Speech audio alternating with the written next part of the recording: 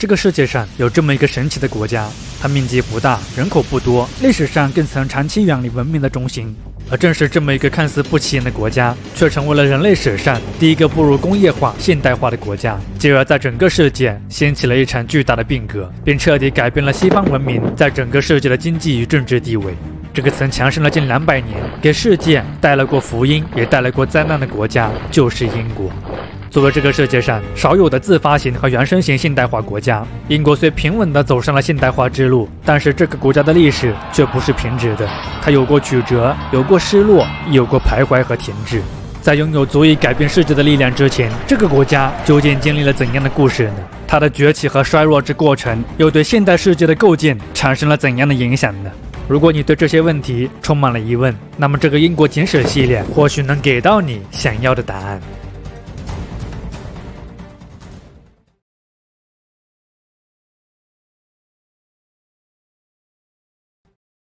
英国的全称叫做大不列颠及北爱尔兰联合王国，它的名字很好的诠释了这个国家的地理属性。大不列颠代表着不列颠群岛最大的岛屿——大不列颠岛，在其之上分布着英格兰、苏格兰和威尔士三个区域单位。北爱尔兰则位于爱尔兰岛，它在这里与爱尔兰共和国分享着不列颠群岛的第二大岛屿。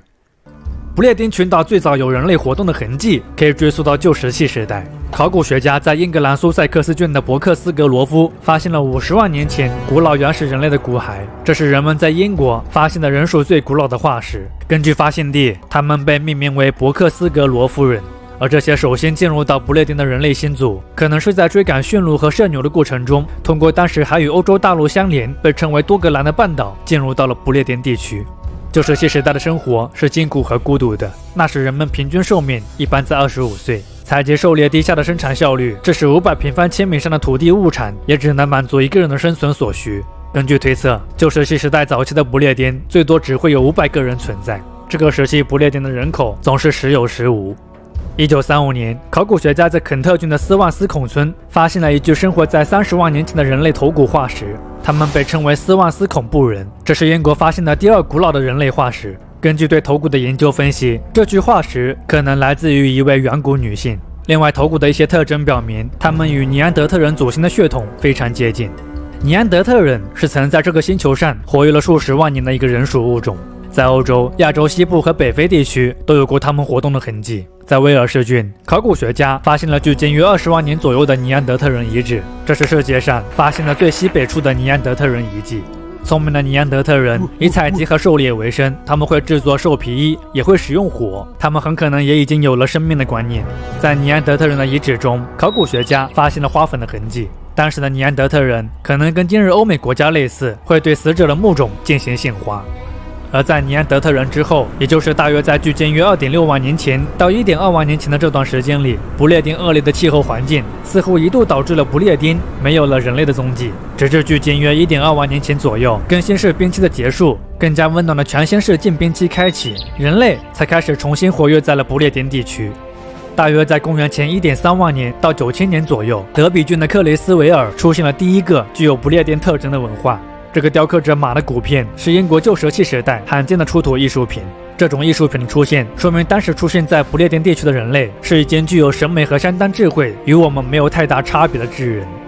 公元前八千三百年左右，随着气候进一步变暖，旧石器时代人类所追赶的野牛、驯鹿等动物消失了，取而代之的是躲藏在森林里喜暖的小动物，如赤鹿、大角鹿、野猪等等。环境的巨变也促使了不列颠地区的采集狩猎经济让位于了中石器时代的渔猎经济。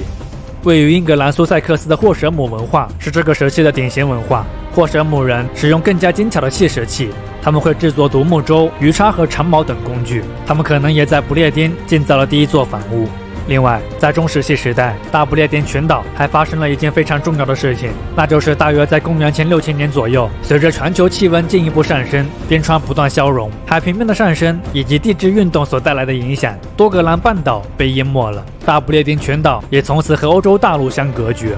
但是，这种地理上恰到好处的隔绝，并没有让这里出现孤立和封闭的状况。相对封闭的地理空间，反而帮助了大不列颠在政治、社会、经济上实现了快速统一。黄色的海洋不仅保留了不列颠人作为海洋民族的冒险和探索精神，它更作为一个天然屏障，让大不列颠在很长的一段时间里不用刻意去维持常备军来防范外敌，进而使这里的人可以有更多的资源去发展自身的文化和经济。大不列颠所具备的这些条件，也许都是促成这里在16世纪以后化身为世界文明变化中心的一些重要因素。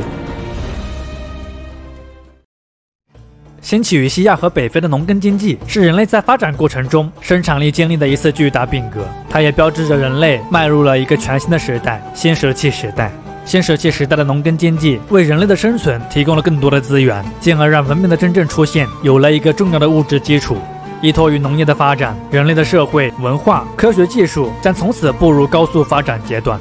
大约在公元前三千八百年左右，大不列颠地区的农业文明取代了中石器时代的渔猎文化。坐落于苏格兰奥克尼群岛的斯卡拉布雷遗址是新石器时代大不列颠群岛一个非常重要的文化。通过碳放射测定发现，这个欧洲新石器时代保存最完整、被称为苏格兰的庞贝的古老定居点，大约建于公元前三千一百八十年至公元前两千五百年。这个村落的功能相当完备，这里甚至有一套复杂的排水系统，排水系统能连接至每间食物的厕所。而根据斯卡拉布雷食物的数量，人们推测当时在斯卡拉布雷定居的人数应该不会超过五十人。斯卡拉布雷人会用石头和粘土来建造房屋，这使得他们的房屋非常牢固，足以抵御奥克尼寒冷和暴躁的冬季。斯卡拉布雷的食物里通常都会有一个用来取暖和烹饪的火塘。他们的食谱很广，可能包括牛羊、农产品和各种海鲜。他们的家具也是用石头制成的，包括橱柜、储物柜、座椅等等。另外，在斯卡拉布雷遗址附近发现的布罗德盖石川和斯丹尼斯石柱，让一些学者认为斯卡拉布雷可能居住着一些神职人员。他们通过这些宗教场所来表达对神灵和上天的敬畏。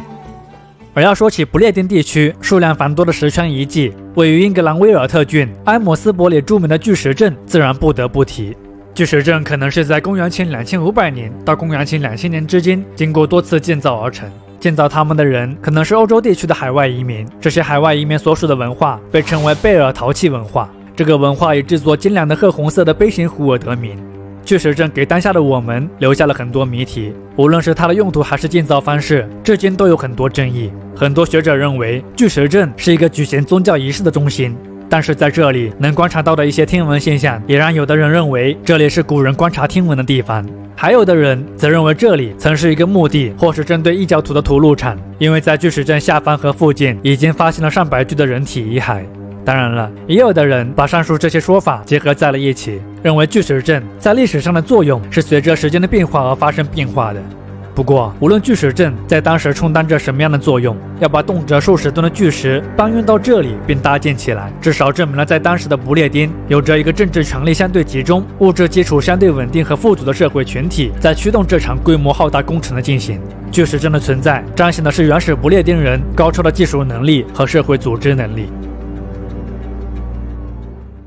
这时不迟于公元前两千年，不列颠进入到了青铜时代。青铜时代的英国诞生了很多文化，比如威塞克斯文化和德弗雷尔里姆伯里文化，皆是不列颠青铜时代的典型代表。这个时期的不列颠展现出了高超的农业技术和冶金技术，人们在整齐的方形田地里种植谷物，并出现了圈围起来的畜牧场和猪栏，一套混合型农业经济开始蓬勃发展了起来。这些迹象也表明了土地作为私有财产可能也已经出现了。这个时期出土的青铜器和金剑非常精致，它们证明了当时的不列颠已经发展出了更加复杂和具有等级制度的社会了。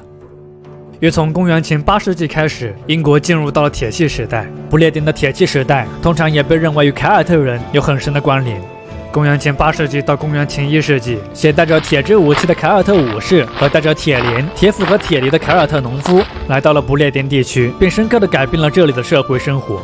山堡是不列颠铁器时代的一大特色，在苏格兰南部分布着三千多个这样大大小小的山堡。山堡一般都建在山丘之上，它们都是由凯尔特人所建立的。层层环绕的沟渠和曾经存在的木质栅栏，彰显了凯尔特人首领强烈的领土边界意识。国家的概念在这时可能也已经出现了。凯尔特人的社会是一个具有军事贵族制限制的社会，他们墓葬中全副武装的遗骸以及华丽的酒器和战车等随葬品，显然都证实了这一观点。这个时期的不列颠社会以军事首领为中心，部落民被分为了三个等级，即祭司、武士和农民。凯尔特人信奉德鲁伊教，它属于一种多神崇拜。德鲁伊教认为人类灵魂不死，他们会在逝者和活人间不断传承。他们相信万物皆有灵，以荒野的橡树木为其神殿，以胡祭神和月亮为崇拜物。他们习惯通过生计即人祭的方式来保障土地的肥沃，以及防止战争和疾病的出现。根据估计，截至公元前一世纪左右，铁器时代不列颠的人口数量可能达到了三四百万人，其中大多数人都集中在了南方的农业用地。另外，随着定居点的不断增多，为争夺稀缺的土地资源，不列颠南部的局势开始变得愈发紧张。数个凯尔特人部落之间的战争和社会冲突，相比以往的一些时间里都增加了许多。而也是在凯尔特人为争夺土地而大打出手之时，一支极为强大的力量正在海的对面积蓄着。未来，这支来自欧洲大陆的强大势力的到来，将彻底改变不列颠的现有秩序和历史进程。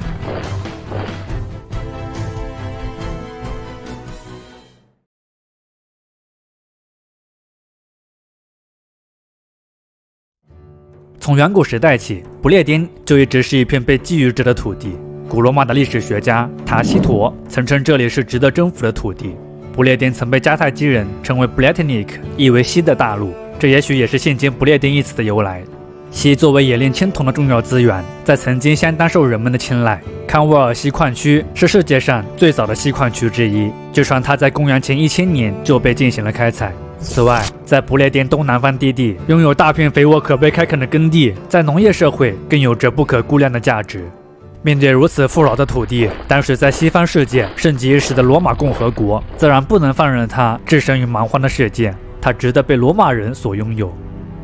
公元前五十五年八月的一天，现任罗马共和国执政官、现任高卢总督的凯撒，带领着一万罗马士兵，从法国布洛贡出发，浩浩荡荡地驶向了不列颠，由此揭开了罗马人入侵不列颠的历史序幕。凯撒分别在公元前五十五年和公元前五十四年两次进攻不列颠，这两次进攻，凯撒均成功战胜了凯尔特人，并获得了一些俘虏和贡品。但时运不济的罗马人在当时并没有在这里建立起真正的统治。在凯撒之后，奥古斯都也曾多次发动了对不列颠的入侵，但都没有成功。真正把不列颠纳入罗马版图的男人叫做克劳迪乌斯。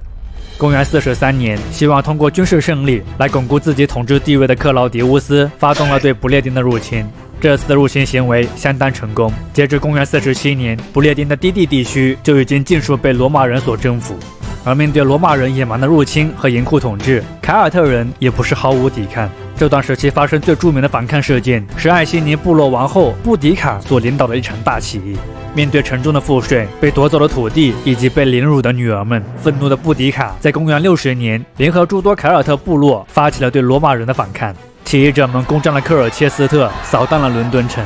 约在公元六十一年，罗马人和布迪卡在现今的惠特林大道展开决战。此役人数远少于布迪卡大军，训练有素的罗马人以仗着更先进的武器和战术，彻底击溃了凯尔特人，由此标志着不列颠南部对罗马统治的反抗正式宣告结束。而在布迪卡起义结束后，为了避免再次发生类似的反抗事件，罗马人开始在不列颠采取更加温和的统治策略。公元七十八年，塔西佗的岳父阿古利可拉出任不列颠总督。在他任职期间，他征服了威尔士，实行了诸如公平赋税、取缔垄断、革除贪官、维护教育、推广拉丁语等的贤明举措，进而使得当时一些英格兰的土著居民开始渐渐抛弃原有的生活方式，转而效仿罗马人，由此巩固了罗马人在不列颠的统治。也是从罗马人占领不列颠开始，如今的英国首都伦敦作为一个对外贸易和岛内的商业中心，得到了迅速发展。为了调兵运资，罗马人当时在伦敦城和三个驻军中心，也就是南威尔士、英格兰西北部的切斯特和北部的约克，建造了可供四轮马车全年通行的罗马大道。罗马大道在后来又成为了商业发展和信息传递的重要媒介。城镇和罗马大道是罗马人在不列颠巩固统治的重要工具，亦成为了不列颠拉丁化的一个重要载体。公元一百二十二年，时任罗马皇帝哈德良出访不列颠行省，为了可以向北方的蛮族展现罗马的实力，以及在继续扩张前巩固罗马在不列颠的军事防御，哈德良提出了修建长城的策略。此后，历经六年，一道长一百一十七千米的石质城墙就横亘在了泰恩河口到索尔韦湾的土地上。哈德良长城为不列颠南部赢得了三百年的安宁，而也是在这段较为和平的年代，不列颠的拉丁化也得到了进一步的深化，更多的罗马化城镇被建立了起来。罗马统治时期的不列颠城镇，较大的有二十到三十个，其人口规模从伦敦城的一点五万人，到由凯尔特上层实行设置的平民城的一千人左右不等。虽然规模不同，但这些城镇的基本格局都很相似。城市中心有广场，广场周围分布着店铺以及极具特色的罗马神庙、大会堂、公共浴池、角斗场等公共建筑。罗马人为不列颠带来了以城镇为中心、不同于不列颠以往的生活方式和文化习俗。当然了，这些所谓的文化是罗马人强加给不列颠的，他们仅仅是依附于罗马帝国的行政管理中心而存在。所以，当公元五世纪罗马帝国政府开始变得风雨飘摇，这些城镇大多也随之衰落了。在罗马时代，大多数不列颠人对乡村有着更深厚的情感，因为这里与他们的传统生活更加相关。公元二世纪，被称为维拉的庄园开始大量出现。维拉特指一个以村庄为主题的私有地产管理中心，它既是管理着那些出租给小农或是一时奴隶耕种的土地的私有地产，也是富有的凯尔特人建立模仿城镇生活方式，有别于土著凯尔特人的一个农庄。罗马时代这样的庄园大大小小，大致有六百多个。这些庄园虽然基于商业的需求，也会种植葡萄、樱桃等经济作物，但更多的还是以种植谷物和饲养牛羊为主。其中以养羊获益最大。在公元三世纪，不列颠的羊毛制品在整个罗马帝国都享有盛名。除了在物质生活的一些改变，在精神层面上，罗马时代的不列颠也发生了显著的变化。在罗马征服不列颠之前，凯尔特人主要的文化特征是崇尚武力和膜拜英雄，其宗教信仰仍处在原始宗教阶段。而当罗马人把具有人形的奥林匹斯诸神和罗马人的崇拜仪式带到了不列颠以后，不列颠社会各阶层的宗教崇拜也开始变得五花八门了。罗马官吏和凯尔特上层社会崇拜罗马皇帝保护神奥古斯都，而地方的土王则供奉着海神尼普和智慧女神密涅瓦。在更加远离罗马文化的农村地区，当地居民则是吸收了罗马人的拜神仪式，保留了他们曾经的自然神。当然了，上述的这些变化，很大程度上还要归功于罗马人对凯尔特人信仰的宽容态度。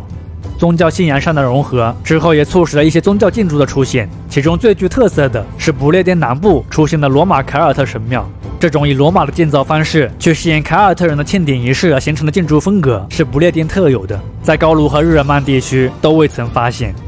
而至于当今英国最盛行的基督教，则可能是在公元二世纪传入的。在不列颠，第一个有确切记载的基督教殉道者是公元三世纪的圣奥尔本。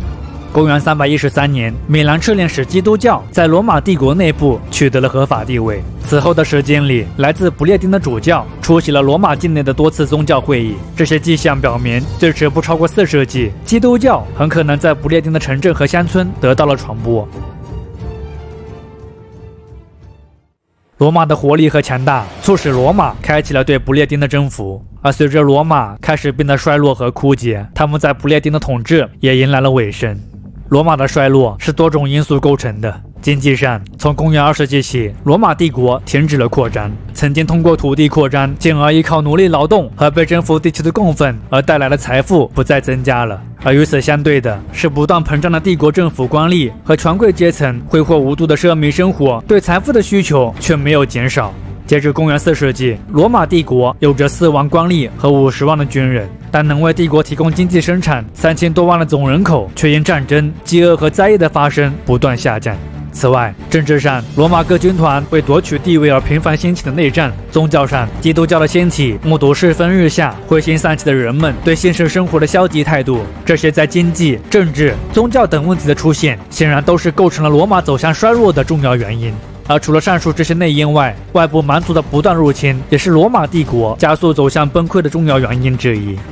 在罗马统治的不列颠，公元两百八十七年，为搜寻战利品，日耳曼蛮族之一的萨克逊人首次袭击了不列颠东海岸。为此，罗马人一度沿着索伦特海峡到沃什湾的海岸建筑起了堡垒和信号台，并特意委派驻不列颠的萨克逊基地防卫官来负责指挥这些设施。但是，任凭罗马人做何种努力，他们仍旧没能抵御住蛮族的入侵。公元三百六十七年，苏格兰人从西部，皮克特人从北部，萨克逊人从东部一起袭击和蹂躏了哈德良长城，杀死了基地防卫官。公元三百八十八年，不列颠指挥官马格努斯·马格西穆斯在不列颠称帝，并前往高卢争夺地位。公元三百九十八年，为了抵御上战的西哥特国王亚拉里克一世的入侵，掌握罗马实权的军队统帅命令撤走了大部分的不列颠驻军。公元四百零七年，还留在不列颠的驻军，出于对日耳曼人入侵的畏惧和在即将崩溃的秩序下寻找安全的需要，他们推举了也曾在不列颠因兵变上台的与君士坦丁大帝同名的领导者，颇具才能的普通士兵君士坦丁三世为帝。之后，君士坦丁三世率军离开不列颠，参与到了高卢的地位之争。公元四百零九年，所剩无几的罗马军人和官吏被不列颠人彻底赶出了这片土地，维持了三百多年的不列颠罗马时代自此终结。回顾起罗马时代对不列颠的影响，除了那些主要城镇和维拉的罗马化，那些罗马人不太涉足的农村地区，凯尔特文明的基础依然存在。在罗马统治的农村地区，占不列颠人口三分之二的土著人也依旧说着凯尔特语，崇拜着凯尔特神灵。罗马人来过，他们留下了罗马大道和城市遗址。罗马人为不列颠揭示了文明的一缕曙光，但也就仅此而已了。三百多年的时间里，罗马人没有留下更多足以令不列颠人怀念的东西。对于广大不列颠人民而言，对罗马人的记忆似乎只有痛苦的、沉重的赋税。但没有人再会怀念那个时代，他显然也没有资格在这片地区留下更多的历史痕迹。罗马人离去后的不列颠，仍旧处在蛮荒之野、世界之滨。在这个所谓的文明边缘地带，接下来又会上演怎样的历史故事，去沉淀不列颠的文明，去沉淀未来不列颠的辉煌时代呢？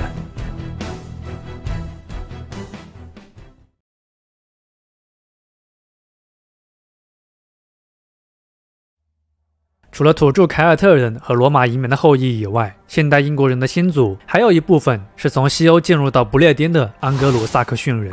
安格鲁萨克逊人入侵不列颠的历史持续了至少一百五十年。事实上，在安格鲁萨克逊人到来以后，英格兰的说法才开始出现。它本意上指的就是安格鲁人的土地。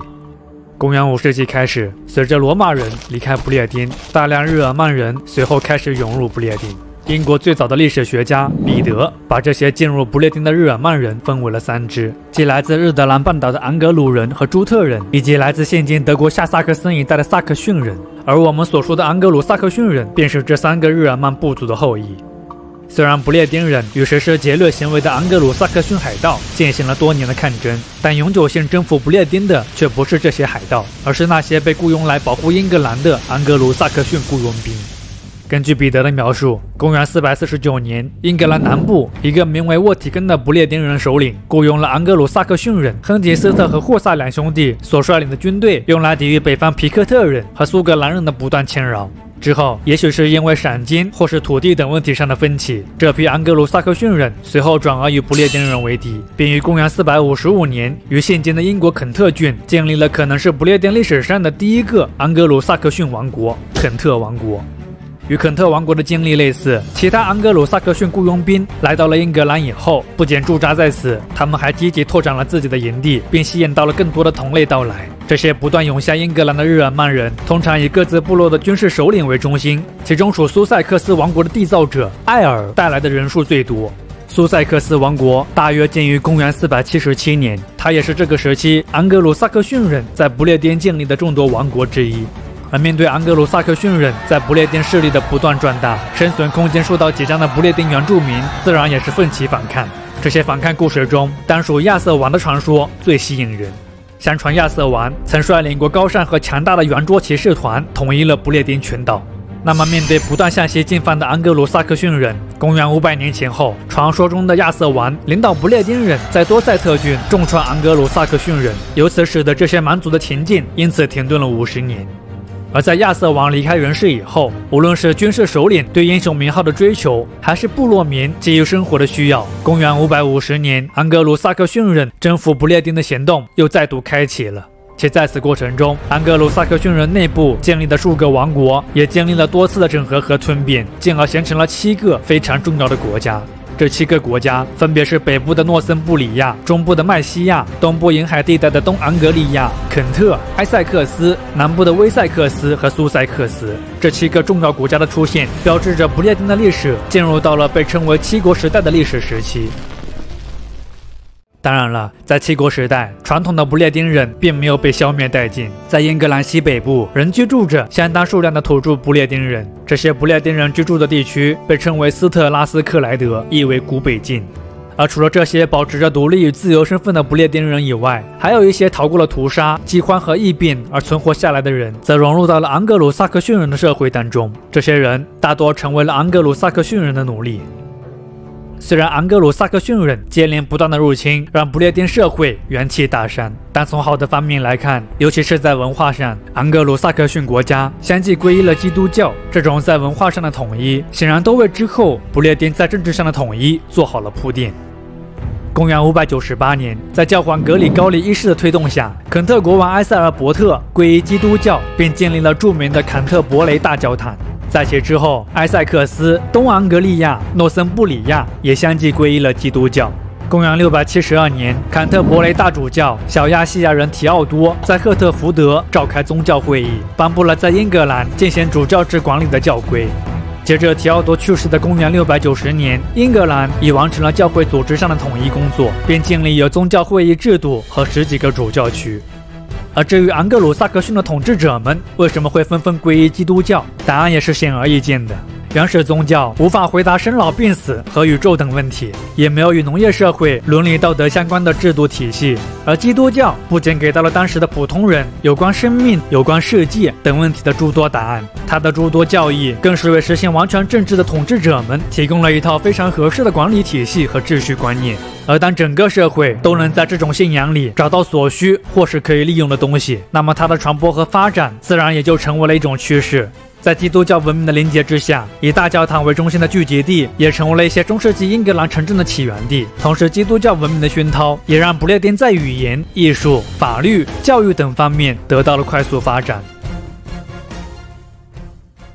那么，也是在宗教出现统一的公元七世纪，英格兰的政治格局也发生了一些变化。七个王国在不断角逐的过程中，逐渐出现了三个实力更为突出的王国，他们分别是诺森布里亚、麦西亚和威塞克斯。这三个国家当中，诺森布里亚王国在国王埃德温、奥斯瓦尔德和奥斯威在位时期，曾一度在英格兰建立了诺森布里亚的霸权，一度有统一英格兰的趋势出现。但是，由于诺森布里亚王国糟糕的地理位置，在当时，他不仅要遭受到北部皮克特人、苏格兰人的侵扰，更要时刻面对着实力同样不容小觑的南部麦西亚人的威胁。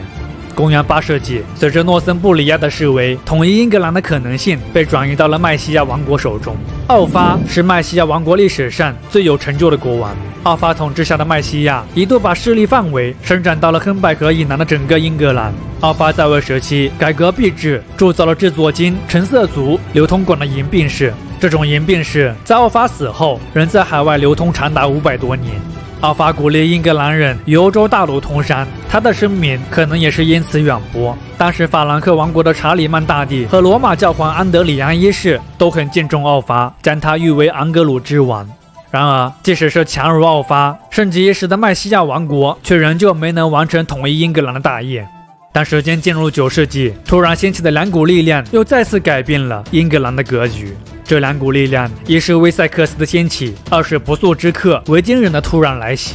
对于维京人，我们应该比较熟悉了。这些来自现今挪威和丹麦骁勇善战的族群，为了寻求贡品和战利品，在公元八世纪到十一世纪，开启了对大部分欧洲沿海地区的劫掠行为。而在不列颠，维京人更是直接和深刻地影响了这里的历史。公元七百八十六年，维京人首次进攻威塞克斯。此后的百年时间里，维京人频繁袭击不列颠。也是在此过程中，原先觊觎着英格兰金银财宝的维京海盗们，渐渐把目光转向了英格兰肥沃的土地，并开始在这里定居了下来。维京人带来了自己的语言、法律和习俗，与不列颠当地的居民融合在了一起。这使得英国人在凯尔特人、安格鲁萨克逊人的基础之上，又加入了维京血统。在英国历史上，维京人较为集中的居住区也被称为丹麦区。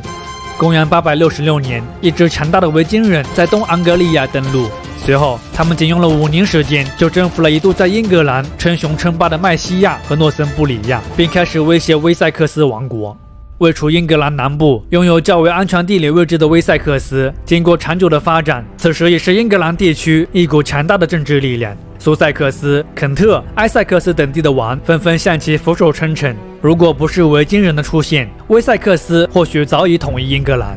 公元八百七十一年，维京人自东向西大举进攻威塞克斯，而威塞克斯则在英国历史上著名的艾尔弗雷德大帝的带领下奋起反抗。这一年是艾尔弗雷德大帝继位的首年，仅仅这一年，他就与维京人交战了十九次之多。公元八百八十五年，势均力敌的双方签署协议，以泰晤士河口经伦敦、贝德福特到切斯特为分界线，将英格兰一分为二。分界线以北由维京人统治，以南则归由艾尔弗雷德大帝所统治。当然了，强大且蛮横的维京人素有撕毁协议的先例，所以为了日后更好的应对维京人。阿尔弗雷德大帝为威塞克斯构建了新的防御体系，他亲自设计船舰，组建了海军，并制定了英国历史上最早的民兵制度。民兵制度下，一半士兵在家务农，一半驻外打仗。阿尔弗雷德大帝还在威塞克斯境内修建了多座城堡，这些城堡既是设防中心，也是居民的避难所。其中一些较大的城堡，随着商人和工匠的到来，逐渐也发展成为了中世纪英格兰的城镇之一。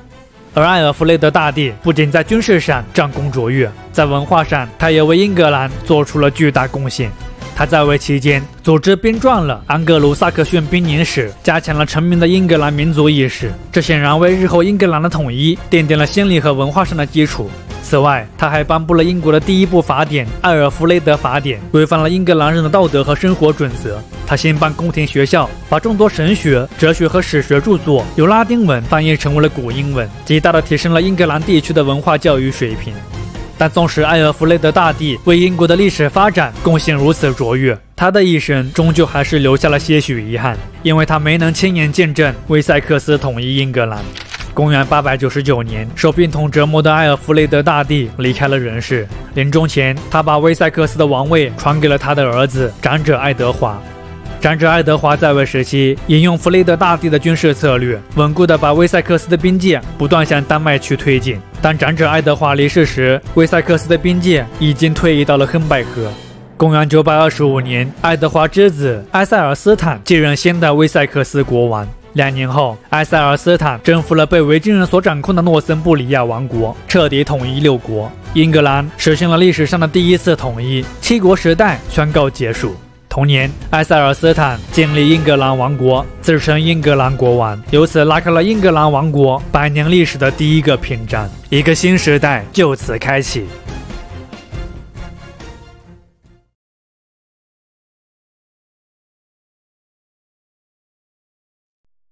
英国作为一个岛国，在历史上一直都深受外来文明的影响。无论是早期的凯尔特文明，还是后来安格鲁萨克逊人的到来，英国的历史底蕴正是在这漫长且曲折的过程中不断积累和沉淀，进而形成了自身独特的文明符号。而在这一系列外来文明的影响中，来自欧洲大陆的法国对其产生的影响可以说是最为深刻的。无论是在语言、文学、礼仪，甚至是英国皇室的一些习俗，它都曾受法国影响。而法国对英国的诸多影响，法国与英国的复杂历史关系，也只是英国的历史可以毫不夸张地说，里面有半部是他与法国的爱恨情仇史。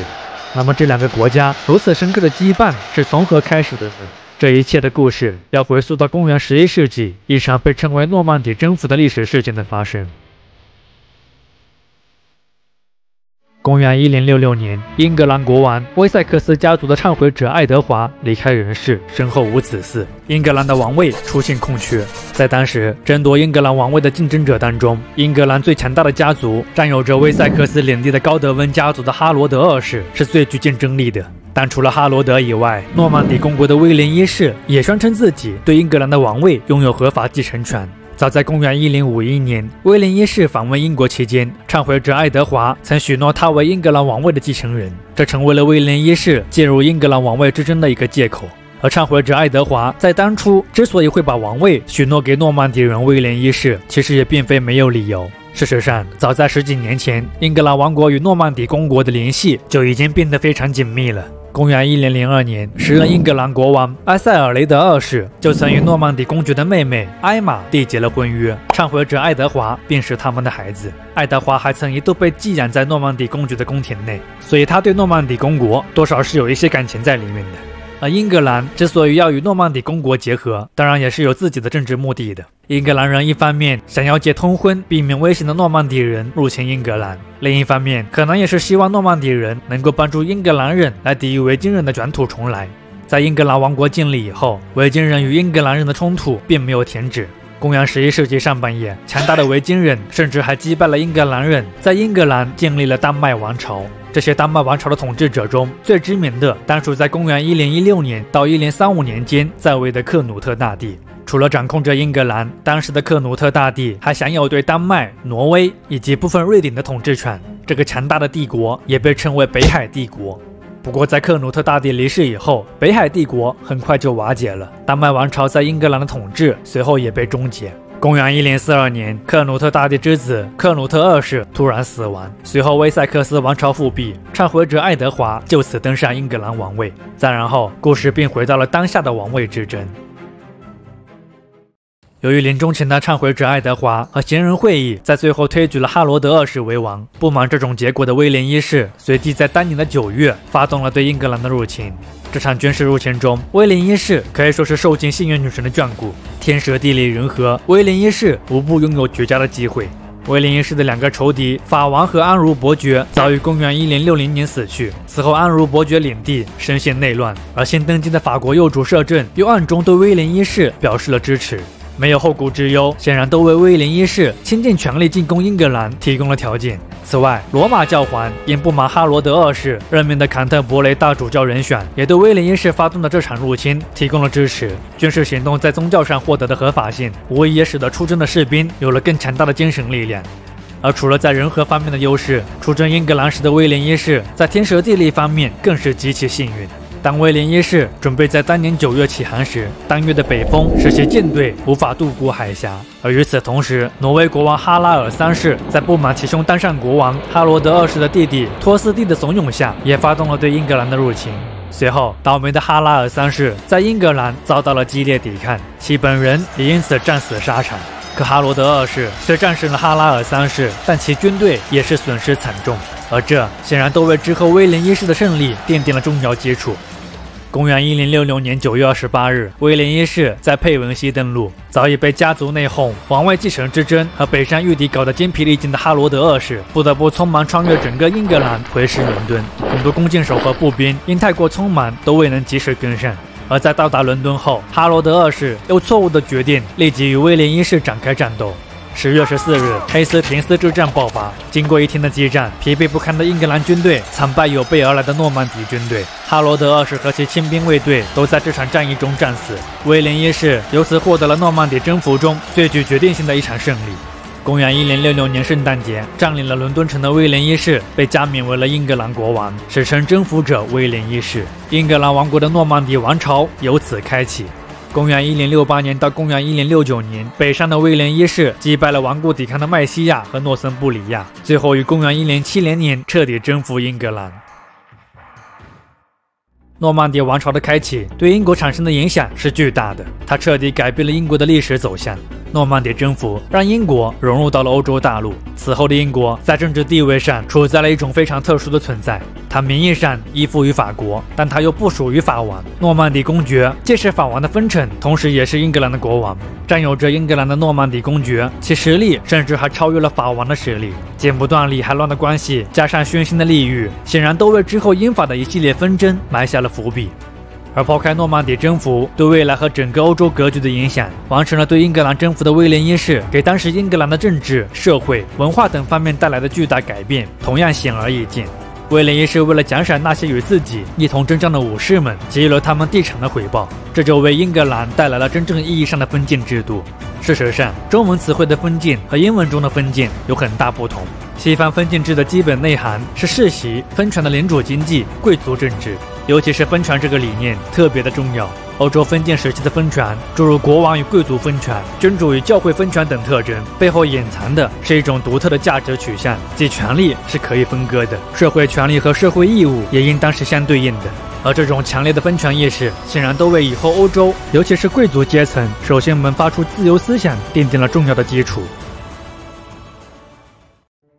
那么，威廉一世为英国带来了真正意义上的封建制度。以前，英格兰的政治制度是一种以国王和行人会议共同实行统治的贵族民主制。在土地分封上，安格鲁萨克逊的国王们虽然也会给功臣们赏赐土地，但这种赏赐是真正的馈赠。国王并不会对这些土地获得者附加任何条件，这些赐地是完全自由的、可世袭的、可以买卖、可以让渡的财产。而威廉一世赐予的土地限制则完全不一样，它是一种存在相互依附关系的契约制度。土地受封者在接受分地的那一刻起，从此成为了分主的臣属，他必须为主人效忠、服务，甚至是献身。此外，在授封仪式上举行的臣服礼，更是进一步强化了这个契约制度在宗教道德方面的约束力。当然了，有约束，自然也有相应的权利，不然谁干啊？威廉一世在英格兰推行的是骑士占有制，即他们拥有土地的使用权和占有权，但没有所有权。在最初，这些分地只能享用终身，而后才逐渐成为世袭。这些土地在本质上仍旧是国王的财产。此外，英格兰的诺曼底分封制还要求封城的封臣也要向国王宣誓效忠。他们的宣誓词是：“因为领有您的土地，除了效忠国王之外，我还将效忠于您。”所以，英格兰的各级封建主，不管是否是国王的直属封臣，都首先得承认国王的权威。这种层层分数的制度，为英格兰构建了一套严格的阶级体系，也为威廉一世征服英格兰以后的政治稳定提供了很大帮助。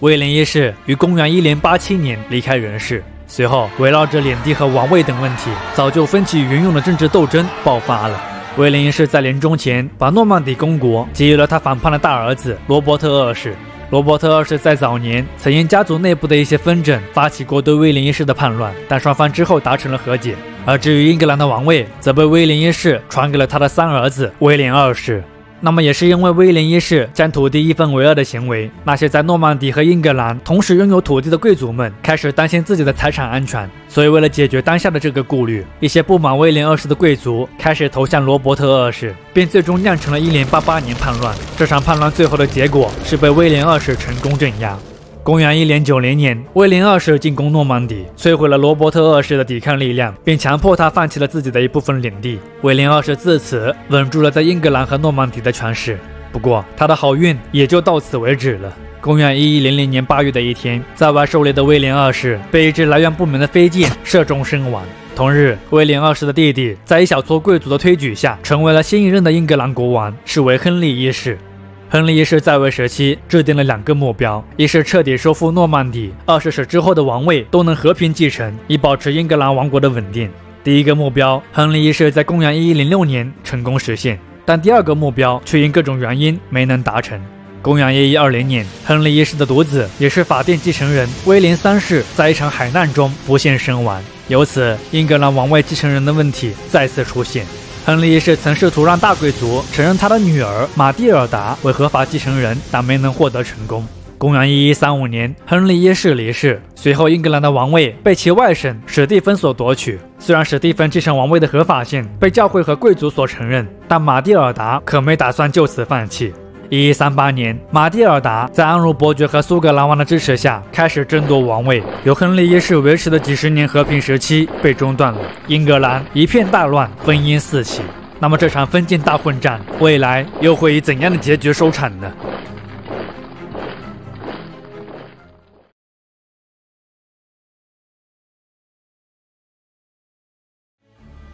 从公元一一三八年起，为了争夺英格兰的王位，前任英王亨利一世之女玛蒂尔达与名义上已经获得英王之位的史蒂芬而展开的激烈内战，一度令英格兰王国陷入无政府状态。大贵族们纷纷站队玛蒂尔达或是史蒂芬一方，他们各自建垒铸币，相互缔结盟约，生怕自己会陷入某种不利地位。无休止的纷争让当时的英格兰一片混乱，也让参与其中的人渐渐心生厌倦。为了终结这场封建混战，公元一一五三年，难以分出胜负的双方缔结协议。协议中明确，史蒂芬可以继续担任国王，但死后英王之位将由玛蒂尔达与安茹伯爵之子亨利二世继承。公元一一五四年，史蒂芬死去，亨利二世继承英王之位，英格兰由此迅速步入到了一个崭新的时代。由于亨利二世的父亲安茹伯爵若弗鲁瓦五世喜欢在帽子上插上金灿灿的金雀花，因此这个王朝也被称为金雀花王朝。作为安格鲁萨克逊时代之后第一个毫无争议继承王位的君主，亨利二世是幸运的。事实上，在成为英格兰国王之前，年轻的亨利二世就已经从母亲那里继承了诺曼底公国，从父亲那里继承了安茹、曼恩、布列塔尼，从妻子埃莉诺处继承了阿基坦、普瓦图和加斯科涅。对这些领土的拥有，让近半个法兰西都处在了亨利二世的统治之下。如今再加上英格兰，年轻的亨利二世无疑成为了当时欧洲最具权势的男人。亨利二世是一个精力充沛的统治者，为了管理辽阔的领地，维持帝国的统一与稳定，他频繁奔波于英格兰和欧洲大陆。南汉普顿总有一艘随时待发的大帆船供亨利二世使用。根据传闻，亨利二世只有在吃饭、睡觉和开会时才会坐下。也正是因为亨利二世的前明理政，曾经满目疮痍的英格兰恢复了平静，君主的权威在英格兰也重新得以建立。当然了，事前少有一帆风顺，更何况是掌握着巨大权力和财富的亨利二世。十二世纪是王权与教权之争重重叠起的一个时代，亨利二世同样深陷其中。中世纪的欧洲，科学知识匮乏，思想文化贫瘠，基督教的神学垄断着当时人们的精神世界。早在公元一零七五年，为了将全人类组织在一个单一的执行天主旨意的社会中，罗马教皇格里高利七世就曾颁布敕令，宣布教皇高于世俗统治者，有权废立国王。他甚至宣称，整个英格兰都是罗马教廷的属地。而由于威廉一世始终坚持不经国王同意的主教会议决定和教皇命令在英格兰都不生效，由此引发了当时威廉一世与罗马教皇间的纷争。这些纷争最后演变成为了在任命主教时是国王还是大主教来主持受职仪式的问题。公元一一零五年，碍于威尔士边界叛乱以及诺曼底分裂势力的抬头，时任英格兰国王亨利一世对教会做出了让步，他将国王的受职权让予了教皇。当然，前提是主教在行受旨仪式之后，必须还得再向国王行臣服礼。虽然亨利一世仍旧保留了国王意见对主教职位的决定性影响，但从长远的眼光来看，对世俗受旨礼的放弃，无疑承认了君主的世俗性。这在完全尚需加强的中世纪早期，显然造成了民族国家在形成过程中的一个不利影响。那么到了亨利二世在位时期，他为了收回在史蒂芬统治的混乱时期国王对教会丧失的司法权，再度与教会发生了争执。这场事件最后以震惊基督教世界、坎特伯雷大主教被杀而告终。面对教皇将处以绝罚的威胁，亨利二世最后屈服了。他不仅没能收回对教会的司法权，更是在许多重大问题上做出让步，包括允许教士在没有国王的允许下可擅自离开王国。教皇未经国王同意，可以在英格兰行令，以及无权对教士犯罪进行审讯和审判的权利等等。也是从这个时候起，英国以国王代表的君权，以及以教会代表的神权，已经埋下将来激化矛盾的种子。而除了与教会之间的矛盾，到了亨利二世统治的后半期，家族内部的问题同样搅得亨利二世不胜其烦。亨利二世的四个儿子亨利、理查一世、杰弗里和约翰，在其母艾莉诺的教唆下，于公元一一七三年的诺曼底起兵反叛。在此前，为了争权夺地，父子之间的斗争一直时有发生。而借由英格兰内部出现的动荡，公元一一七四年，苏格兰王也趁机发兵入侵英格兰。不过，令人感到惊奇的是，四面楚歌的前嫌，最后仍旧是被亨利二世克服了。公元一一七五年到公元一一八二年，金雀花王朝达到极盛。但维持帝国统一的工作似乎同样永无止境。公元一一八三年，亨利二世的长子亨利死去，次子理查一世成为实际上的长子。但由于亨利二世计划把王位传给他的小儿子约翰，由此引发了理查一世的强烈不满。盛怒之下的理查一世随后与法王腓力二世结成联盟。面对亨利二世在法国拥有的大片领地，为了削弱他的权势，腓力二世自上位起就竭力挑拨亨利二世家族的内部矛盾。而历经家族不和、王位相争等苦难的亨利二世，身体因此每况日下。且颇为讽刺的是，一直在为小儿子约翰争取王位的亨利二世，之后还遭到了约翰的倒戈。公元一一八九年的一天，绝食多日并拒绝医治的亨利二世含恨而死。有的学者认为，如果不是家族内部所引发的问题，以亨利二世的经历和才干，或许在十二世纪，威尔士、爱尔兰和苏格兰的问题就能被解决，不列颠可以实现更早的统一。当然了，这也只是一种可能性。事实上，当时的威尔士、爱尔兰和苏格兰的情况确实很难应付。在威尔士，层峦叠嶂的山脉、复杂的地形是阻碍英格兰人征服这里的最大障碍。威廉一世在位时期，他曾一度征服北威尔士，但很快他又被土著凯尔特人夺回去了。亨利二世继位以后，他曾一度率军征服威尔士，只可惜仍旧没能获得成功。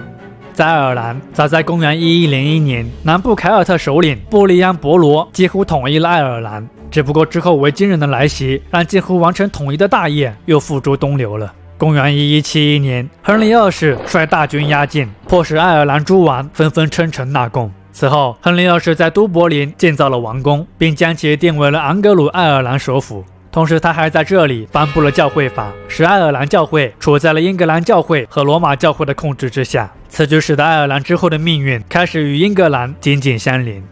相比威尔士，苏格兰更为遥远的距离，使得这片土地保持了较好的独立性。公元八百四十三年，皮克特国王肯尼斯一世统一了周边地区，这被视为苏格兰王国建立的开端。此后数百年间，苏格兰的统治者都自称是肯尼斯一世的后裔。到了十一世纪，不断扩张中的苏格兰王国，其疆域已经基本到达了今天英格兰与苏格兰的边界。公元一一五三年，正值中心的金雀花王朝迫使时任苏格兰之王马尔科姆四世向亨利二世俯首称臣。公元一一六五年，马尔科姆四世被其弟狮子威廉打败。狮子威廉当上国王以后，不再向亨利二世宣誓效忠。此外，狮子威廉还支持亨利二世子嗣反叛，并借机在公元一一七四年攻入英格兰。当然，我们已经知道这起入侵最后以失败而告终了。战败后的苏格兰之后彻底依附于了英格兰，直到公元一一八九年。那么，在亨利二世死后，受法王支持的理查一世终于继承了梦寐以求的王位和在法国的大片领土。理查一世虽身为英格兰国王，但他在位的十年时间里，只在英格兰居住了几个月。事实上，对于这些来自欧洲大陆的公子爷们，英格兰在社会生活和文化方面多少有点穷乡僻壤的味道。比如，亨利二世在位的三十四年里，他就有二十一年是在大陆度过的。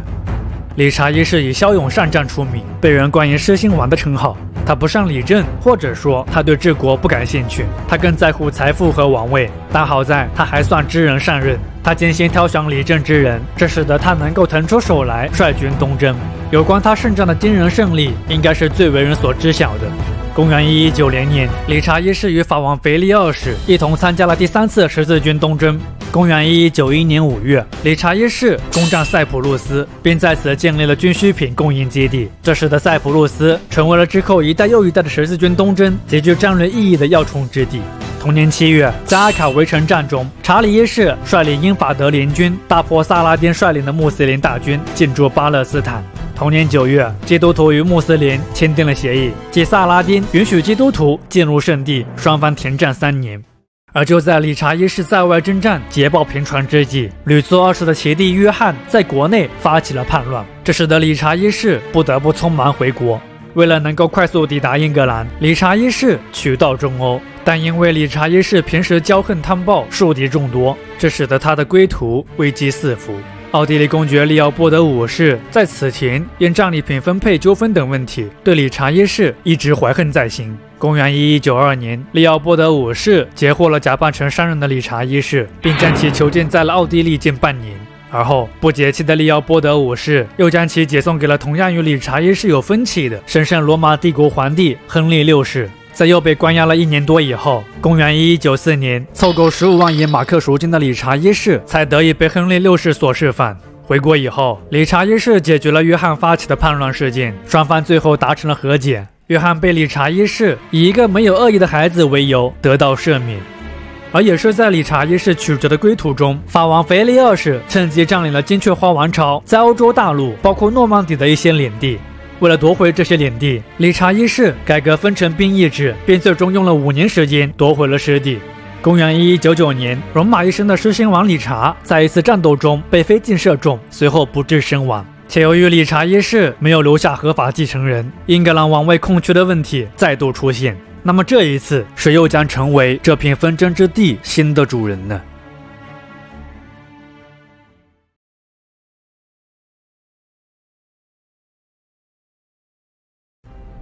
作为世界上最早的君主立宪制国家，英国在宪政史上的惊人发展令人感到惊叹。十三世纪，在那个世界绝大多数国家还在不断加强君主专制的时代，国民自由和有限政府的思想却已经早早的在不列颠萌芽了。也许用当下的眼光去评判中世纪的专制主义和宪政主义孰优孰劣是有失偏颇的，但毫无疑问，从那个时候起，英国已经在探索一条不同于其他国家政治制度的道路了。而要提起宪政主义的起源，早在公元一二一五年，英国通过的大宪章自然是一个不可跳过的话题。它是英国为世界宪政史送出的第一份大礼。公元一一九九年，狮心王理查一世死后，由于其没有留下合法继承人，王位空缺的问题再次降临在了英格兰的土地上。按照诺曼底的长子继承制，理查一世弟弟杰弗里的儿子布列塔尼公爵亚瑟理应继承王位。但由于担心年仅十二岁的亚瑟无法胜任王政，所以在英格兰和诺曼底贵族以及亨利二世的遗孀埃莉诺的支持下，理查一世的幼弟阿基坦和爱尔兰的领主约翰便继承了王位。但很显然，劣迹斑斑的约翰并不受大多数人喜爱。人们评价约翰是个自私、虚伪、糟糕的家伙。在约翰上位后的短短几年时间里，由于金雀花王朝内部的混乱和法王腓力二世的插足，金雀花王朝相继失去了在法兰西的大部分领土。约翰因此被人戏谑地称之为了失地王。但也正是因为约翰的无能，西方民主制度的重要里程碑才得以出现。自公元一二零四年失去诺曼底等地以后，约翰一直想要收复在法兰西的失地，所以为了扩军备战，约翰一方面大规模掠夺教会财产，另一方面他还肆意寻找借口征收兵役免除税、设置关税和分成后裔继承税等等。而这不仅极大地侵犯了英格兰各个阶层的利益，更违反了英格兰分境结构下原先分军和分城所建立的双向权利和义务。约翰的这一系列行为无异于在挑战整个社会秩序。为了反抗约翰无视法律的行为，公元一二一三年，在圣保罗大教堂的男爵会议上，贵族反叛临门。在亨利一世于公元一一零零年加冕礼上的特权令中，找到了反叛约翰的理论根据。公元一二一四年，借由约翰在反攻法兰西的战役中失败，国内各男爵对约翰的不满情绪进一步加剧了。这一年，英格兰北部的骑士率先拒纳兵役免除税，在行动上开始真正反抗约翰的政策。公元一二一五年，男爵们要求恢复古代习惯的自由，并开始武装了起来。当年的四月起，反叛的规模开始迅速扩大。大贵族们在伯拉克利公开拒绝向国王行效忠礼，随后被称为第一次男爵战争的事件由此爆发。同年五月，反叛的贵族们秘密进入伦敦城，并取得了法王腓力二世的支持。而为了守卫王宫，在国内得不到支持的约翰，又雇佣了来自欧洲大陆的雇佣军。而外国军队的到来，则又进一步增加了英国各社会阶层的不满。于是，反叛者迅速由大贵族扩大到了中小贵族、教会人士和城镇居民。当年六月，叛军和当局在泰晤士河畔的兰尼米德举行会谈，随后双方便签署了著名的大宪章。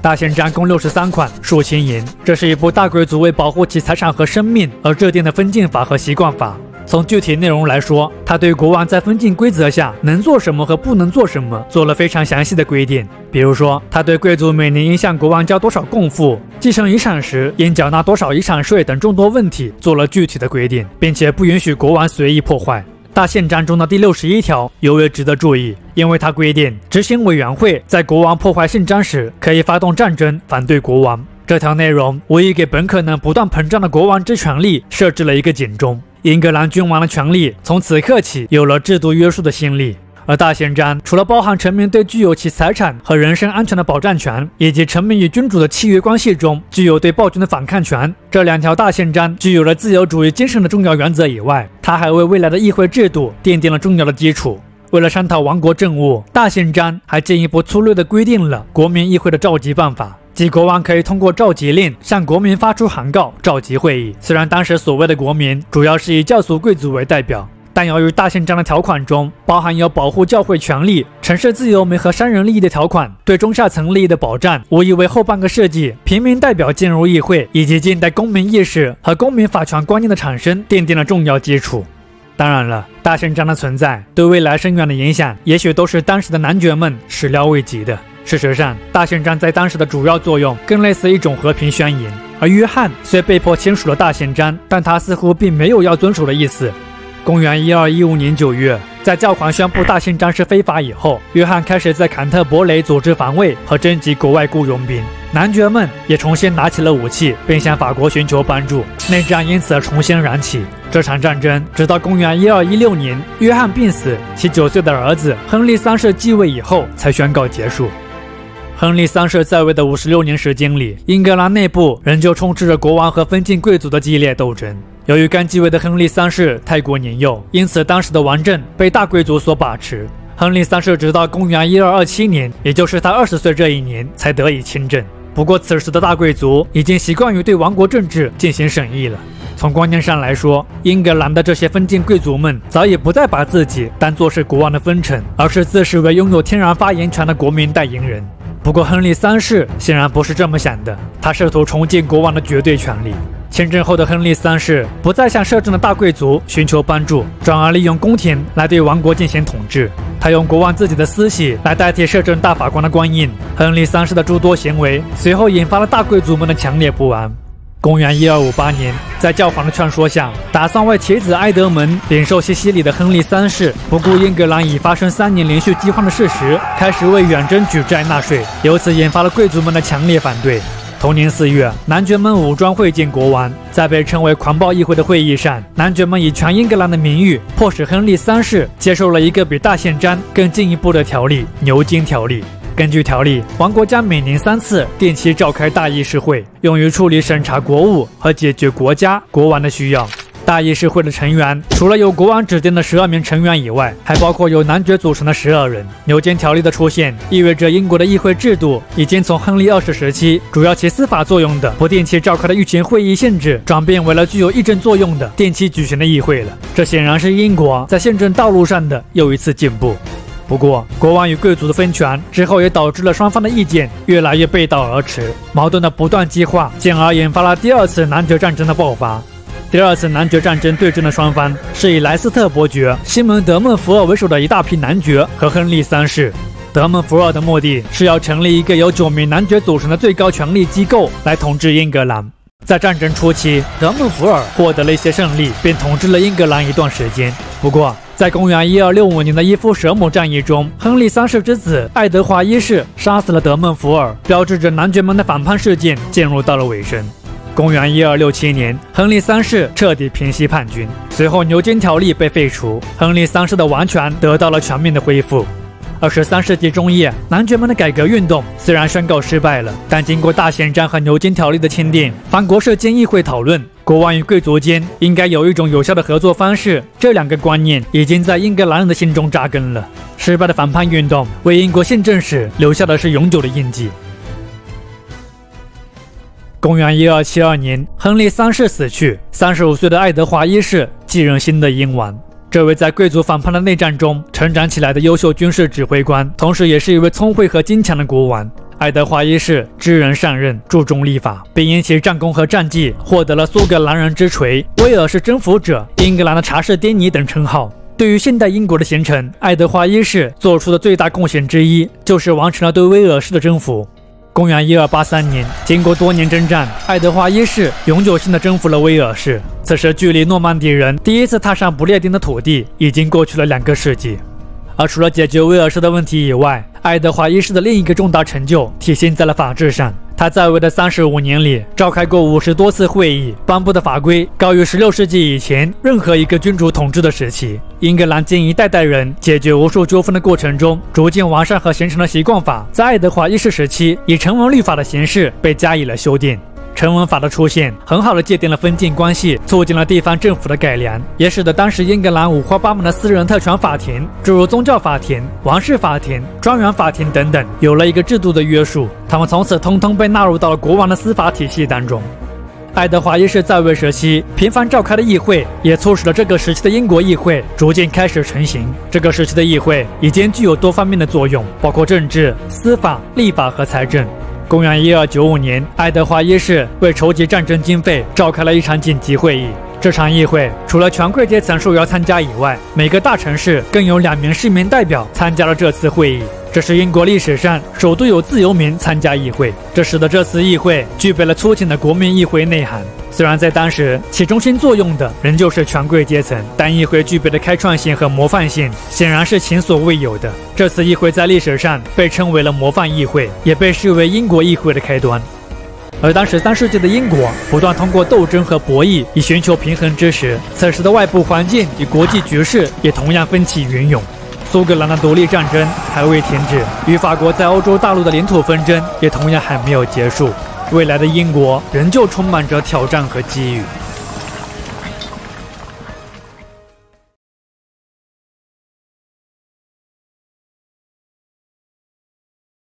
爱德华一世统治下的英格兰是一个充满着巨大变化的时代。在这段时间里，我们看到了英国宪政的进一步发展，也见证了在他的带领下，英格兰对威尔士的征服。爱德华一世迈出的每一步，都是现代英国在形成过程中不可或缺的一步。不过，功绩斐然的爱德华一世终其一生，仍旧是留下了一个遗憾，那就是他没能完成对苏格兰的彻底征服。自公元1296年出兵苏格兰，截止他去世的公元1307年，爱德华一世曾一度距离统一苏格兰已经非常接近，但无奈苏格兰人的反抗运动太过顽强，他们总是能够绝地反击，一次次的破灭英国人的野心。苏格兰的问题是爱德华一世人生后半段最大的负担，也是此后继位的诸多英王们在统一不列颠的问题上不得不面对的一个障碍。而除了苏格兰的独立战争搅得英王们头疼以外，与法国在欧洲大陆的领土纷争也同样棘手和麻烦。自爱德华一世以来，加斯科涅的问题已经取代了诺曼底和安茹，成为了英法两国争斗的焦点问题。加斯科涅位于法国西南部，它是阿基坦公爵威廉八世于公元一零五八年所得。在十二世纪的时候，阿基坦公爵的称号连同加斯科涅都因亨利二世享有的继承权被转移到了金雀花王朝手中。加斯科涅工商业发达，航运便利，重要性不言而喻。在爱德华一世时期，加斯科涅是英王作为法王的分臣所具有的。而对于民族独立意识正在成长的爱德华一世和其继承人来说，他们显然不愿看到法王完全对加斯科涅的不断影响。同样的，对于法王而言，加强对加斯科涅的控制，不仅是其利益所在，也是法王王权的象征。因此，围绕着加斯科涅而引发的日益激化的两个民族国家间的主权争端，既尖锐又不可避免地爆发了。公元一二九三年，时任法王腓力四世以船只冲突为借口，出兵攻占了加斯科涅。随后，爱德华一世立即向教俗两界大举征税，并联合了国外的一些势力，于公元一二九七年亲征加斯科涅。公元一三零零年，法军被赶出加斯科涅。两年后，通过谈判，爱德华一世以法王分臣的身份收复加斯科涅。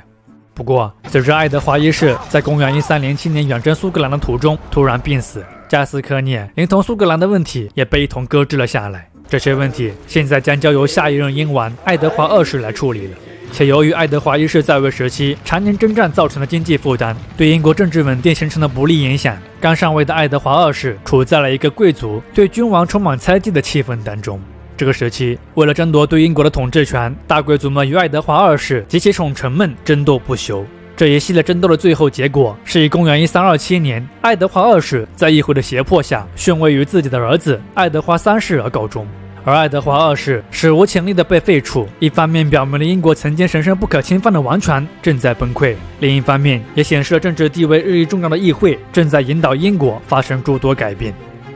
新登基的爱德华三世只有十五岁，不过他虽然年幼，但却表现出了异常卓越的君主才能。他谨慎地对待议会，与臣民保持了一种明显的和谐关系，并以此为基础维持着他在英国的统治和对外的一系列战事。爱德华三世是个非常有野心的君主。经过多年磨练，爱德华三世摆脱了其母和一些贵族的控制，成长为了一个决心使不列颠统一，并渴望在战争中取胜的君主。公元一三三七年，由于爱德华三世的母亲伊莎贝拉有着法国王室血统，这一年已经实现国内政治稳定，认为时机已成熟的爱德华三世向法国王位提出了要求，宣称自己有着法王的合法继承权。事实上，当爱德华三世在苏格兰获得一些胜利，而法王仍旧公开支持苏格兰的时候，他早就想敲打一下这个世仇了。公元一三四零年六月，以斯勒伊斯海战的爆发为开端，被称为百年战争的英法之争由此拉开序幕。在斯勒伊斯海战中，英国海军大破法国海军，获得了对英吉利海峡的制海权。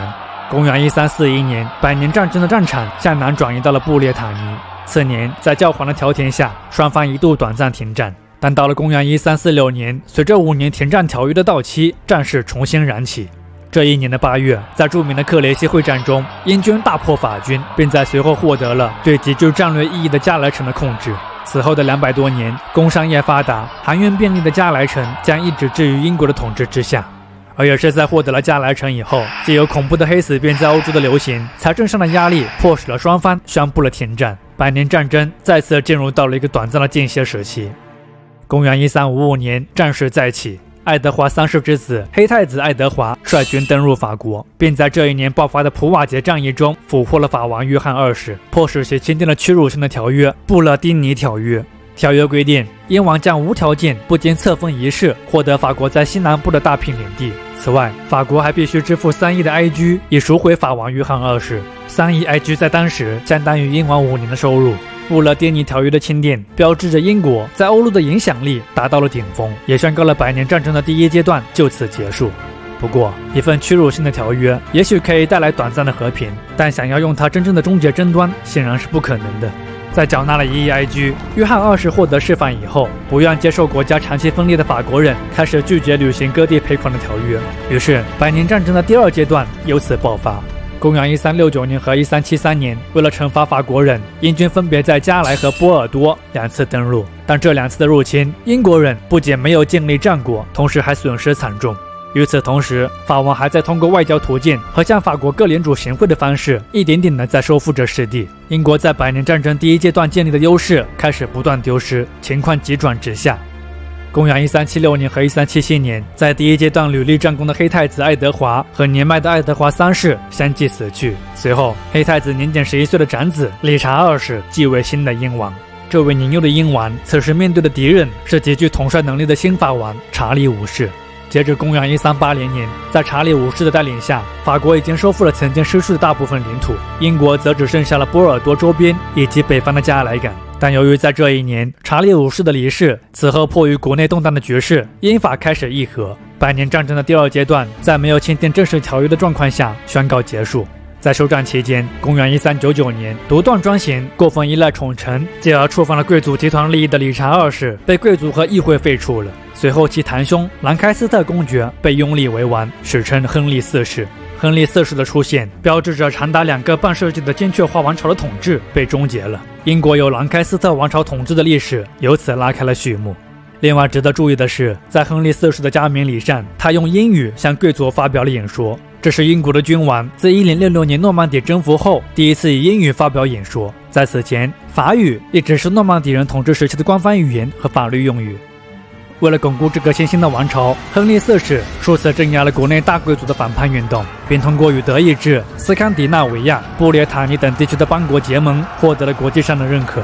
当亨利四世于公元一四一三年亡故以后，继位的其子亨利五世所接手的英国已经是一个安宁和统一的国家了。而反观这个时期的法国，在封王查理六世的统治下，法国内部可以说是一片混乱，矛盾重重。这也为英国重新挑起战端提供了条件。在向法国索要布勒丁尼条约中规定的利益不成以后，公元一四一四年，亨利五世亲率英军入侵法国，打响了百年战争第三阶段的第一炮。在亨利五世的带领下，英军节节胜利。截至公元一四一九年，包括诺曼底在内的诸多地区已经被亨利五世悉数征服。公元一四二零年，亨利五世迫使法王查理六世签订了特鲁瓦条约。这份条约对英国来说是难以置信的巨大胜利。条约规定，亨利五世与查理六世的女儿瓦卢瓦的凯瑟琳结婚。在查理六世死后，法王之位将由亨利五世所继承。这预示着特鲁瓦条约如果真的能够履行，英法将联合在一起，成为一个共戴一王的国家。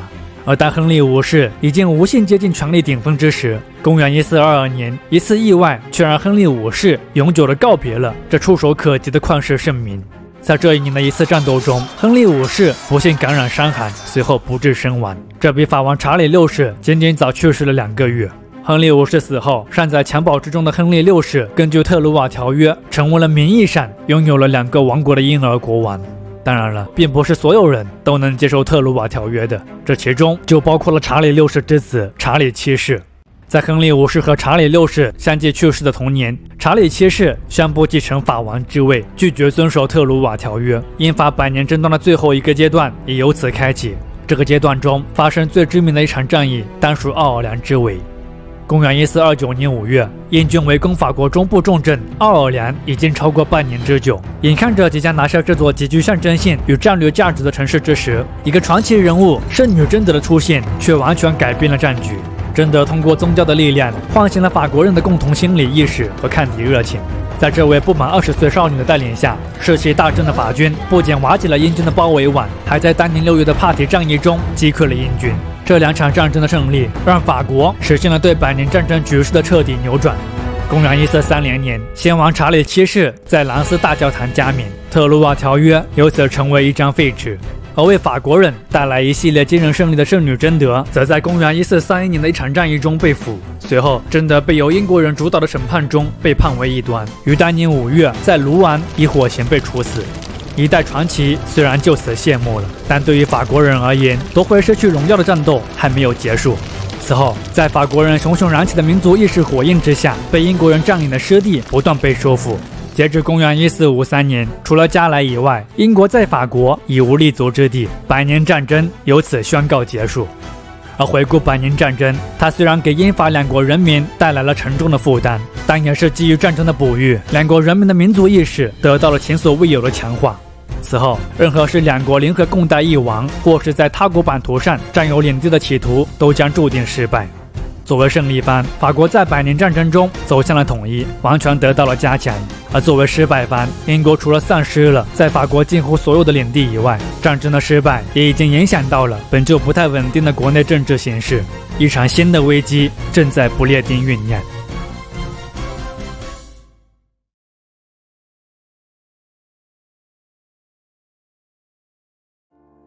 娇艳欲滴的红玫瑰令人心醉，但艳丽的外表之下隐藏着的金刺，却又让人不得不警惕这份美丽的危险。玫瑰作为英国的国花，英国人期许着自己国家的发展，一方面能如同玫瑰花瓣一般绚烂美丽，另一方面可能也是想要告诫后人，美丽背后的金刺也曾深深地刺痛过这片土地，这痛苦的记忆值得所有英国人铭记。公元一四五三年，随着百年战争的最后一战——卡斯蒂永战役的结束，英国的惨败使时任英王亨利六世的精神和身体也被击垮了。且由于在百年战争期间，英国丧失了在法兰西几乎所有的领土，亨利六世开始被视为昏庸无能的国王。加上他令人尴尬的进发性精神疾病，这不仅让很多人开始觉得亨利六世已经不该待在王位上，甚至连同兰开斯特家族继承英王的合法性也开始受到了质疑。在这种氛围之下，一直以来都相信自己更适合继承英王之位。作为爱德华三世第四子后代的约克公爵理查金雀花，借由亨利六世精神病发作无法执政，继而成功成为摄政的他，开启了大胆的王位追求之路。为了争夺王位，约克家族和兰开斯特家族之间由来已久的矛盾开始迅速激化。事实上，早在兰开斯特王朝创立之初，也就是理查二世被其堂弟兰开斯特公爵亨利四世推翻之时，约克家族和兰开斯特家族间的过节就已经产生了。在约克家族看来，兰开斯特家族之所以能够上位，完全是因为理查二世的统治太不得人心了，所以他们不正当的继承，在当时才得到了容忍。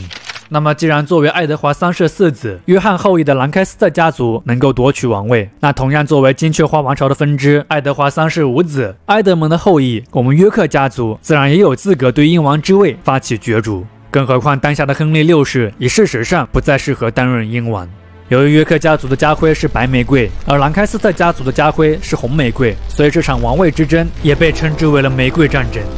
玫瑰战争始于公元一四五五年的第一次圣奥尔本斯战役。在这场战役中，以清真寺为借口的约克家族击败兰开斯特家族。随后，查理金雀花自封为英格兰宫廷长，再度成为摄政王。且由于在之后的几年时间里，约克家族获得了接连不断的胜利，理查金雀花开始更加明确地对王位提出了要求。公元一四六零年，理查金雀花成功获得了在亨利六世死后继承王位的许可。然而，以亨利六世的王后玛格丽特为首的兰开斯特家族却并不甘心失败。同年，在英格兰北部完成重整的兰开斯特家族于韦克菲尔德战役中击败了约克家族，同时杀死了理查金雀花。次年，兰开斯特家族又在第二次圣奥尔本斯战役中大败约克家族的沃里克伯爵。不过，由于兰开斯特家族在不断向伦敦逼近的过程中，其为了维持军队开销而进行的劫掠行为，引起了英格兰人的强烈不满和恐惧。所以，当他们到达伦敦之时，伦敦人关闭城门，并拒绝提供食物给这支声名狼藉的军队。失明先者显然已失天下。而与此形成鲜明对比的是，受到伦敦人热烈欢迎的已故约克公爵理查金雀花之子爱德华四世。但约克家族的沃里克伯爵在第二次圣奥尔本斯战役中失利的同时，爱德华四世领导的另一支约克家族势力却在莫蒂莫斯克罗斯战役中打败了兰开斯特家族。随后，爱德华四世先于兰开斯特家族的人马进入到了伦敦城，并从速举行了加冕礼，由此开启了约克王朝在英格兰统治的历史。为了彻底终结王位纷争，登基后的爱德华四世向北开始追赶玛格丽特，并最终于公元一四六一年爆发的陶顿战役中彻底击败了玛格丽特。随后，玛格丽特逃往苏格兰，玫瑰战争的第一阶段由此宣告结束。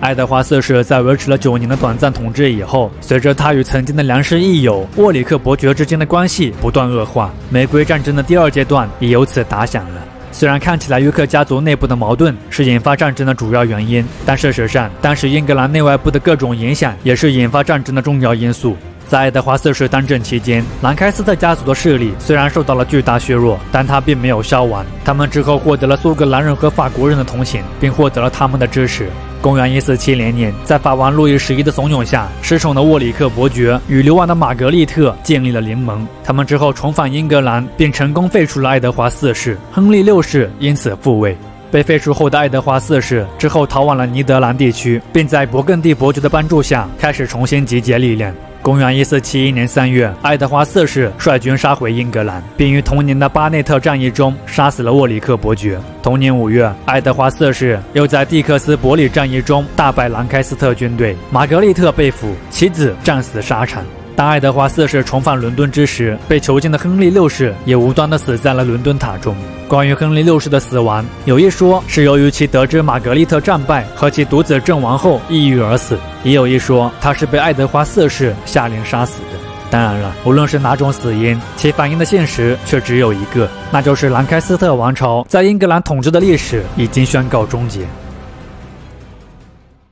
在爱德华四世复辟以后，英格兰开始步入了一个相对稳定的时代。为了稳定国内秩序，爱德华四世求助于中等阶层。事实上，连同此前的百年战争，这百余年的内争外战，使得当时的英国中等阶层非常渴望有一个强大的王权，以消除动乱和不安。爱德华四世在位时期，把大量的骑士、法官、律师和平民拉进了御前会议，以用来和大贵族相抗衡。在他的治理之下，虽然当时大贵族们拥兵自重的现象并没能彻底消除，但完全与议会以及社会各个阶层的良好关系，显然也都促进了英格兰的政治日趋走向了稳定。在经济上，由于这个时期较为和平的国内外局势，以及爱德华四世实行的低税收政策，英国的商业资本主义在这个时期得到了迅速发展。此外，为了缓解此前因频繁的战事而造成的国库空虚，继而使英王受制于议会的问题，复辟后的爱德华四世为王室的财政独立也做出了相当成功的努力。通过没收和转让的方式，他把兰开斯特公爵的领地转变为了王室的领地。同时，他还说服议会，获得了君主可以终身享用关税的权利。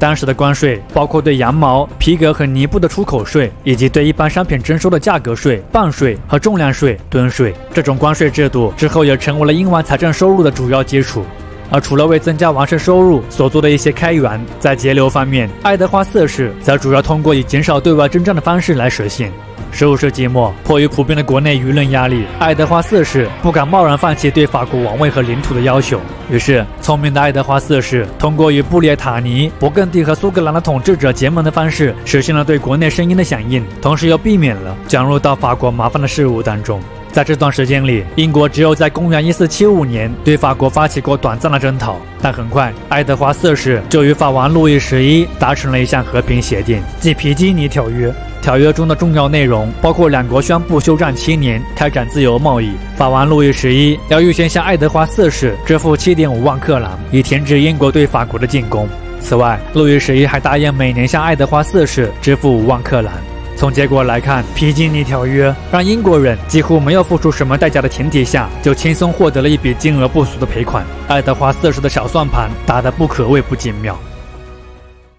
爱德华四世于公元一四八三年突然死去，而后英国内部的动荡又再次出现了。之后继位英王的是爱德华四世之子爱德华五世。年仅十二岁的爱德华五世当时面对的情况是，其父的兄弟三十岁的摄政王格洛斯特公爵与其母伍德维尔家族间的相互倾轧。由于爱德华五世是在伍德维尔家族的监督下成长起来的，新军对伍德维尔家族的过分依赖，显然是那些反伍德维尔家族所不能接受的。而说来也巧，在争夺摄政王之位与内阁控制权的斗争当中，先王爱德华四世临终前任命的摄政王其弟格洛斯特公爵，就是反伍德维尔家族的实际首领。爱德华四世去世的这一年，野心勃勃的格洛斯特公爵在囚禁了幼主爱德华五世以后，篡夺了王位，是为理查三世。面对理查三世的非法篡位，对其表示不满的贵族开始发起叛乱。这个时期发生了两次规模较大的叛乱。首先发起的是在理查三世篡位同年，由第二代白金汉公爵亨利斯塔福德发起的叛变。不过，这起事变很快就被理查三世平定了。而另外一起大规模的叛乱是由威尔士出身、第二任里奇门伯爵亨利都铎于公元1485年发起的叛乱。有着兰开斯特家族血统的亨利都铎，在相继获得了法国人和伍德维尔家族的支持以后，向伦敦发起了进军，并于博斯沃斯原野战役中击毙了理查三世。同年，亨利都铎继位新的英王，是为亨利七世。亨利七世的继位，宣告了历时三十多年的玫瑰战争终于结束了，也揭示了一个全新的王朝——都铎王朝的开始。在亨利七世继位的这一年，他为了巩固其统治，还迎娶了约克家族的伊丽莎白为妻。约克家族和兰开斯特家族又重新统一在了一起。曾经对立的两朵玫瑰，现在有了一个新的名称——红白都铎玫瑰。而回顾起玫瑰战争的结束，英国虽然因战争出现了社会面的动荡，英国人民也因此遭受到了不同程度的伤害，但从历史的角度去看，战争带来破坏的同时，也孕育着希望。如果说百年战争让英国退回到了不列颠，让其此后只能按民族和地域原则行事，英国作为民族国家从此有了一个方向，那么玫瑰战争的出现，则显然很好的衔接了一个民族国家形成过程中对封建制度基础的破坏。玫瑰战争中，作为分晋领地贵族的两大集团大打出手，他们也因此两败俱伤。而战争留下的废墟，映射的是分晋贵族们的末路，也露出了现代世界的一丝曙光。废墟之上，等待的是重建，等待的是新制度的填补。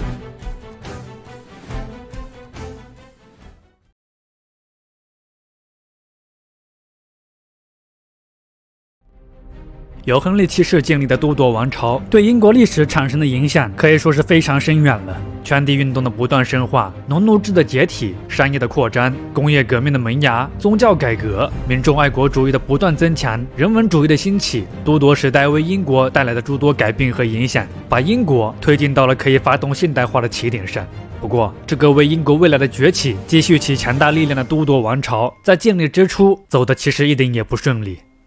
三十多年断断续续的王朝战争，频繁更替的王冠，让当时英国君主的权威受到了极大削弱。对于都铎王朝的创始人亨利七世而言，要维持其稳固统治、重建王权的工作就显得迫在眉睫了。亨利七世在位的二十四年里，其主要工作都在围绕着巩固王权和消除王位威胁的工作当中。除了分别在公元一四八六年和公元一四九二年到公元一四九六年击败了假冒爱德华四世的亲侄沃里克伯爵和假冒爱德华四世次子理查，消灭王位觊觎者以外，频繁的政治联姻也是亨利七世巩固王权的重要手段之一。考虑到英国贵族对仇视法国的传统心理，同时又要为英国商人提供在西班牙经商的便利，以及戒备法王吞并布列塔尼亚公国的可能性，公元一四八九年，亨利七世第一次实行了婚姻政治。他让年仅三岁的长子阿瑟王子与西班牙公主凯瑟琳订婚，从而使英商获得了在西班牙经商的优惠条件。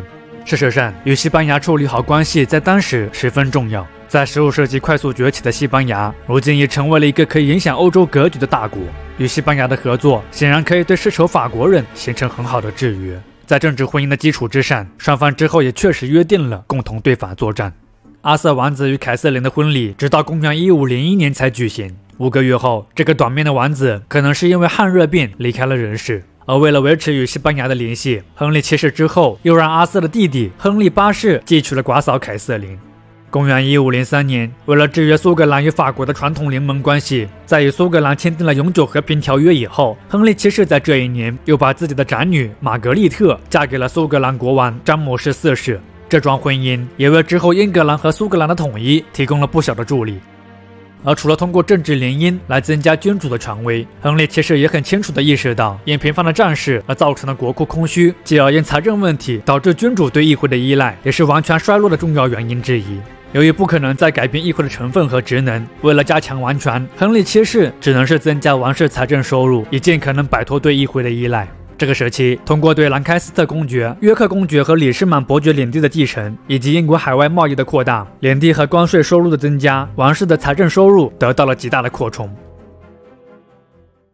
公元一五零九年，亨利七世离开人世，他留下的英国是一个经济繁荣、秩序良好的国家。这个时期的英国已经进入到了一个农业和手工业并行发展的时期。亨利七世基于增加王室收入为目的而实行的诸多开明政策，也促使了出口贸易的快速发展。公元一四七零年到公元一五一零年，英国纺织品出口翻了三倍，其中羊毛和羊毛制成品在当时占英国出口业的百分之九十。且为了保证民族经济利益，这个时期英国议会还颁布了诸多限制外商的航海条例，诸如禁止用外国商船进口加斯科尼酒，禁止用外国商船进口蓝色染料，英国出口商品必须由英国商船专运等等。这些政策的出现，预示着英国的经济民族主义正在成长。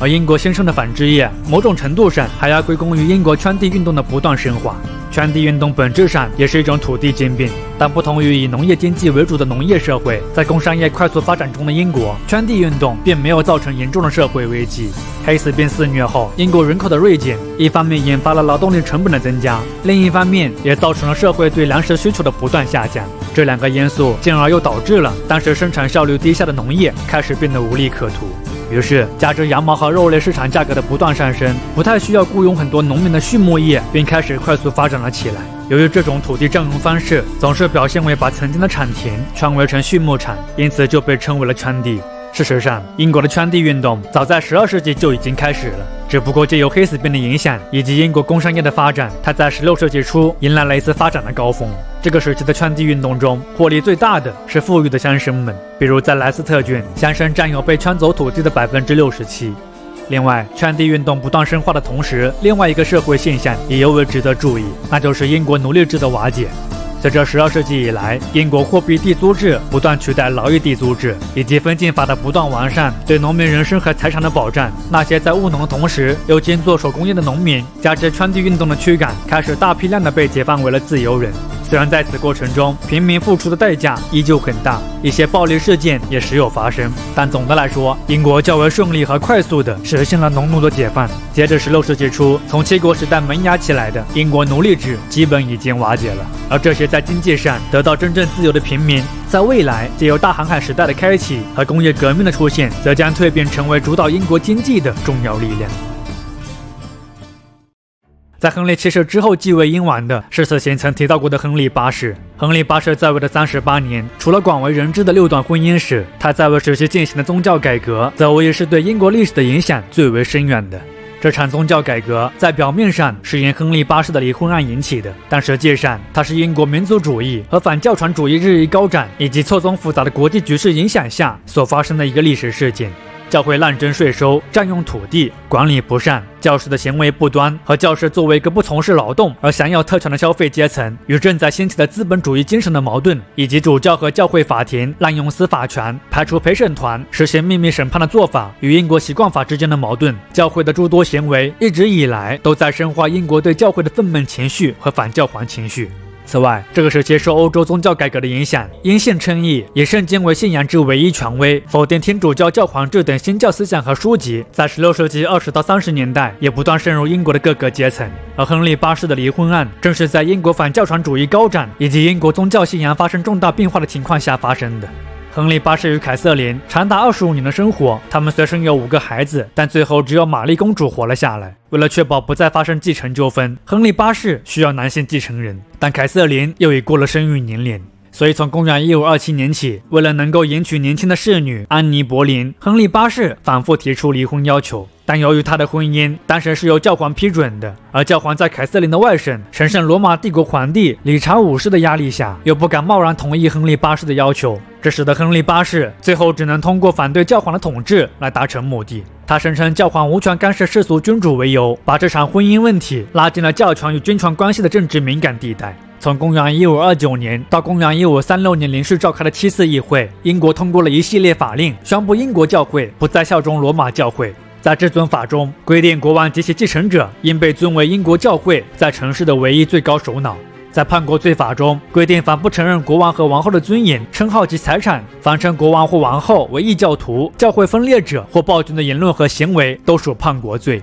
在反对教皇权力法中，教皇在英国的各种权力更是被彻底清除了。而包含上述这些法令之外的诸多法令，不仅让亨利八世在财政、司法、政治权威、文化舆论方面完全控制了英国教会，更是把英王塑造成为了世俗界和宗教的双重首领。这些变化无疑都推动着英国变成一个民族国家。此外，宗教改革在经济领域也形成了一场巨大的变革。宗教改革中，亨利八世还解散了修道院。截至公元一五三八年，英国共有五百六十所修道院被查禁，年收入约十三点二万英镑的土地被转移到了国王手中。不过，这些来自修道院的收入之后因为对法战争形成的巨大军费开支，并没有长久的保留在国王手里。截止亨利八世去世的公元一五四七年，有二分之一到三分之二的修道院土地被转让或出售给了世俗人士。而解散修道院，除了在当时扩充了王室收入，在政治上，它同样有着诸多积极影响。比如，修道院院长在上院消失了，宗教人士在议会的投票额大大减少，世俗人士在两院中的地位则相对有了提高。当然了，封闭修道院也造成了一些消极后果，这主要体现在文化上。宗教改革期间，漂亮的哥特式建筑被毁坏了，中世纪精美的金银器具被融化，图书馆被洗劫，这些显然都是英国历史上一场巨大的文化浩劫。公元一五四七年，亨利八世去世，年仅九岁的爱德华六世继位。考虑到爱德华六世没有成年，当时的英国内政由摄政议会所管理。这个时期的英国出现了因新教改革过头，差点引发了英国社会分裂的危机。在当时，英国教会虽脱离了天主教，但他始终没有宣布废除天主教教义或仪式。围绕着这些矛盾，当时英国社会内部争吵不已。但幸运的是，在坎特伯雷大主教托马斯·克兰麦的努力下，以新教为内涵的公导书最终完成了对教会的各种仪式和原则的统一和规范，为宗教改革写下了一个温和的结局。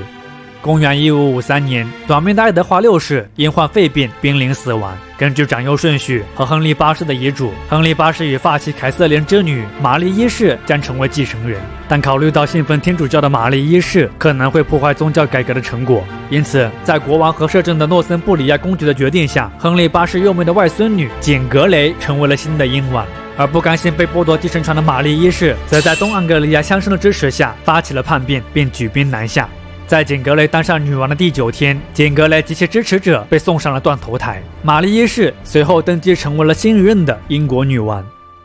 在稳坐王位以后，玛丽一世露出了天主教徒的可怕面孔。她恢复了对异教徒的审判和火刑，在大肆镇压新教徒的过程中，至少有两百七十四人被她烧死。因此，恶行玛丽一世在历史上也被称为了血腥玛丽。在玛丽一世当政期间，英国还与法国发生了战争。这场战争的最后结果是以英国丧失了在欧洲大陆的最后一个据点加莱而告终。公元一五五八年，玛丽一世离开人世，整个伦敦响起了欢庆的钟声。随后，英国迎来了一位新的女王——亨利八世的另外一个女儿伊丽莎白一世。而欢庆的钟声之下，既是对过去的告别，它仿佛也在冥冥之中预示着英国即将开启一个令人瞩目的辉煌时代。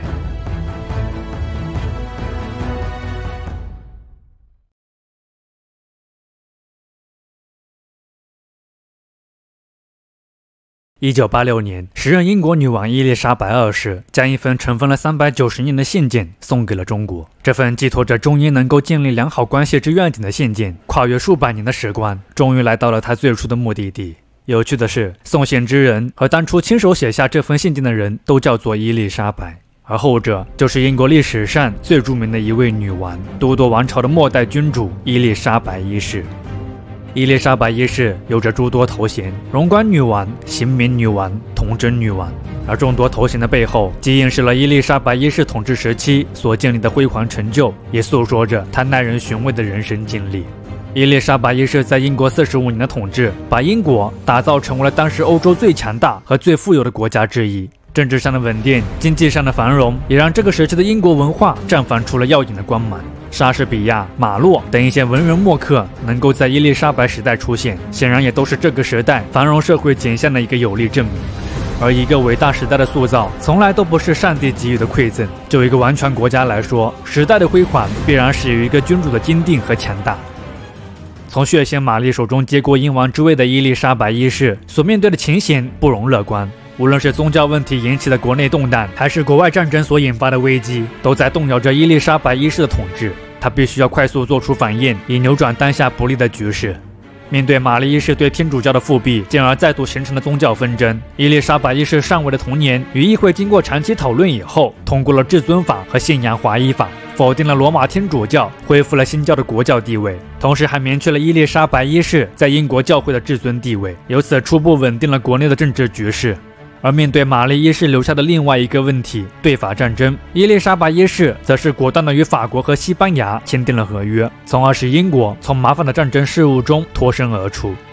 除了宗教改革和对外战争的问题，伊丽莎白一世继位之初，苏格兰的问题也是威胁其统治的一个存在。由于作为都铎王朝创始人亨利七世的曾外孙女，时任苏格兰女王的玛丽斯图亚特对英王之位也有着名义上的继承权，这就把玛丽斯图亚特和伊丽莎白一世放在了对立面上。加之玛丽斯图亚特还是一个天主教徒，因此他还获得了那些想要在英国恢复天主教的人的支持。玛丽斯图亚特为了增加自己继承英王之位的可能性，她在自己的第一任丈夫法王弗朗索瓦二世离世以后，公元一五六五年，玛丽斯图亚特与亨利七世的曾外孙，也是他自己的表弟亨利斯图亚特结为了夫妻。可这场充斥着玛丽斯图亚特巨大野心的婚姻，不仅没能为其带来好处，反而使其堕入了深渊。结婚后的亨利斯图亚特变得非常狂妄自大，他甚至还要求玛丽斯图亚特将国王的名号赠予他。此外，为了获得苏格兰的王位，不择手段的亨利斯图亚特甚至还袭击过怀有身孕的玛丽斯图亚特，试图让其流产。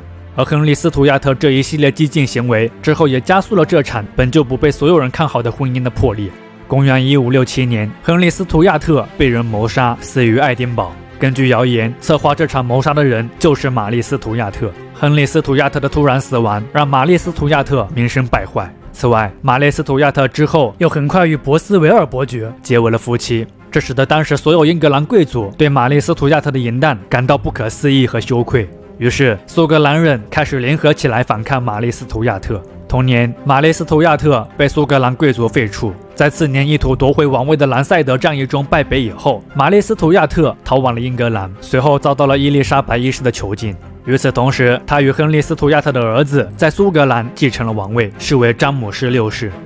而玛丽斯图亚特来到了英格兰以后，英格兰内部的天主教势力因此抬头。他们借助外部苏格兰和欧洲大陆天主教势力的支持，在公元1569年到公元1572年间，开始了各种阴谋和叛乱。此外，对玛丽斯图亚特的囚禁也影响了这个时期英国的对外关系。教皇庇护五世发出训令，对伊丽莎白一世实行绝罚，并号召天主教徒起来推翻他。为了回应这一训令，公元1571年，英格兰议会通过了法案，禁止将教皇训令带进国内，违者按叛国罪处死。此外，议会还确认了三十九条教规，建立了完全独立的新教教会圣公宗，由此标志着历经了四十多年曲折斗争的宗教改革宣告结束。而国内的纷争虽然暂时结束了，但英国在国际上面对的挑战才刚刚开始。公元一五八六年，被软禁的玛丽斯图亚特被怀疑参与了天主教涉嫌谋杀伊丽莎白一世的阴谋当中，因此遭到斩首。以玛丽斯图亚特的死亡为借口，表面上将此举视为对天主教世界的挑衅，实际上是想借此打击英国对西班牙在欧洲大陆和其在海外殖民地的威胁的。时任西班牙国王腓力二世从公元一五八八年的七月，派遣了赫赫有名的西班牙无敌舰队向英国发起了远征，十六世纪最知名的一场海战由此爆发。在英西的这场海战中，西班牙舰队虽然在舰队数量和规模上远超英国，但是放弃了传统步兵登船打法的英国舰队，却利用远程火炮的新战术，取得了对西班牙的胜利，沉重的打击了西班牙的海上力量。而敢于向当时强大的西班牙帝国发起挑战，伊丽莎白时代的英国，其充足的底气，很大程度上也要归功于这个时期英国经济的快速发展。伊丽莎白一世上台以后，为了复兴因宗教问题而受损的国内经济，议会通过了一系列促进生产发展的法案，诸如规划尼龙生产、鼓励农业发展、补助造船业等等。当然了，政府的政策虽然为这个时期的经济发展提供了不小助力，但更主要的还是英国自身经济和社会发展的规律在起作用。比如说，在英国圈地运动不断进行的前提下，农业用地的不断被占用，英国人口的不断增长，这个时期的英国却并未发生大面积的饥荒，饥荒出现的情况甚至比之前还减少了。而这种情况的出现，很大程度要归功于在市场自我调节的基础之上，人们对农耕的日益重视。由于人口数量的增加，人们对粮食的需求开始回升，进而使得粮价开始上涨。当粮价的涨幅开始超过羊毛以后，圈地运动的步伐开始放缓了，一些平民也因此回归到了农业生产的工作当中。为了增加粮食产量、增加收益，农民们不仅学会了泥灰土等肥料的应用，还会把土地圈围起来进行精耕细作。由此促成的结果就是帮助英国的农业产量相比十三世纪翻了近一倍。比如小麦产量在十三世纪是每研磨一百六十三千克到三百二十七千克，而在伊丽莎白时代则达到了每研磨四百三十五千克到五百四十四千克。此外，农业技术的改进也促进了畜牧业的同步发展。公元一千五百年，一头羊平均重十二点七千克，牛重一百四十五千克；而到了公元一六一零年，它们则分别达到了二十点九千克和两百七十二千克。除了在农业上的快速发展，伊丽莎白时代在工业上的发展也同样令人瞩目。这个时期，毛纺织业具有的主导地位和生产组织形式虽然没有发生太多变化，但新的技术发明却提高了生产效率。而工业发展方面最显著的是煤炭业的发展。在伊丽莎白时代，百分之二十二的贵族家庭都有自家的铁业工厂，其中许多工厂已开始使用鼓风炉生产制模铸件。到了伊丽莎白一世统治末年，政府资助下的铁工厂已经可以生产大炮了。相比起农业和工业上的快速发展，这个时期的商业发展就显得有些缓慢了。受宗教改革和政治斗争的影响，英国国内市场变得不稳定，这促使了一些商人不得不去开拓海外新市场，以解决当下的商业危机。而出乎他们意料的是，这些在当时看起来的无奈之举，谁能想到之后却演变成为了一系列改变历史走向的重大事件。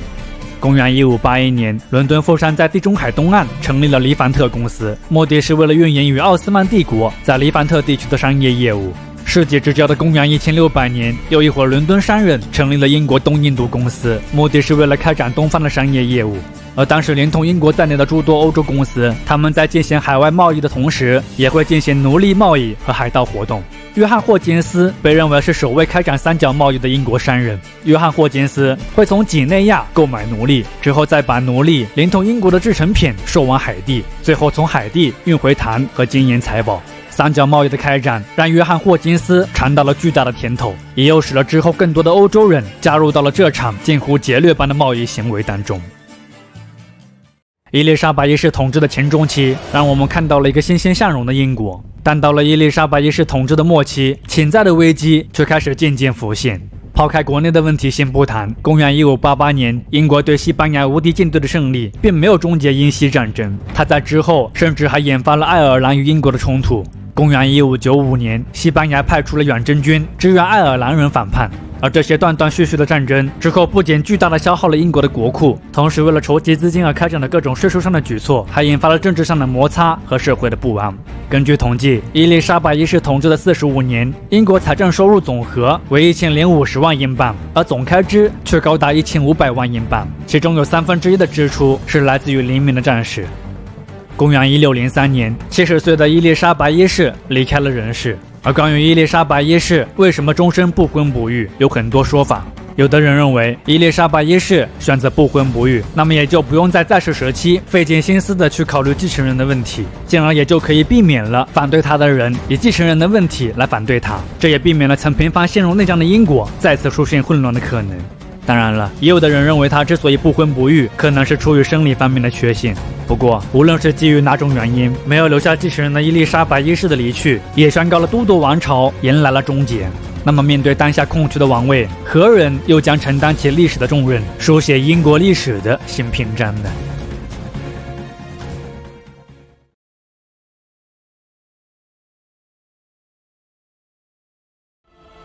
公元一千六百零三年，对于英国历史而言是非常特殊的一年。在这一年，英国历史性的开启了苏格兰、英格兰及爱尔兰共主联邦的时代。而有幸成为第一位不列颠之王的人，名为詹姆士一世。他的出现也宣告了英格兰开启了一个全新的王朝——斯图亚特王朝。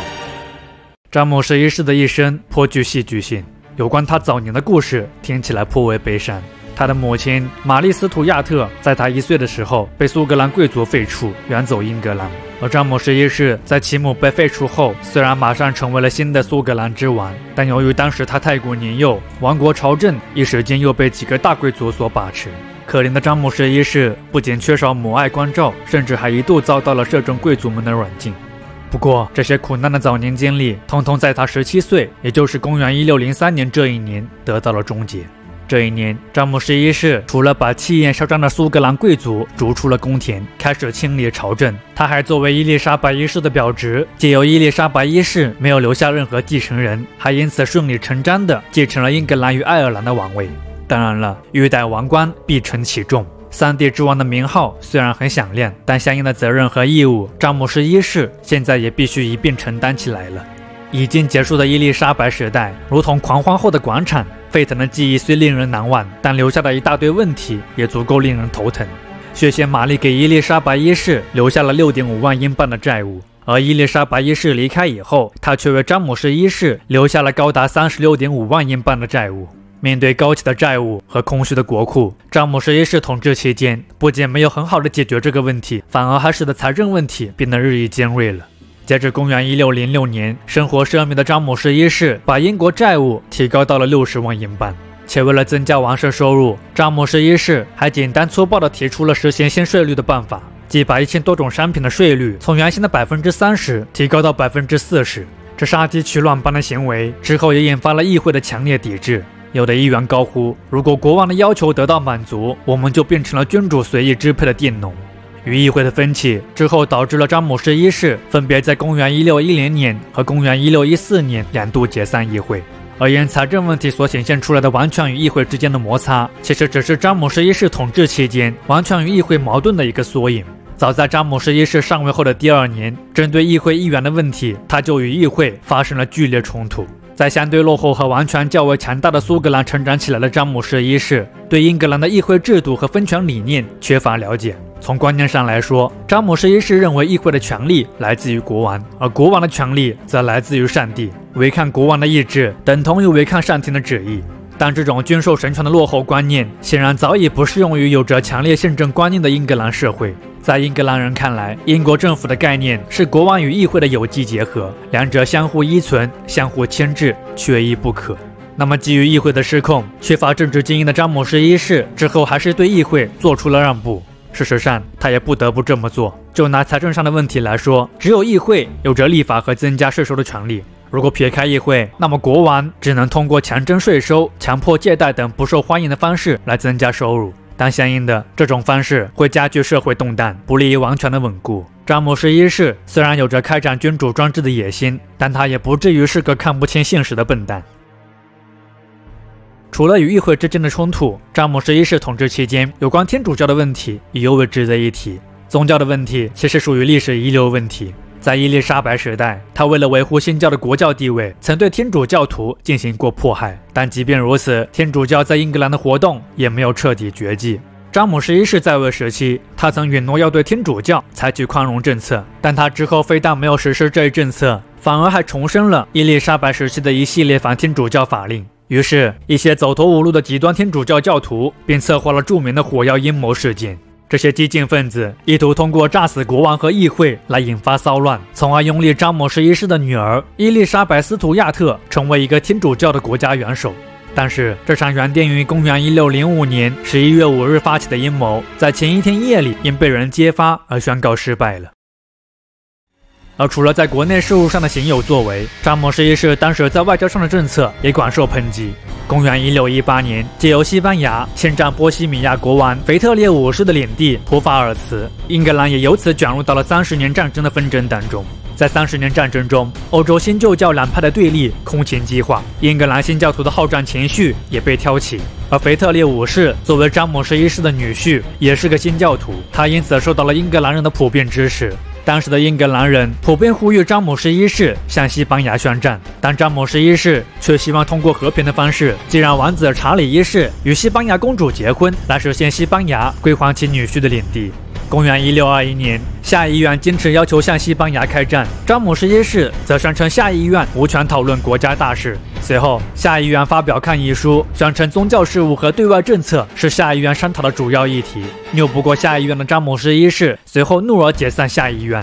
公元一六二三年，白金汉公爵陪同查理一世前往西班牙求婚，结果被西班牙公主以不与异教徒结婚为由拒绝了这起婚姻。这场尴尬的求婚之路之后，也导致了查理一世和白金汉公爵转变了策略，他们开始联合下议院反对派，要求詹姆士一世对西班牙作战。之后，无奈的詹姆士一世不得不重新讨论在公元一六二一年否定的下议院的议题。从客观的角度来看，詹姆士一世是在极力避免对外战争，避免国家财政的进一步恶化。但可惜的是，他的政治手段和表现太过糟糕了，缺乏政治智慧的行为不仅伤害到了英国人的民族自尊心，更被不领情的民众们冠以了孬种的头衔。可那又怎样呢？在全体英国人的情绪面前，君主的委屈和无奈显然不值一提。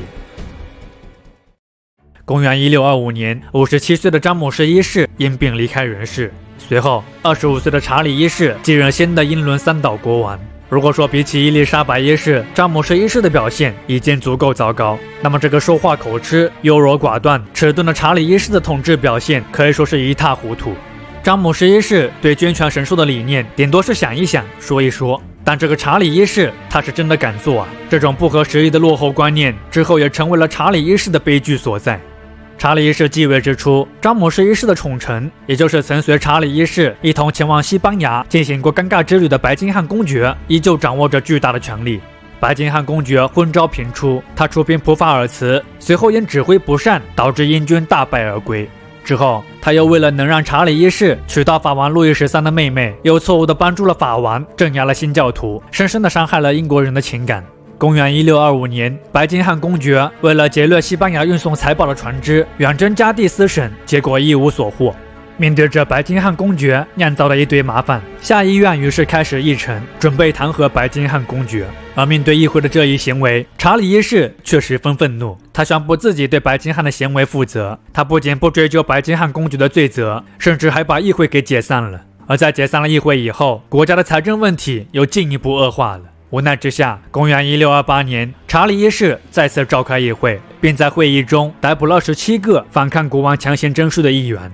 之后，感受到国王权力愈发过激的议会提出了权力请愿书。权力请愿书中对国王的权力做了进一步很明确的限制，诸如不得不经过议会的批准开征新税，不得不经过法庭审判随意逮捕臣民等规定。而迫于财政上的窘迫，查理一世在当时被迫接受了这些要求。不过，在一年以后，查理一世又对接受的权力请愿书表示了反悔，议会与国王间的冲突因此进一步激化了。查理坚持君权神授，坚持国王的权力高于议会，议会则认为权力是历史赋予的，英国人享有与生俱有的自由权利。而当查理一世不断的践踏从大宪章以来英国人不断捍卫的自由权利，似乎都注定了两者在未来将引发一场更激烈的对抗。公元一六二九年，与议会的巨大分歧促使了查理一世在当年解散了议会。随后，查理一世在英格兰开启了历史倒车，实行个人专制统治，王在议会的宪政传统就此被查理一世打破。不过，由于当时的英格兰缺少强制性的国家力量，没有常备军，没有警察队伍，甚至连国王的一战队都没有。从公元一六零三年到公元一六四零年，国王在紧急状态下能召集的武装人员也只有几十人。而一个专制统治国家，在缺少维稳力量的前提下，一方面要确保臣民的服从，另一方面还要维持政府各个机构的积极配合。先不说要展开这种形式的统治有没有可能，至少在蛮横专行的查理一世身上看不到一丝希望。由于不再召开议会，查理一世为了增加王室收入，恢复了早已取消的中世纪森林法，即向那些在曾经属于王室的森林中砍伐和垦荒的人收取罚金。此外，查理一世还大肆出售专卖权，诸如把煤、盐等日用品的贸易加以了垄断。而这等等一系列与民争利、横征暴敛之行径，虽确实增加了王室的收入，但他也埋下了一个深刻的隐患，那就是民心的逐渐丧失。另外，在查理一世专制统治期间，宗教上的矛盾也再次爆发了。裁缝出身的威廉·劳德被查理一世启用为坎特伯雷大主教以后，他开始提倡类似罗马天主教的信仰和仪式，由此让英国人倍感受伤。加之劳德大肆迫害清教徒，意图恢复主教权力和威严的行径，让人们在上个世纪曾出现过的反教传主义，也在不经意间被唤醒了。而当反教传主义和反专制主义开始联系在一起，激烈的社会矛盾显然也已经把查理一世不得人心的统治推向了崩溃的边缘。英国人在等待，等待一场可以焚建专制与不公的燎原大火。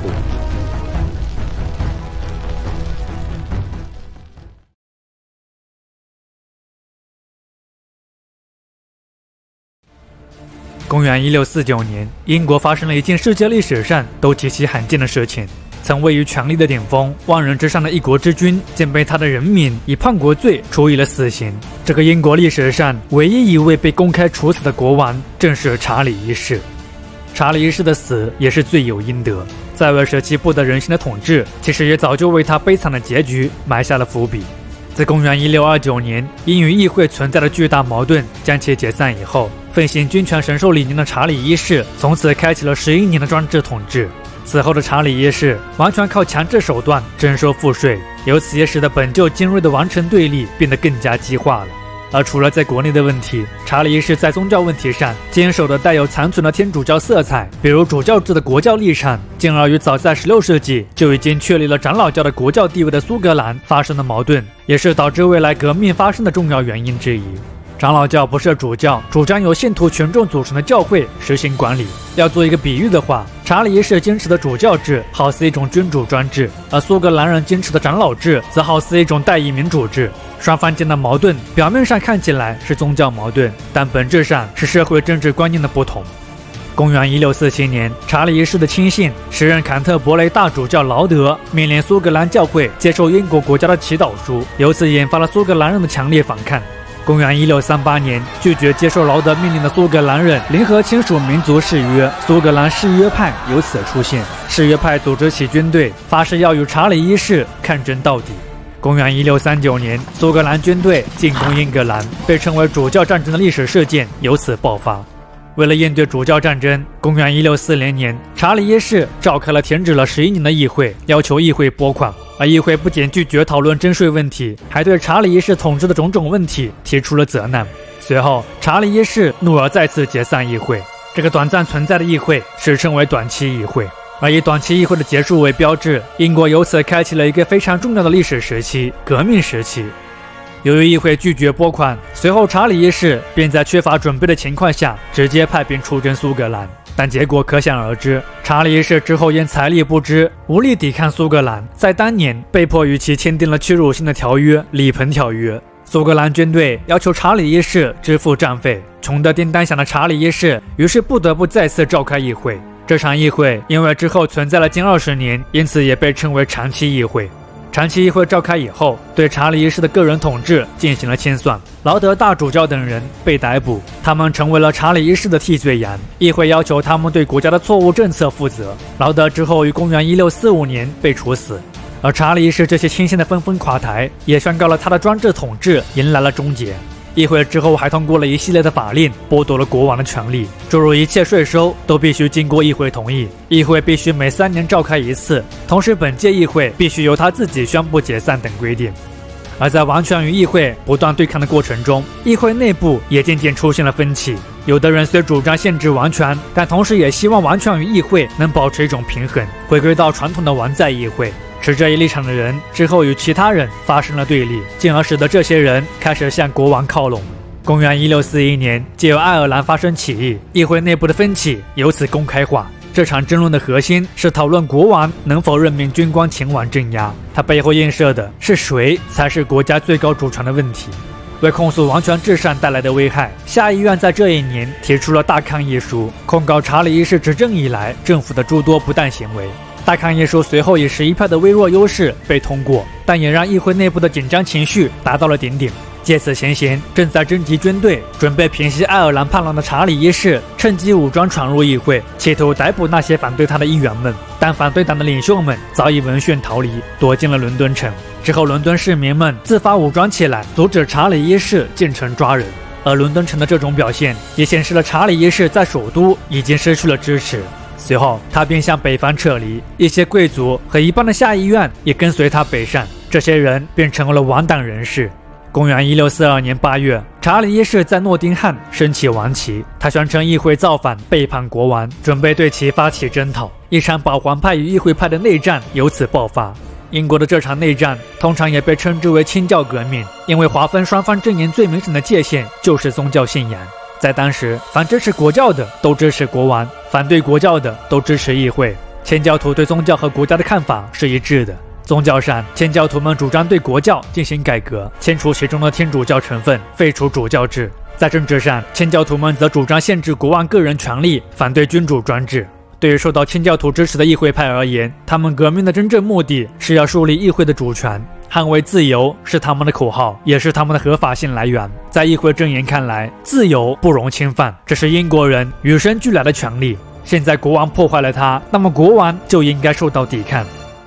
在战争初期，议会派的处境相当不妙。毕竟，在传统认知上，国王仍旧是天然统治者。即使国王被打败了九十九次，他仍旧是国王。而对于反抗国王的人而言，只要国王打败他们一次就够了。基于这种心理，战争初期的议会军可以说是承受着巨大的心理压力。此外，从军队的实力上来看，议会军也不如国王军。国王军有许多职业军人，经验丰富，更没有心理上的顾虑；而议会军则是仓促组织起来的，装备和组织水平也不如国王军。基于这些因素，战争爆发后，议会军节节败退。从公元一六四二年八月，查理一世宣布开战，到当年的十月，仅仅两个月的时间，不受阻拦的国王军就已经占据了英格兰北部和西南部，把议会的势力局限在了东南部。而眼看议会军将要落败之际，国王军在战略方面的失误，却给到了议会军反击的机会。由于查理一世担心在后方受到敌人偷袭，因此他并没有直取伦敦，开始在后方长期滞留，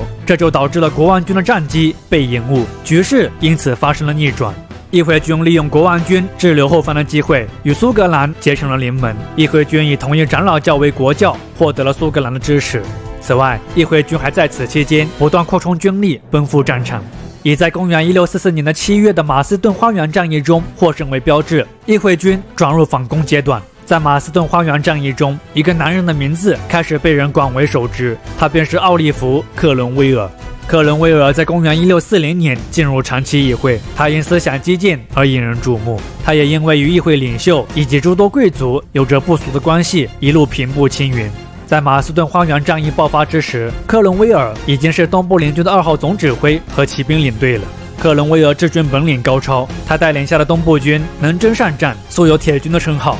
而马斯顿花园战役虽然议会军获得了胜利，但是许多贵族军官却开始想着与国王和解，战机因此被错过。也是在与议会动摇派斗争的过程中，克伦威尔逐渐掌握了大权，成为了议会阵营中权势最大之人。掌握大权后的克伦威尔进一步扩充了议会军，新模范军由此诞生。在新军的猛烈攻势下，王军几乎被消灭殆尽。公元一六四六年六月，查理一世宣布投降，英国内战的第一阶段由此宣告结束。不过，战争虽然结束了一场旧矛盾，但是却没法避免一场新矛盾的出现。战争结束以后，议会中占多数的长老派出于对军队的忌惮，要求军队自行解散。但由于军饷拖欠太多，士兵们不肯答应。而对于克伦威尔等这些高级官员而言，他们显然也不想放弃现在手中握有的大权。于是，他们和士兵们站在了一起，设立了全军会议。全军会议要求清洗议会，举行新的大选。就这样，军队和议会开始形成了对立。公元一六四七年一月，查理一世被移交给了议会。议会接着与国王开始谈判，商讨和平事宜。议会提出了纽卡斯尔建议，要求国王将长老教确立为国教，同时希望得到军队的指挥权。甚至议会与军队有着分歧，想要从中获利的查理一世面对此良机，拒绝接受这一建议。而对议会与国王的谈判充满着顾虑的军队，之后决定自行与国王谈判。在与国王的谈判中，军队提出了建议要点，要求实现宗教宽容，允许一切教派的合法存在，同时也不允许国家的主教有任何特权。政治方面，军队主张改革议会制度，扩大选举权，解散长期议会，举行新的大选。但同样的，面对军队的建议，查理一世依旧表示拒绝。另外，值得注意的是，建议要点的提出也让军队内部出现了矛盾。一些下层出身的军官们滋生出了平等思想。这个新出现的平等派主张改变现存的政治制度，主张人人平等。他们要求取消上院，建立一个由人民选举产生的议院制。平等派认为所有人都有权利参政议政，而不是像现在这样仅限于富人阶层。不过，平等派的平等思想也是有局限性的。他们所谓的所有人，并不包括社会的最底层，依附于别人的人，例如工人、一无所有者等等，还是被认为没有参政的权利。那么，面对局势的不断变化，议会之后又修改了对国王的建议。他们声称，只要查理一世答应给长老教三年的国教地位，就愿意让其复位，而这就为国王与长老派的合作提供了机会。公元一六四七年十一月，查理一世逃离了军队的监控，随后与苏格兰签订了合作协议。次年七月，苏格兰军队进入英格兰，意图让查理一世复位。英国第二次内战由此爆发。面对共同的威胁，军队内部再次联合了起来。高层以可以考虑平等派的要求为前提，得到了平等派的支持。随后，在经历了几个月的战斗，苏格兰军被击退，王党叛乱被彻底扑灭。面对议会与国王的勾结，以及国王的出尔反尔，对此深恶痛绝的军队于公元一六四八年十二月，在托马斯·普莱德的率领下，武装进入议会，展开清洗，史称普莱德清洗。清洗过后，本来将近五百人的议会，最终只剩百人不到留存。这个被清洗过后的议会，也被称为残缺议会。清洗完议会以后，公元一六四九年一月，查理一世被处死，而查理一世的死亡，也标志着英国政治来到了一个真空地带。英国人现在处在了一个没有国王的国家。如果说曾经的苦难都可以归咎于高高在上的王，那么如今这个史无前例的时代里，谁又可以承担起国家的兴衰荣辱呢？英国人憧憬着，也担忧着这个已经到来的全新时代。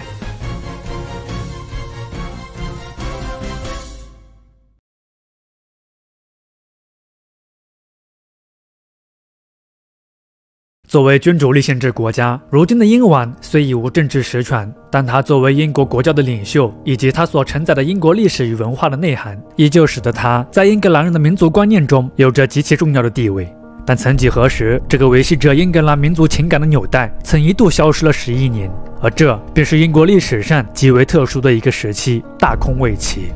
公元一六四九年，屡屡践踏自由之权利的专制国王查理一世终于得到了审判。英国人经过不懈努力，得到了想要的结果。而当王真的已经成为了过去时，英国人却好像又突然之间陷入了迷茫。有的人认为应该回归传统，英格兰人不能一日无王；有的人很焦虑，担心没有王的时代，社会将彻底失控。当然，也有的人则充满了期待，准备在这个新的时代大显身手。这种跃跃欲试的心态，显然在军队中有着最强烈的反应。在查理一世被处死的同年，残缺议会宣布成立英格兰共和国。随后，王位被废除，上院被取消，由人民选举产生的下议院开始行使国家主权。而这些改变看起来，人民主权的思想好像被得到了承认，但事实上，当时英国的政治实权很大程度上被掌控在了在内战中发挥着重要作用的军队手里。而当一个国家的政权被军队所掌控之时，军队中集权的管理方式对思想统一的重视，又通常会让一个军政府走向专制独裁的歧途。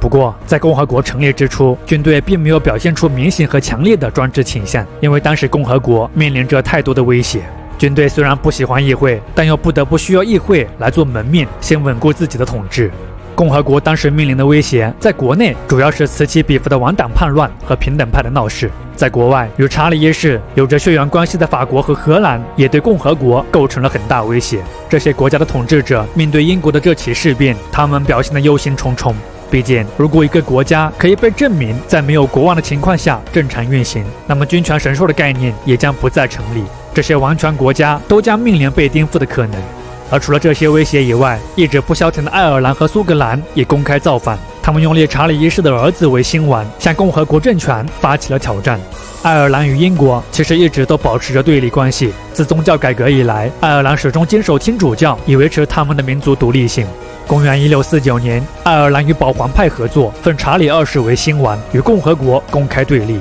为此，克伦威尔便率大军前往征讨。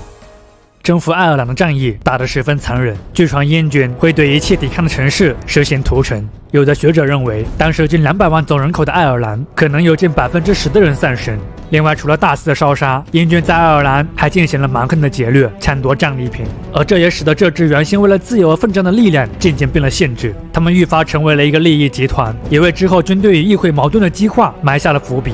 在英军的猛烈攻势下，截至公元一六五零年，英国基本已经实现了对爱尔兰的有效控制。而随着爱尔兰的局势逐渐稳定，克伦威尔便开始把注意力转向苏格兰。此时的苏格兰已经宣布查理二世为新的国王。相对爱尔兰，对于同是新教徒且在第一次内战中对他有过助力的苏格兰人，克伦威尔并没有太大的敌意。所以在征讨苏格兰之前，克伦威尔还曾向苏格兰教会呼吁，让他们认识到自己的错误，避免战争的发生。但很可惜，克伦威尔没有得到想要的答案。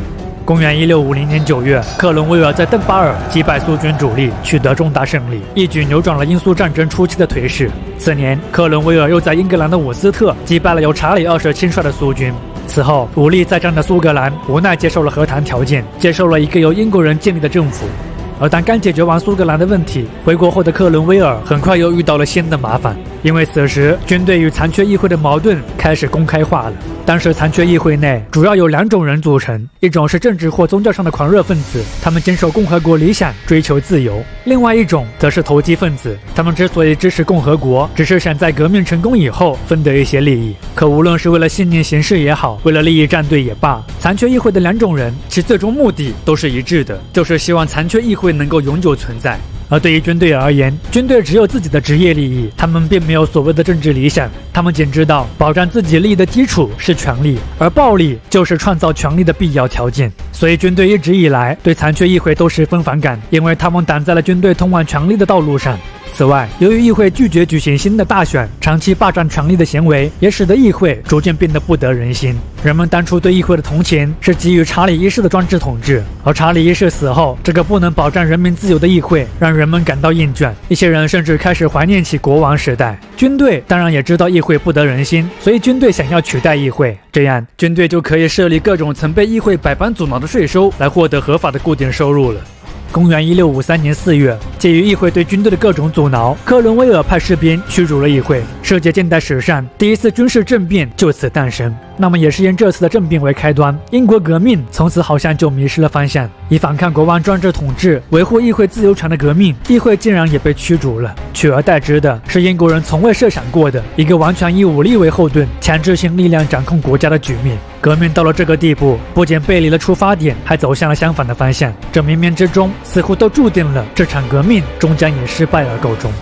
在议会被解散以后，军队曾召开了一个维持了仅半年的议会。这个议会由于改革措施太过激进，导致保守派难以忍受。随后，保守派便把权力还给了军队。此后，军队并开始彻底掌权。同年，军队制定了政府约法，宣布克伦威尔为护国公，负责国家行政事务。根据政府约法的规定，一个由选举产生的议会将具备最高立法权。但事实上，这个议会的选举仍旧受军队操控。对此表示不满的议会，在首次召开以后，立即与军队发生了冲突，这使得克伦威尔在之后再次解散了他。而克伦威尔屡次解散议会的举动，以及他实际具备的巨大权力，已经将他军事独裁的本质暴露无遗。当时克伦威尔的权力可能还要大于当初的国王。克伦威尔治下的英国是一个赤裸裸的军事统治社会，各区军事长官在全国实行军管，长官的意志不容反对，他们随心所欲地决定着一切事物。公元一六五六年，为了在全国开征税务，克伦威尔再次召开了议会。召开后的议会依旧反对军政府，议员们提出了一份谦卑请愿的文件，其主要条款是让克伦威尔晋升为王，建立一个世袭王朝。但相应的，议会需要设立另一院。这份文件的出现看起来是把克伦威尔捧上了一个至高无上的地位，但实际上，议会是想通过这个电影院的出现，进而让现在这个权力无限的护国主成为一个权力有限、受议会控制的国王，即建立一个君主立宪制。针对这个文件，克伦威尔据传犹豫了很久，但最后他还是拒绝了王位，并接受了谦卑请愿的其他内容。那么，如何评价克伦威尔这些看似矛盾的行为呢？有的人认为，就克伦威尔个人而言，他是高尚的，并没有权力欲，只是革命的浪潮把他推上了权力的顶峰。他拒绝王位，是在竭尽所能避免历史重演，守护住革命的成果。但议会与军队的种种矛盾，他又不敢放任议会自由行事，他担心那些曾同他一同并肩作战的将领和士兵们会受到伤害。如今发生的一切是出于局势的无奈。但也有的人认为，克伦威尔就是一个受权力驱使的伪君子。克伦威尔所掌握的权力，完全有能力开展真正意义上的宪政，但他并没有选择这么做，是他一手把革命带进了死胡同。曾经的他反对专制，现在的他受权力的侵蚀，却又实现着独裁。曾经的屠龙者，已然成为了一条恶龙。如今，关于克伦威尔是如何思考这个问题的，我们已经无法知晓。或许人作为一个复杂的个体，并不能用某一种单一的可能来概括。兴许两种可能性皆存在于克伦威尔的身上。公元一六五八年，新的议会召开，克伦威尔将其亲信安插进了另一院，护国主成为了世袭职务，克伦威尔也成为了事实上的无冕之王。新制度实施伊始，两院就吵开了锅。克伦威尔于是不得不再次将议会解散。而当他打算重新召开一个议会之时，他却因疑似败血症，于当年的九月三日离开了人世。随后，其子理查德·克伦威尔继任新的护国主。但很显然，这个无军功、无人望的理查德显然难以维持军事独裁统治。公元一六五九年，军队把六年前驱逐的残缺议会找了回来，历史轮回由此开始。同年，在军队和议会的胁迫下，理查德宣布退位，护国主制度彻底瓦解。此后，复会的残缺议会又开始向军队夺权，持续了近二十年的主权之争再次面临着激化的可能。英国人现在只有两条路可走：一条是彻底的内战，产生一个没有人能预料的结果；二是退回斯图亚特王朝，接受一个大家更能接受的结果。最后，英国人选择了后者。公元一六六零年二月，担心英国会陷入无政府混乱状态的苏格兰军区司令乔治·蒙克带兵进入伦敦城，召开了近二十年来的第一次议会选举。由于这个议会没有得到国王的授权，因此这个议会也被称为国民议会。国民议会中主要由曾经的王党分子和长老派组成，他们更倾向于恢复斯图亚特王朝。而面对此情形，流亡荷兰的新王之子查理二世顺势发表了布雷达宣言。他承诺将赦免在革命中反对国王的人，认可在革命中被出售的王党土地，发放拖欠的议会军津贴，同时对宗教采取宽容态度。很显然，布雷达宣言的和解声明非常有效，他几乎打消了所有人的顾虑，并被大家所接受。随后，在同年的五月，查理二世回到伦敦，斯图亚特王朝就此复辟。而英国革命兜兜转转，看似又回到了最初的起点，但是不要忘了，革命曾击败过国王，处死过国王。就算王朝复辟了，国王的权势再也不可能回到当初的位置了。而主导这一切的自由思想和人民的力量，已成为影响和改变英国历史的一个决定性因素。它将使不列颠这片土地产生更多的可能性，带领其走向更加非凡的未来。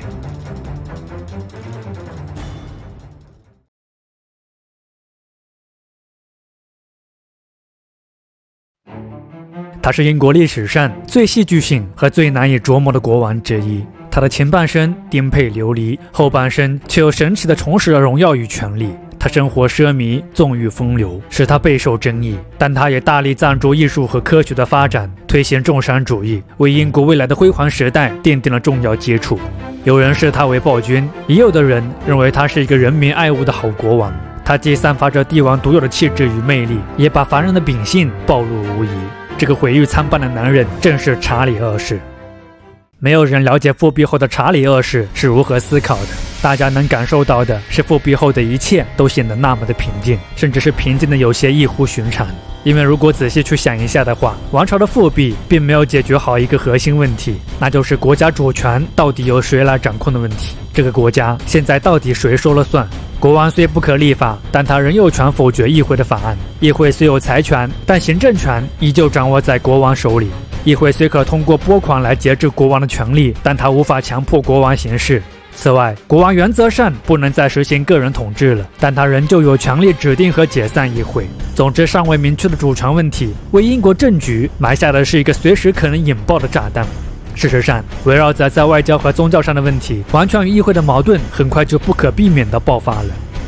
公元一六七零年，查理二世与法国签署了多佛密约。条约中，查理二世以答应在未来的战争中帮助法国打击荷兰为条件，换来了法国的财政援助，以及在未来查理二世宣布改宗天主教时，法国能够派军队镇压英国人反抗的承诺。多佛密约的出现，不是查理二世第一次表现出对天主教的青睐。早在公元一六六二年，查理二世就已经迎娶了葡萄牙的天主教公主凯瑟琳。这桩婚姻不仅使英国得到了作为嫁妆的葡萄牙海外领地丹吉尔和门买，同时也获得了天主教国家法国的支持。也是从那时起，在法王路易十四统治下，国力和专制政体都发展到了鼎盛的法国，极大的吸引了查理二世的注意。更加拥护君主专制的天主教，不仅已经在查理二世心里与强大国家的形象画上了等号。但对于大部分英国人而言，拥护天主教的行为可是会与强化国王的个人统治、挑战民众自由权利的行为画上等号。宗教改革和刚结束的英国革命，皆是英国人决心的最好证明。也是基于对英国民众情绪的了解，多佛密约一直都没有公开。它的公之于众，要发生在一个世纪以后。不过，天下没有密不透风的墙，多佛密约虽未公开，但有关密约的传闻却是甚嚣尘上。但这种社会情绪并没有引发查理二世的担忧，相反，他还利用了国内的这种猜疑情绪。公元一六七二年，查理二世与法国结盟，开展了第三次英荷战争。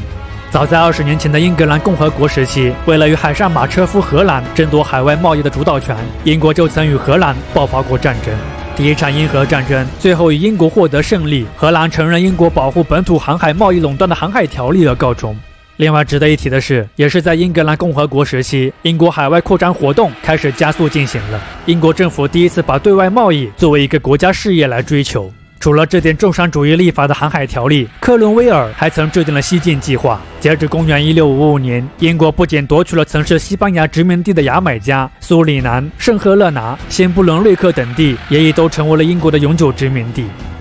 公元一六六五年到公元一六六七年间，借由英国订立更加严苛的航海法，并占领荷兰位于北美的殖民地新阿姆斯特丹，英荷双方再度爆发战争。只不过这次是以英国的失败而告终了。这次战争的失败，让渴望复仇的查理二世和渴望制霸欧洲大陆的法国一拍即合，这也成为了新一轮英荷战争爆发的主要契机。而战争的开展是需要大量的资金支持的，可当时英国议会并不知晓和确信多佛密约的存在，所以他们对英法的结盟一方面表示不解，另一方面也不愿意对这场战争进行拨款。为了得到议会的拨款，狡猾的查理二世故意在开战前发布了信仰自由宣言，表示要给予所有人宗教信仰自由。这个宣言的出现引起舆论哗然，陷入圈套的议会表示，国王如果撤回宣言，并可以拨出战争经费；反之，则绝不拨款。随后，查理二世做出了无奈的让步，接受了议会的条件。第三次英荷战争中，英国虽然也以失败而告终了，但英国方面的损失其实并没有太大。从长远眼光来看，英国甚至还是受益方。在双方签署的合约《威斯敏斯特合约》中，荷兰不仅接受了航海条例，失去了部分贸易特权，还割让了包括纽约等的部分殖民地，而这些代价换来的仅仅是英国给予他们二十万英镑的赔偿而已。回顾这三次英荷战争，把荷兰的立国之本及商业贸易垄断权打得支离破碎，而英国则背靠着不断发展的制造业，让自己的贸易特权不断在世界各地得到了扩展。这些积极影响无疑都进一步的夯实着英国的综合国力，也为其日后的进一步扩张增添了动力。与法国的结盟，对法王的倾慕，让查理二世的亲法倾向暴露无遗，也使得当时英国国内的反天主教情绪开始日益高涨。宗教上的矛盾之后，还引发了有关王位继承人的争论。生性风流的查理二世虽有很多私生子，但婚生的却没有一个。王后凯瑟琳三次流产，让他丧失了生育能力。不出意外的话，在查理二世之后，也曾流亡海外的其弟，已经改宗天主教的詹姆士二世将会继承王位。这显然是大多数英国人不想看到的。为此，议会便制定了排斥法案，意图将詹姆士二世排除在王位继承之外。不过，在这个问题上，议会内部产生了分歧，并公开分裂为了两派：一派坚持反对天主教徒登上王位，主张剥夺詹姆士二世的继承权，这个派别之后被称为了辉格党；另外一派则坚守王位继承的正统原则，主张保留詹姆士二世的继承权，这个派别之后被称为托利党。辉格党和托利党让英国的政治原则开始各守一端，英国政党政治出现端倪。查理二世当然是站队自己的兄弟，所以他支持托利党。而辉格党虽然排斥詹姆士二世，但对于谁应继承王位，他们内部也有分歧。这些分歧之后也导致了辉格党的势力不断受到削弱。截至查理二世去世的公元一六八五年，辉格党已经无法与托利党进行对抗了。如此情形之下，詹姆士二世便顺利地登上了王位。刚继位的詹姆士二世企图利用有利局面来加强王权，但结果却适得其反。他走上了专制王权老路，也把始终悬而未决的主权问题再次摆在了所有人面前。詹姆士二世为了强化王权，企图建立一支常备军，这让人想起了克伦威尔和法王路易十四。此外，詹姆士二世为了维护专制统治，还任命了一批天主教徒担任文武官员。在他的支持下，天主教公开恢复了活动，曾经关闭的宗教法庭再次出现。而詹姆士二世这等等的一系列做法之后，也让托利党无法忍受。托利党虽然支持继承的正统原则，但是坚持国教也是他们的一个重要原则。基于这个原则，托利党和辉格党再次走到了一起，结成了反詹姆士联盟。公元一六八八年，七位政治要人聚集在一起，起草了一封邀请信。他们邀请荷兰执政奥伦治亲王威廉三世能够率军来英国，帮助英国人捍卫他们的自由。英国人为什么要邀请一个外国人来干预国内事务呢？一方面，威廉三世在当时是个响当当的人物，能力毋庸置疑。在第三次英荷战争中，面对法英等国的夹击，顶着几乎要灭国的局势，威廉三世带领荷兰人力挽狂澜。他不仅迫使英国退出了战争，更把法国人赶出了领土。这些壮举使得威廉三世的威信达到了顶点，他也因此得到了护国英雄的称号。另外一个原因，当然也是最重要的一个原因，威廉三世作为詹姆士二世的女婿，他的妻子玛丽二世是詹姆士二世的长女，他们都是新教徒。如果他们可以继承王位，那么正统原则和国教原则就可以很好的结合在一起。此举如果可以成功，完全不仅得到了限制，需要民众参与进来的武装革命也可以被避免，统治阶层完全可以实现自我革命，这是他们最想看到的一个结果。面对英国的邀请，威廉三世喜出望外，于是他便率军在英格兰西部登陆。之后，反对詹姆士二世的诸多势力纷纷来此投靠。面对众叛亲离的局面，詹姆士二世逃进了伦敦城。当威廉三世也来到了伦敦城以后，他向詹姆士二世提出了两个要求：即解除天主教徒的职务和召开议会。面对这两个要求，詹姆士二世做了一个最坏的选择，他选择继续逃跑，因为他担心1649年的事件会再次上演。詹姆士二世的出逃，给议会提供了一个可以完美解决当下问题的答案。毕竟，如果詹姆士二世还在，他们还要思考如何处置国王。这个问题很可能会引发内部新一场的分裂。之后，经议会商讨，议会宣布詹姆士二世上离职守，背弃了国王的职责，因此詹姆士二世自动退位。玛丽二世和威廉三世被宣布为了共治国王，王位就这样在没有流血的情况下发生了改变。没有流水的光荣，让这场革命被称之为了光荣革命。另外，在玛丽二世和威廉三世登基之前，议会还发布了一个非常重要的法案——一六八九年权利法案。作为新王登基的前提条件，法案中反复声明英国人自古就有的自由权利，同时也免去了议会的诸多权利。一六八九权利法案被视为了人民与国王间的一种契约，它成为了英国宪政中最重要的奠基性文件，为现代英国政治制度的形成打下了一个坚实的基础。另外还要注意到一点，这次王位的更替是议会创造了国王，这也间接把一个困扰了英国近一百年的问题，即主权问题给解决了。英国的最高权力已经从国王手中转移到了一批贵族手里。这场光荣的革命不仅改变了英国的政体，它也已经照亮了英国未来的道路。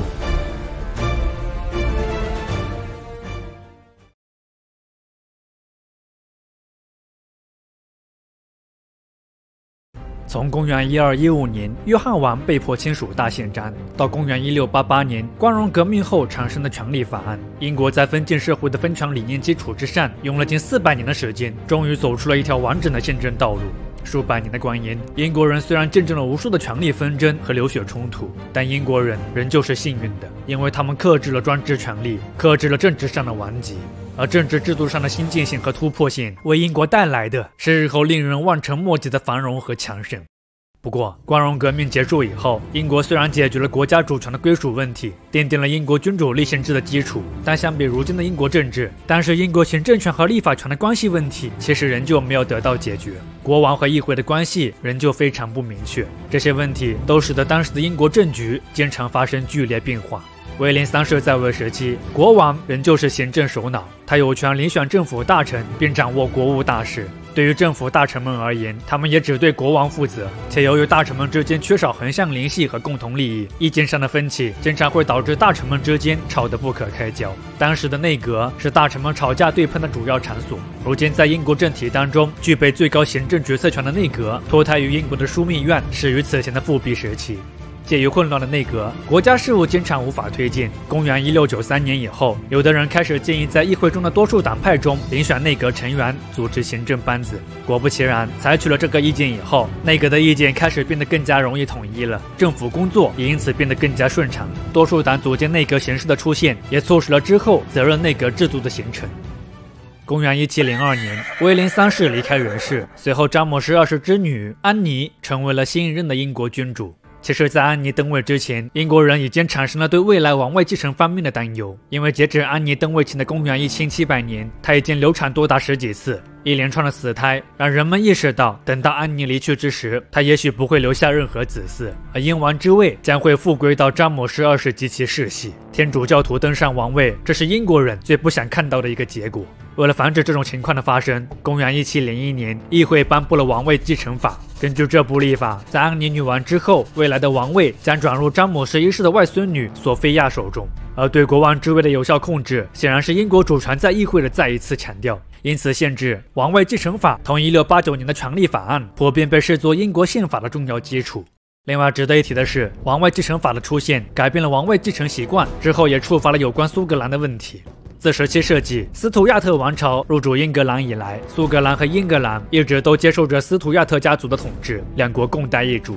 但即便如此，两个国家仍旧是各自独立，有着自己的政府、议会和法律。王位继承法颁布后，苏格兰国会反对这种王位继承人的性质，因此他们于公元一七零四年颁布了安全法令，以确保苏格兰国会有权自行选择安妮女王之后的继承人。面对英格兰和苏格兰这种特殊联系即将断裂的危机，希望确保大不列颠能够长远稳定与繁荣的两国随即开始了谈判。公元一七零七年，两国签署了联合法。联合法规定，苏格兰和英格兰实行合并，新国家称作大不列颠联合王国。英格兰的圣乔治旗和苏格兰的圣安德鲁旗合二为一，不列颠第一面联合王国的旗帜就此诞生。苏英合并以后，苏格兰取消了自己的议会，改由派遣一定数量的贵族和平民参加联合王国的统一议会。而大不列颠联合王国中的苏格兰虽然对英格兰保持了从属地位，但从长远的眼光来看，苏格兰其实一点也不亏，因为未来英国的崛起所带来的诸多效益，苏格兰成为了最切身的受益者。此外，基于平等和自愿原则进行的合并，也让苏格兰自身的文化得到了很好的保存。安妮女王在位时期，内阁已经完全置于了议会的控制之下，政府成员必须是议会议员，议会与政府的有机联系被建立了起来。但是，另外一个重要原则，即内阁与议会多数党要一致的原则，还未被确立。而这种情况则会引发一个问题，那就是当议会党派构成发生变化之时，他们常常会与此前的内阁发生严重的分歧，从而再度造成行政事务无法推进。针对这个情况，一些议员通过劝说安妮，让安妮意识到了内阁成员必须与议会多数党保持一致。公元一七零八年，听从劝告的安妮组织了一个辉格党政府，开创了内阁与议会多数党一致的先例。另外，由于安妮性格软弱、优柔寡断，经常对一个决断反复再三，这使得一些事物变得难以决断。因此，内阁大臣们便形成了一个习惯，即内部先统一意见以后再向女王报告。内阁意见统一的原则由此也被建立了起来。之后的内阁逐步发展出了集体责任制，他们作为一个整体对议会负责。对议会而言，内阁要么服从，要么就只能选择下台。安妮女王在位时期，英国除了在宪政上的进一步发展，这个时期英国在国际地位上的巨大提升也尤为值得注意。自光荣革命以后，英国已经具备了对外扩张的条件，新的政治制度已经确立，内部的政治冲突已经结束，对富足生活的向往愈发成为了所有英国人追求的目标。这个目标建立在经济不断发展的前提之下，可英国作为一个岛国，狭小的国内市场对经济发展的助力太过有限，唯有积极的对外商业贸易进取才是最有效的途径。在威廉三世时期，除了对天主教国家抱有的传统敌意，在商业和殖民地上的争夺，也促使了英国和法国产生了进一步的对立。公元一六八九年，面对法王路易十四在欧洲大陆展现出的巨大野心，英国加入到了反法同盟奥格斯堡同盟与法国爆发的战争当中。而这场维持了九年的战争，不仅没能解决任何实际问题，反而还促成了之后西班牙王位继承战争的爆发。公元一七零一年，哈布斯堡家族西班牙分支体弱多病的卡洛斯二世死后无子嗣，并立下遗嘱，要将西班牙的统治权交给法王路易十四的孙子菲利普三世。担心法国会和西班牙合并，同时取得西班牙在海外庞大殖民帝国和西班牙海军，进而可能影响到整个欧洲局势的欧洲诸国，包括神圣罗马帝国、荷兰共和国等国，组建了反法同盟，力图克制法国独霸欧洲的野心。加之法王路易十四宣布承认以无英王资格的詹姆斯二世之子韦英王，对英国荣誉发出的巨大挑战，英国由此也加入到了西班牙王位继承战争当中。在欧洲大陆、美洲殖民地地区，英军与法军展开了激烈的战斗。在西班牙，公元一四零七年，英军拿下了直布罗陀，此后这片地区就成为了英国的领地，直至当下。公元一七一三年，为了结束这场漫长的战争，法国与包括英国在内的反法同盟国家签署了《乌德勒支合约》。根据合约，路易十四之孙菲利普三世将成为西班牙国王，并且领有西班牙在全世界的殖民地。但西班牙和法国不能合二为一。欧洲对西班牙和法国的合并可能会威胁整个欧洲自由和安全的顾虑，通常也被认为是集体安全概念诞生的一个重要节点。英国在乌德勒支合约中不仅获得了大量的海外殖民地，还获得了在西属美洲殖民地进行奴隶贸易的专营权。未来将有超过两百万的非洲人经英国之手被输送至其在美洲的殖民地。而帝国版图的扩大、海上力量的增强、对外贸易的进一步拓展，这些实实在在的好处，显然让英国成为了乌德勒支合约的最大受益者。西班牙继承战争结束之时，已经拥有一支欧洲最强大的海军，商业触角已经伸向整个世界的英国，已经迈出了建立一个世界帝国的重要一步。公元一七一四年，由于原定的未来英王索菲亚在安妮女王离世前的前几周就去世了，因此在安妮女王之后，索菲亚之子汉诺威的选帝侯乔治一世根据王位继承法成为了新的英王。乔治一世统治英国的十三年，是英国宪政发展的一个新时期。不会英语，也不熟悉英国社会情况的乔治一世，在英国直接开摆了。当然，这也为英国的君主立宪制的发展带来了新的机遇。乔治一世在位期间，内阁大臣们不再找国王商讨大事了，而是自行决定对策，最后再交由国王认可。为了更加高效的行事，乔治一世任命了辉格党领袖罗伯特·沃波尔为内阁首领及首席财政大臣，统领内阁全程。因此，沃波尔通常被视为英国历史上的第一任首相。沃波尔是个很有作为的首相，他执政期间不仅平息了致使政府呈现破产的南海经济泡沫事件，他还通过行政手段调节了经济政策，使这个时期的英国经济得到了进一步的发展。在沃波尔执政末期，借由反对党对沃波尔休养生息政策的不满，为了使英国能够开展更加激进的海外扩张策略，反对党利用西班牙海军与英国走私船之间的持续冲突，开始煽动英国人的战争情绪。公元一七三八年，一个名为詹金斯的走私船长向议会出示了被割下的耳朵，说是西班牙人残酷虐待他的证据。以这个耳朵为宣泄口，英国国内一时间战争呼声四起。顶不住压力的沃波尔，于是，在公元一七三九年向西班牙宣战，詹金斯尔战争由此爆发。但是，没等西班牙和英国分出个高下胜负，另外一起更大规模的冲突在欧洲大陆爆发了，继而也把英西的这场战争纳入了其中。这场战争便是奥地利王位继承战争。奥地利王位继承战争是由神圣罗马帝国皇帝查理六世逝世以后，法国与普鲁士结盟，企图分割奥地利领地，进而不愿承认查理六世长女玛利亚特雷西亚对奥地利领地的继承而引发的。奥地利王位继承战争当中，西班牙也是反奥联盟中的一员，所以无论是面对当前的敌人西班牙，还是传统敌对国家法国，英国显然都有充足的理由站在奥地利这一边。而当英国为了扩大自己的海外优势，愈发频繁地卷入到海外战争之际，整个世界又会为此发生怎样的巨变呢？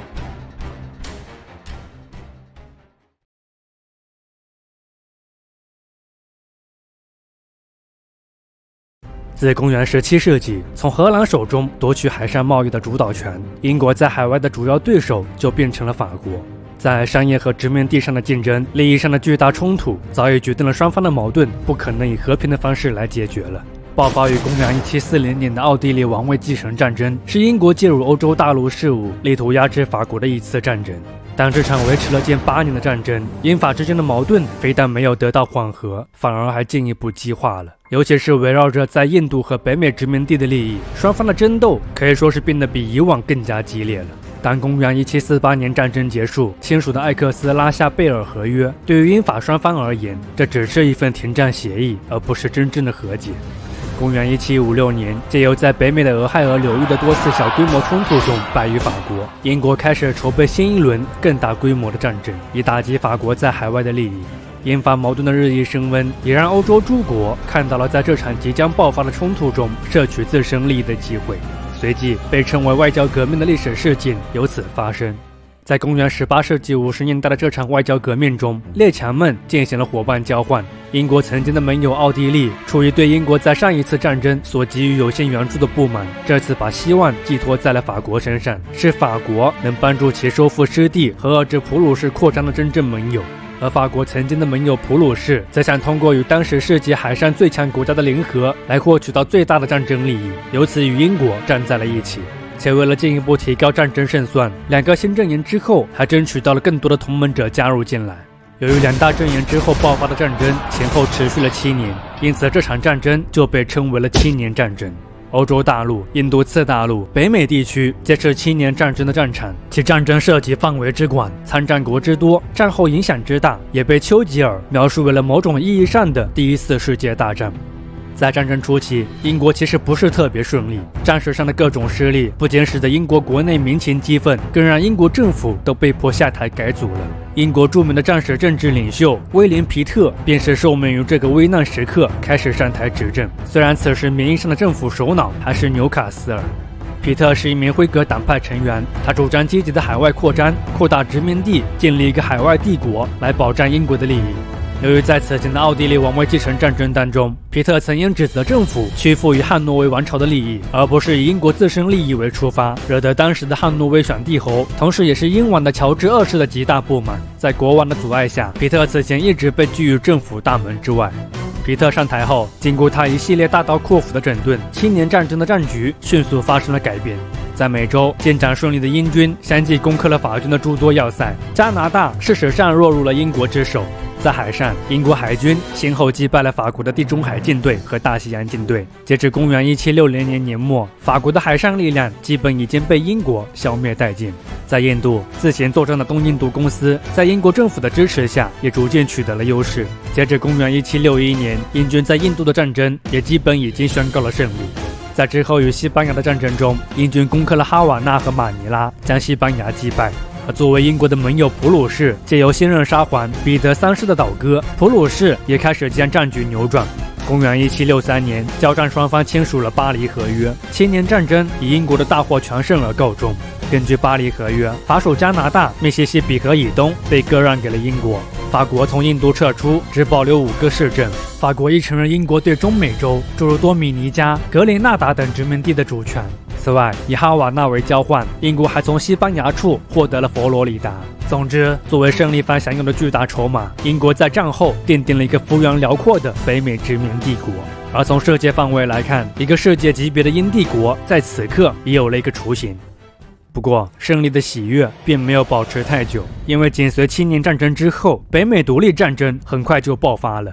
英国为了维护本土的垄断利益，在北美殖民地的蛮横行为，已经引得北美殖民者愈发难以忍受。公元一七六四年，英国颁布食糖条例，要求美洲殖民地的欧裔殖民者们必须大量购买英国的食糖、咖啡、酒等商品。公元一七六五年颁布的印花税法对所有印刷品直接征税，而为了反抗英国政府给殖民地施加的各种名目繁多的税务，加之北美殖民地区在英国议会没有代表席位，北美殖民者们喊出了“无代表不纳税”的口号。公元一七七零年，不满自己权益受到侵害的北美殖民者们与英军发生了小规模冲突，事后造成了五名居民死亡和一名士兵受伤，视为波士顿屠杀事件。事件发生后，北美殖民地开始抵制英国的进口，并最终促成了当年英国政府取消了除茶税以外的所有赋税和关税。公元一七七三年，一批殖民地人乔装成印第安人，趁着夜色悄悄登上了波士顿港的英国东印度公司货船，将三百多箱茶叶倒入大海。事件发生以后，为了杀鸡儆猴，英国政府通过了强制法案，开始对马萨诸塞殖民地进行封锁。可英国人显然低估了北美殖民者们的决心，镇压非但没有挫败殖民地人民，反而使其变得更加团结了。公元一七七四年，各殖民地派代表在费城召开了第一次大陆会议，他们决心要彻底改变宗主国与殖民地的关系，谋取殖民地自身的利益。同年，在莱克星顿，英军和殖民地民兵组织爆发枪战，殖民地人民第一次向英军开火。对此，时任英王乔治三世表示，宁可不要头上的王冠，也绝不会放弃战争。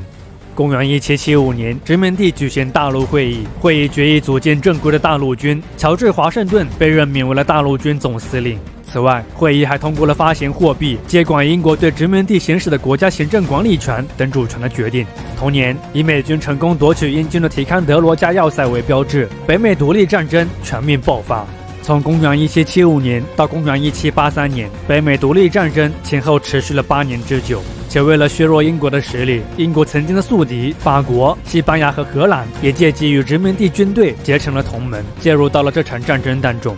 公元一七八一年，以美法联军在约克围城战中获得决定性胜利为标志，意识到北美的独立已成定局，同时想离间美法关系，继而强身心投入到欧洲事务当中的英国，决定与殖民地当局展开谈判，商讨结束战争事宜。公元一七八二年年底，英美签署巴黎合约，英国正式承认美国的独立，美国由此成为了美洲首个独立的国家。对于英国而言，北美独立战争的失败让英国失去了人口最多、资产最丰富的十三州殖民地，这显然是大英帝国殖民事业遭受到的一次重大挫折。这场战争唯一给英国带来慰藉的是，战争期间英国借由荷兰运送法国军火至美洲支援独立战争的行为，向荷兰发起的战争中获取到了一些利益。倚仗着强大的海军，英国把军备废弛的荷兰彻底打垮了。曾作为全球金融中心的阿姆斯特丹，在战后开始被伦敦所取代。海上马车夫的盛名，连同荷兰曾经的荣耀，通通被掩埋进了历史的尘埃当中。北美独立战争的失败，除了给英国的殖民事业造成了巨大打击，它也给当时的英国政局带来了剧烈震荡。这其中最主要的影响是挫败了时任国王乔治三世企图恢复个人统治的野心。事实上，也正是因为他的野心，才造成了英国国家的不幸。乔治三世是乔治二世的孙子，他于公元一七六零年继位。不同于此前汉诺威王朝的两位新王不问国事的惯例，乔治三世频频干预政治。为了成为一个真正的国王，他还利用自己的权势，在议会中培养出了一个国王之友派。国王之友派的成员为乔治三世马首是瞻，他们对内伸张国王个人权利，对外主张激进政策，与北美矛盾的激化，进而引发了北美独立战争，就是发生在国王之友派阻隔以后，其高压政策之下爆发的。乔治三世的个人权益在威尔克斯事件上暴露无遗。公元一七六三年，激进派人士约翰·威尔克斯在《苏格兰人报》中公开批评国王，引发了乔治三世的强烈不满。乔治三世因此下令以诽谤罪的名义逮捕威尔克斯。然而，威尔克斯是议员，理应享有豁免权，因此法庭以人身保护法为依据释放了威尔克斯。虽然被国人指责擅权、违反法律，但乔治三世并不甘心就此失败。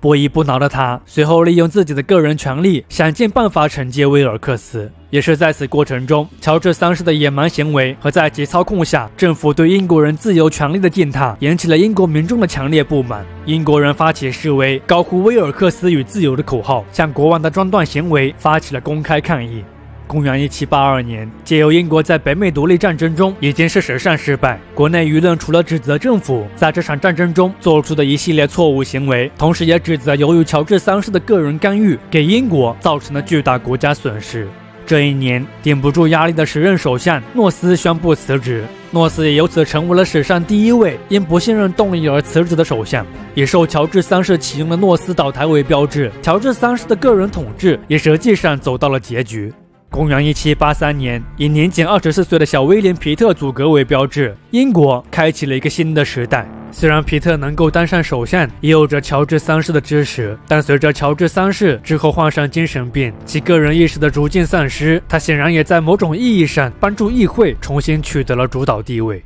而当一个悲剧的时代开始落幕，这是否预示着英国已经做好了重启一个辉煌时代的准备了呢？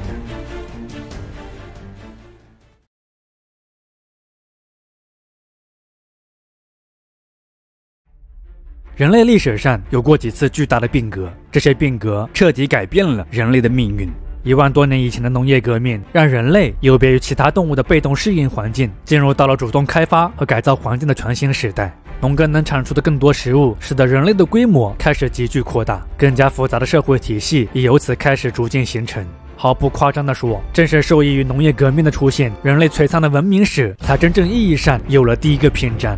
而除了农业革命外，人类历史上另外一场重大的变革，也完全改变了人类社会原有的面貌。它就是发端于公元十八世纪英国的工业革命。可这段令人感到振奋的产业革命，为什么偏偏会发生在英国呢？这也许是很多人抱有疑惑的地方。事实上，但是在整个世界看起来颇为独特的英国，也只有它有着孕育这场革命的绝佳土壤。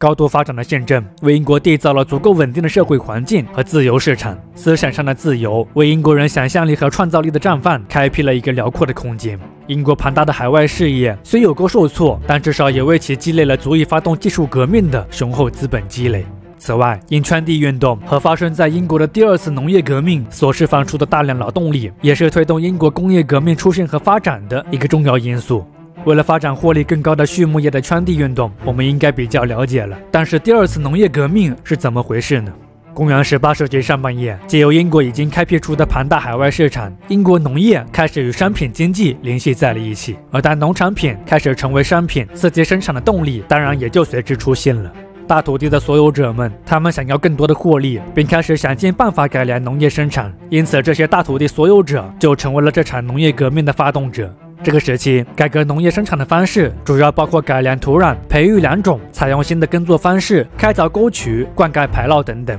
改革带来的成果也是颇为惊人。公元十八世纪初到世纪末，有四百多万英亩的荒地被开垦成了农田，每个农民能养活的人数从世纪初的一点七人变成了世纪末的二点五人，农业生产率提高了百分之四十七，谷物产量从世纪初的六千七百二十八万升增加到了世纪末的九千五百九十二万升，增长率为百分之四十三。此外，农业的快速发展也刺激了畜牧业的一同改良和进步。公元一七三一年到公元一千八百年间，英国肉类销售量大约增加了百分之三十五。仅仅是伦敦的肉类市场，其牛羊进货量在这个时期分别由八点四万头和五十六点五万头，增加到了十一点四万头和七十五万点六万头。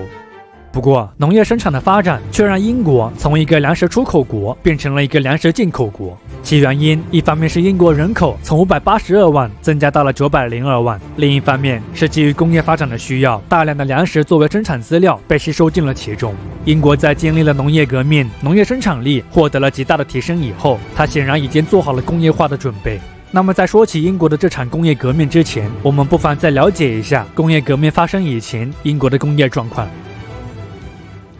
在工业革命以前，毛纺织业是英国最大的一个工业部门。这些工业部门在当时都是以手工工作为主。从生产组织结构上来说，当时的英国工业大致可以分为三类：第一类是大型工作场地，比如采矿、造船、冶铁等需要较多人力、有一定程度分工的大型工业部门；第二类是作坊，里面一般是师傅带着学徒从事某些技术性较强的工作，比如经营首饰、鞋靴、衣帽的制作等等。第三类是家庭工业制，一家老小围绕一项工艺为生，他们一般以纺织业最为兴盛。这种组织形式通常广泛分布于农村地区，他们农闲时纺织，补贴农业收入的不足。而随着圈地运动的不断深化，集约经营愈发兴盛，传统粗放经营的小农们自然就越发没有了生存空间。于是，本来作为副业的家庭手工业慢慢变成了主业，家庭纺织带来的收入开始成为他们主要的生活来源。农民们开始转变为了手工劳动者，也成为了近代工人阶级的前身。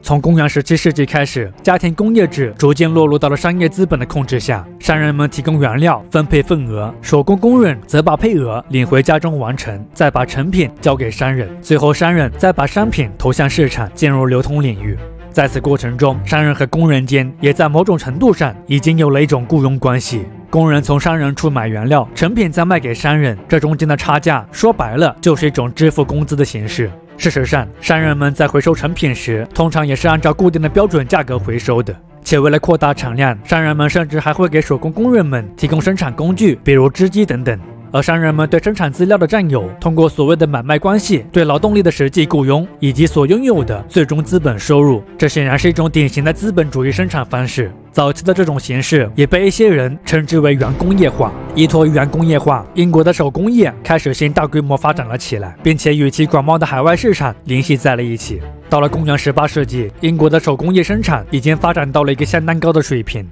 公元一七三三年，农民出身的约翰·凯伊发明了飞梭，生产工具的改进释放了工业革命最初的一个信号。飞梭的出现加快了织布速度，也对比时的纺纱工序呈现出了严重的滞后现象。于是，人们开始试图改造纺纱工具。公元一七六五年，英格兰之工詹姆斯·哈格里夫斯发明了珍妮反杀机，反杀效率得到了极大的提高。公元一七六九年，理查·阿克莱特发明了水力反杀机，借助非生物动力，在节省了大量劳动力的前提下，反杀的速度再次提高。而正当纺织业进行着快速的机械化之时，工业革命中另外一个具有划时代意义的发明也在此期间诞生了。它就是公元一七六三年经詹姆斯·瓦特改良而成、可以做连续运动的蒸汽机。蒸汽机的出现是人类生产力的一次巨大飞跃，它标志着人类已经能够使用自己创造的动力来驱动机器，就要使其释放出巨大的生产力了。公元一七八五年，埃德蒙·卡特莱特发明了以蒸汽作为动力的织布机，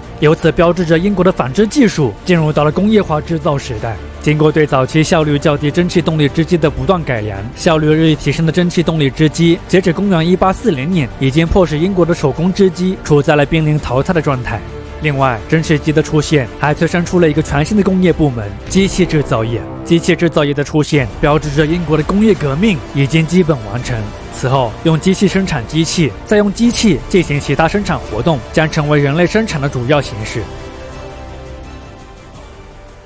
除了对生产方式产生了巨大改变，工业革命对生产力的提升，还包括对生产组织形式的改变。当然了，这也埋下了未来一系列社会问题和社会变革的种子。工厂化是工业革命带来的一个新的变化。通过工厂化，工业革命的成果得以在各行各业得到了展现。世界上第一个具有现代意义的工厂，是由水力反杀机的发明者理查·阿克莱特所建立的一座棉纺厂。工厂带来了劳动分工的进一步细化，生产力因此再一次得到了提升。但也令人感到遗憾的是，工厂让工人听命于机器的指挥，灵动的人性被淹没于了机器嘈杂的机械运动声当中。更可怕的是，大多数人还无力抵抗机械化的生活的入侵。根据公元一七八二年的一份官方调查报告显示，受访的两百五十四万英国人当中，有高达两百零一万人表示自己在工厂工作。除了对生产方式和组织形式带来的巨大改变，工业革命的影响还包括为交通运输带来的进步。工业革命以前，英国交通状况非常糟糕，道路主要由土路组成，运输工具主要是骡车和马车。此外，英国大部分河流不能通航，内河运输也很糟糕。这些情况也导致了英国的海上交通比内陆交通发达，海外市场比国内市场活跃。从公元十八世纪开始，技术上的快速进步使得商品和原料的交换速度不同往日，也迫使英国的交通运输开始出现改良。截至公元一千八百年，英国已经修建了由砂石夯筑而成的一千六百条公路。伦敦的公路已经可以连接至全国的大小城镇了。且在公路兴起的同时，为了满足需求日益高涨对煤矿等大重量物品的运输，内河运输也开始得到了改进。公元一七六一年，从沃斯利到曼彻斯特的第一条内陆运河成功开凿。截至公元十八世纪末，英国已经有了长达四千英里的内陆水道，它们几乎连通全国所有的重要河流。当然了，工业革命为交通运输带来最重大的改变，还要归功于铁路的快速发展。自乔治·史蒂文森于公元1814年建造了第一台以蒸汽为动力的铁道机车以后，人们看到了铁道机车所具备的强大运输能力，英国由此迅速进入到了铁路时代。截止公元十九世纪中叶，英国已经铸造了超一万多英里的铁路，铁路运输成为了英国国内最重要的运输方式。英国当时的铁路密集程度，甚至在二十世纪末都未被绝大多数的发展中国家所超越。公元十九世纪中叶的英国，已经彻底告别了往昔浪漫的庭园生活，进入到了一个忙碌的现代世界。传统日出而作、日落而息的生活，被精确到以分和秒为时间单位的快节奏生活所取代。被加速的生活节奏，也加速了经济的快速发展。公元十九世纪中叶，英国的铁产量已超过世界上所有国家的总和。英国的煤产量占世界总产量的三分之二，棉布占二分之一以上。从公元一八零一年到公元一八五一年，英国 GDP 增长了百分之一百二十五点六。公元一八五一年，伦敦举办了第一届世界博览会——万国博览会。博览会中，英国商家陈列的几乎全都是工业品，而外国商家则几乎全都是农产品和手工产品。这种差异化仿佛令人置身于两个不同的时代。万国博览会是英国在向整个世界展示其工业革命的成果。它亦向世界宣告了英国已经进入到了工业时代，并且是世界上第一个实现工业化的国家。正是得益于第一个走上工业化的道路，这个无论是领土面积还是人口规模均算不上一个强国标准的英国，却实现了领先世界一百多年的惊人成就。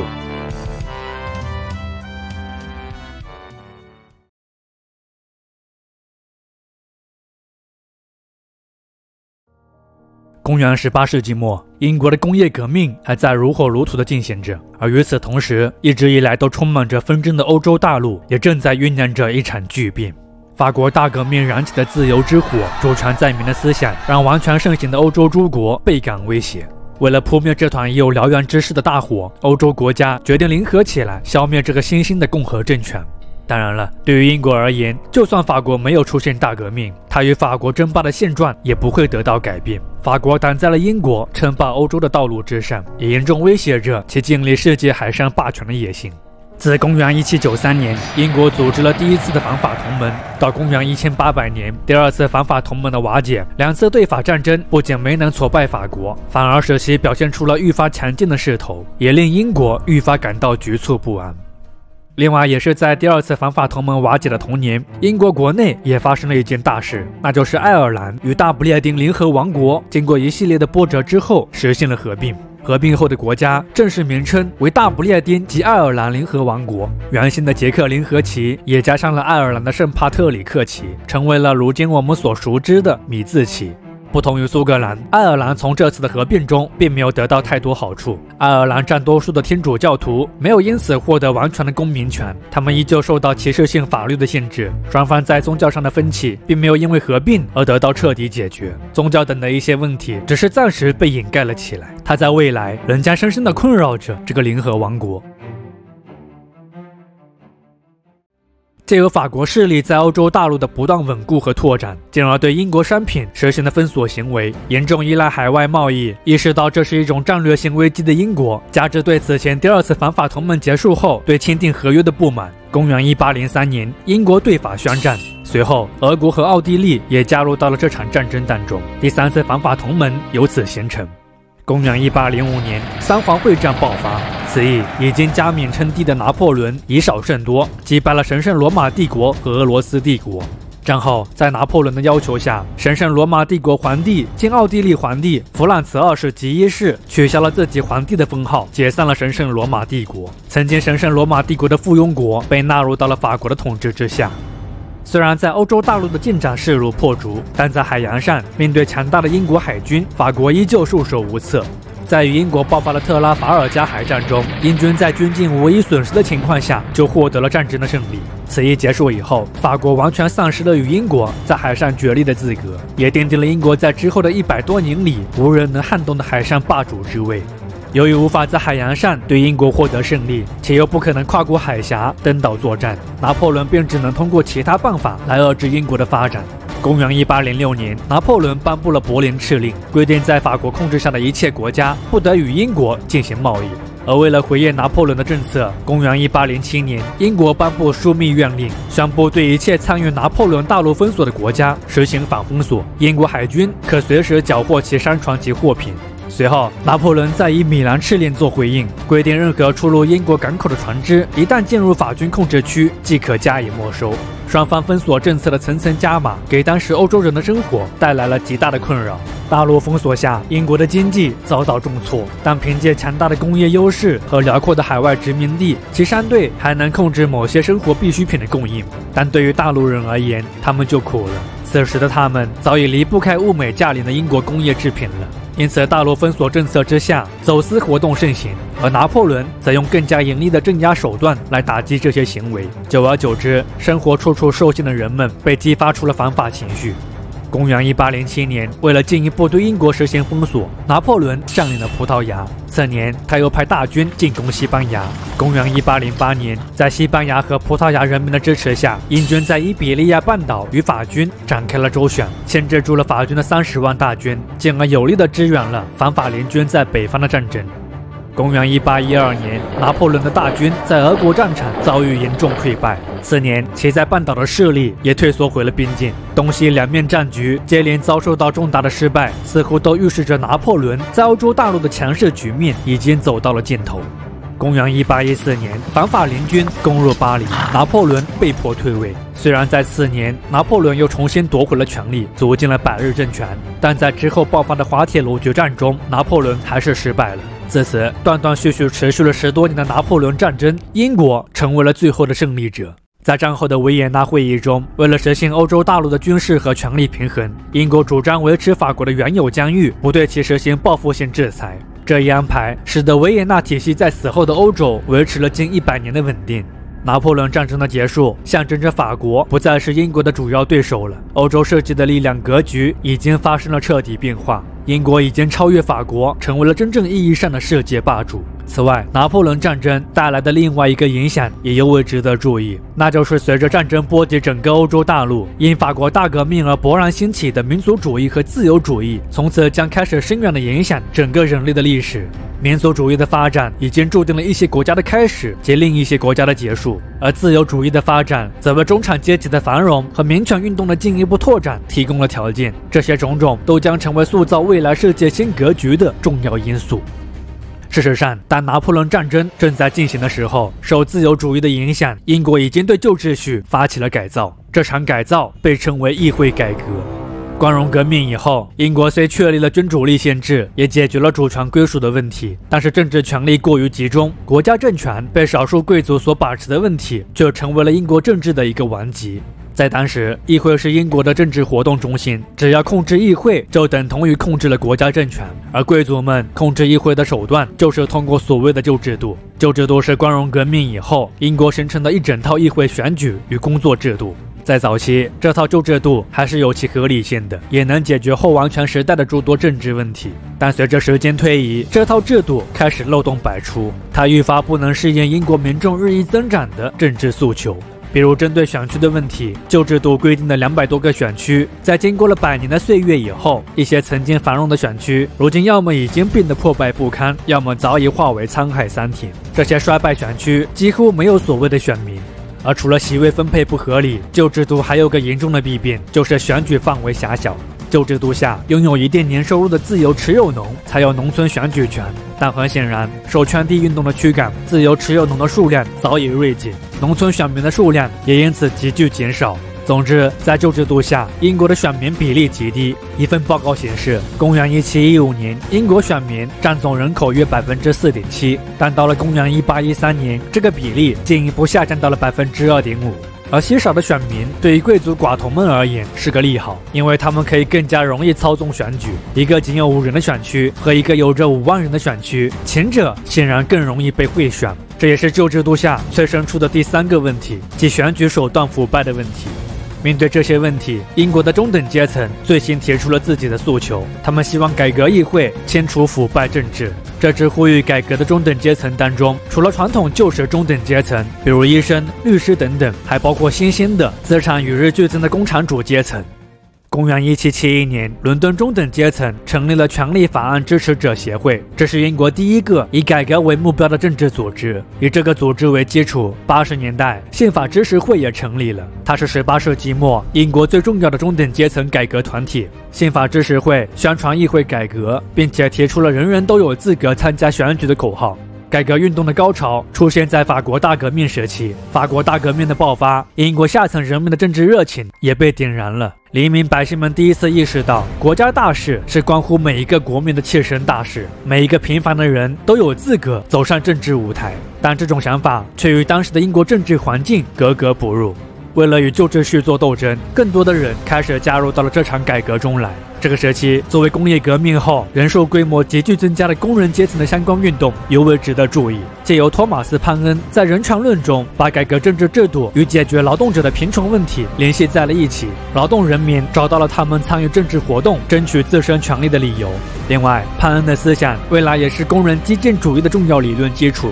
伦敦通讯会是这个时期英国最重要的工人政治组织，其巅峰时期拥有成员五万多人。伦敦通讯会的政治诉求是要求改革议会制度，实行普选权，通过议会选举改变议会性质，进而制定对劳动人民有利的政策。为了达成政治目的，伦敦通讯会还与宪法支持会建立了正常的工作关系，双方一起商讨开展联合行动等问题。而这些活动也让当时的英国政府倍感威胁，政府因此开始打击改革运动。这使得自公元一千八百年以后，这些群众运动开始引入地下。可随着拿破仑战争结束，群众性的议会改革运动重新兴起了。新开展的运动以请愿为主，英国各地向议会提交了多达五百多份请愿书，签名者据说达到了六十万到一百万人。运动声势之大，散布范围之广，令当时的英国政府猝不及防。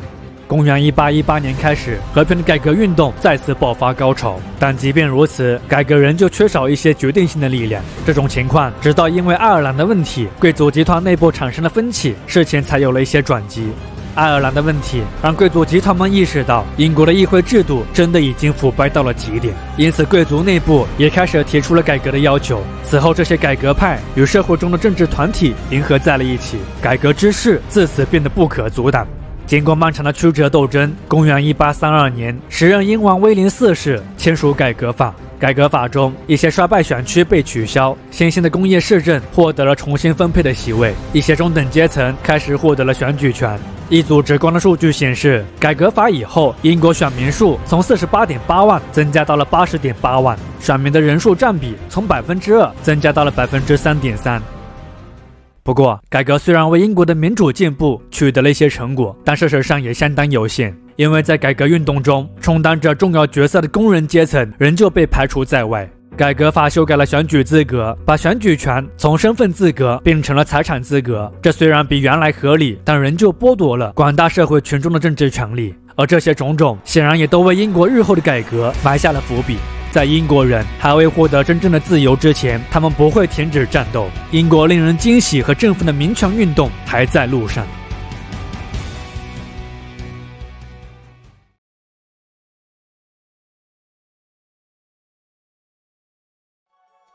公元一八三七年，英王威廉四世离开了人世。由于其膝下无子嗣，随后他的侄女维多利亚便成为了新一任的英王。也许会出乎所有人的意料，这位登基之时才刚刚过了十八岁，看起来有些稚嫩的少女，正是在她在位期间，英国迈上了一个新的台阶，构建起了一个令人瞩目的辉煌时代。而这位女王为这个伟大时代的铸造所做的贡献，是她什么都没做。没错，正是维多利亚恪守了作为一个立宪君主的本分，而不是凭借自己的感情用事。聪明且大胆的英国人才得以放开了手脚，尽情的在那个充满变革的历史时期，谋取到了更多的财富和国家利益。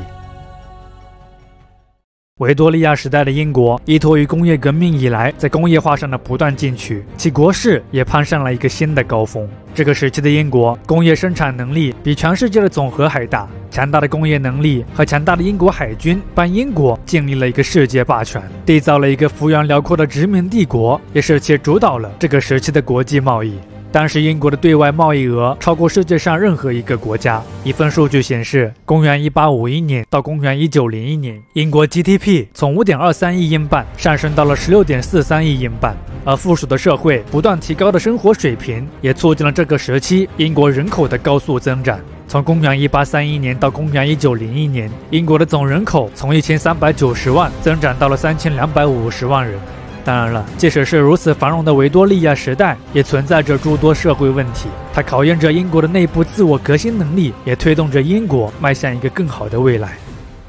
反古法运动是发生在维多利亚时代一场声势浩大的政治运动。随着工业革命的完成，围绕着自由贸易的问题，财富和权势与日俱增的工商业者们与传统权贵、大地主们的矛盾愈发激化。大地主们为了保障自己的利益，反对贸易自由，主张保留国家对经济的随意干预。这其中最典型的表现就是谷物法。自拿破仑战争以来，物价飙升，小麦价格曾一度高达一百先令以上。大土地所有者们为了获得更多的利益，还因此投入大批资金，大量开发贫瘠土地。可当拿破仑战争即将结束之际，粮食价格开始回落，甚至导致了一般的农业利润都即将维持不住。而为了保障这些大地主的利益，公元一八一五年，英国议会通过了一项谷物法，规定当小麦价格低于八十先令每夸特之时，不准进口外国粮食，人为抬高了粮食的价格。谷物法极大地损害了社会各个阶层的利益，尤其是工业资产者，因此谷物法遭到了他们的强烈抵制。他们称谷物法为阶级立法。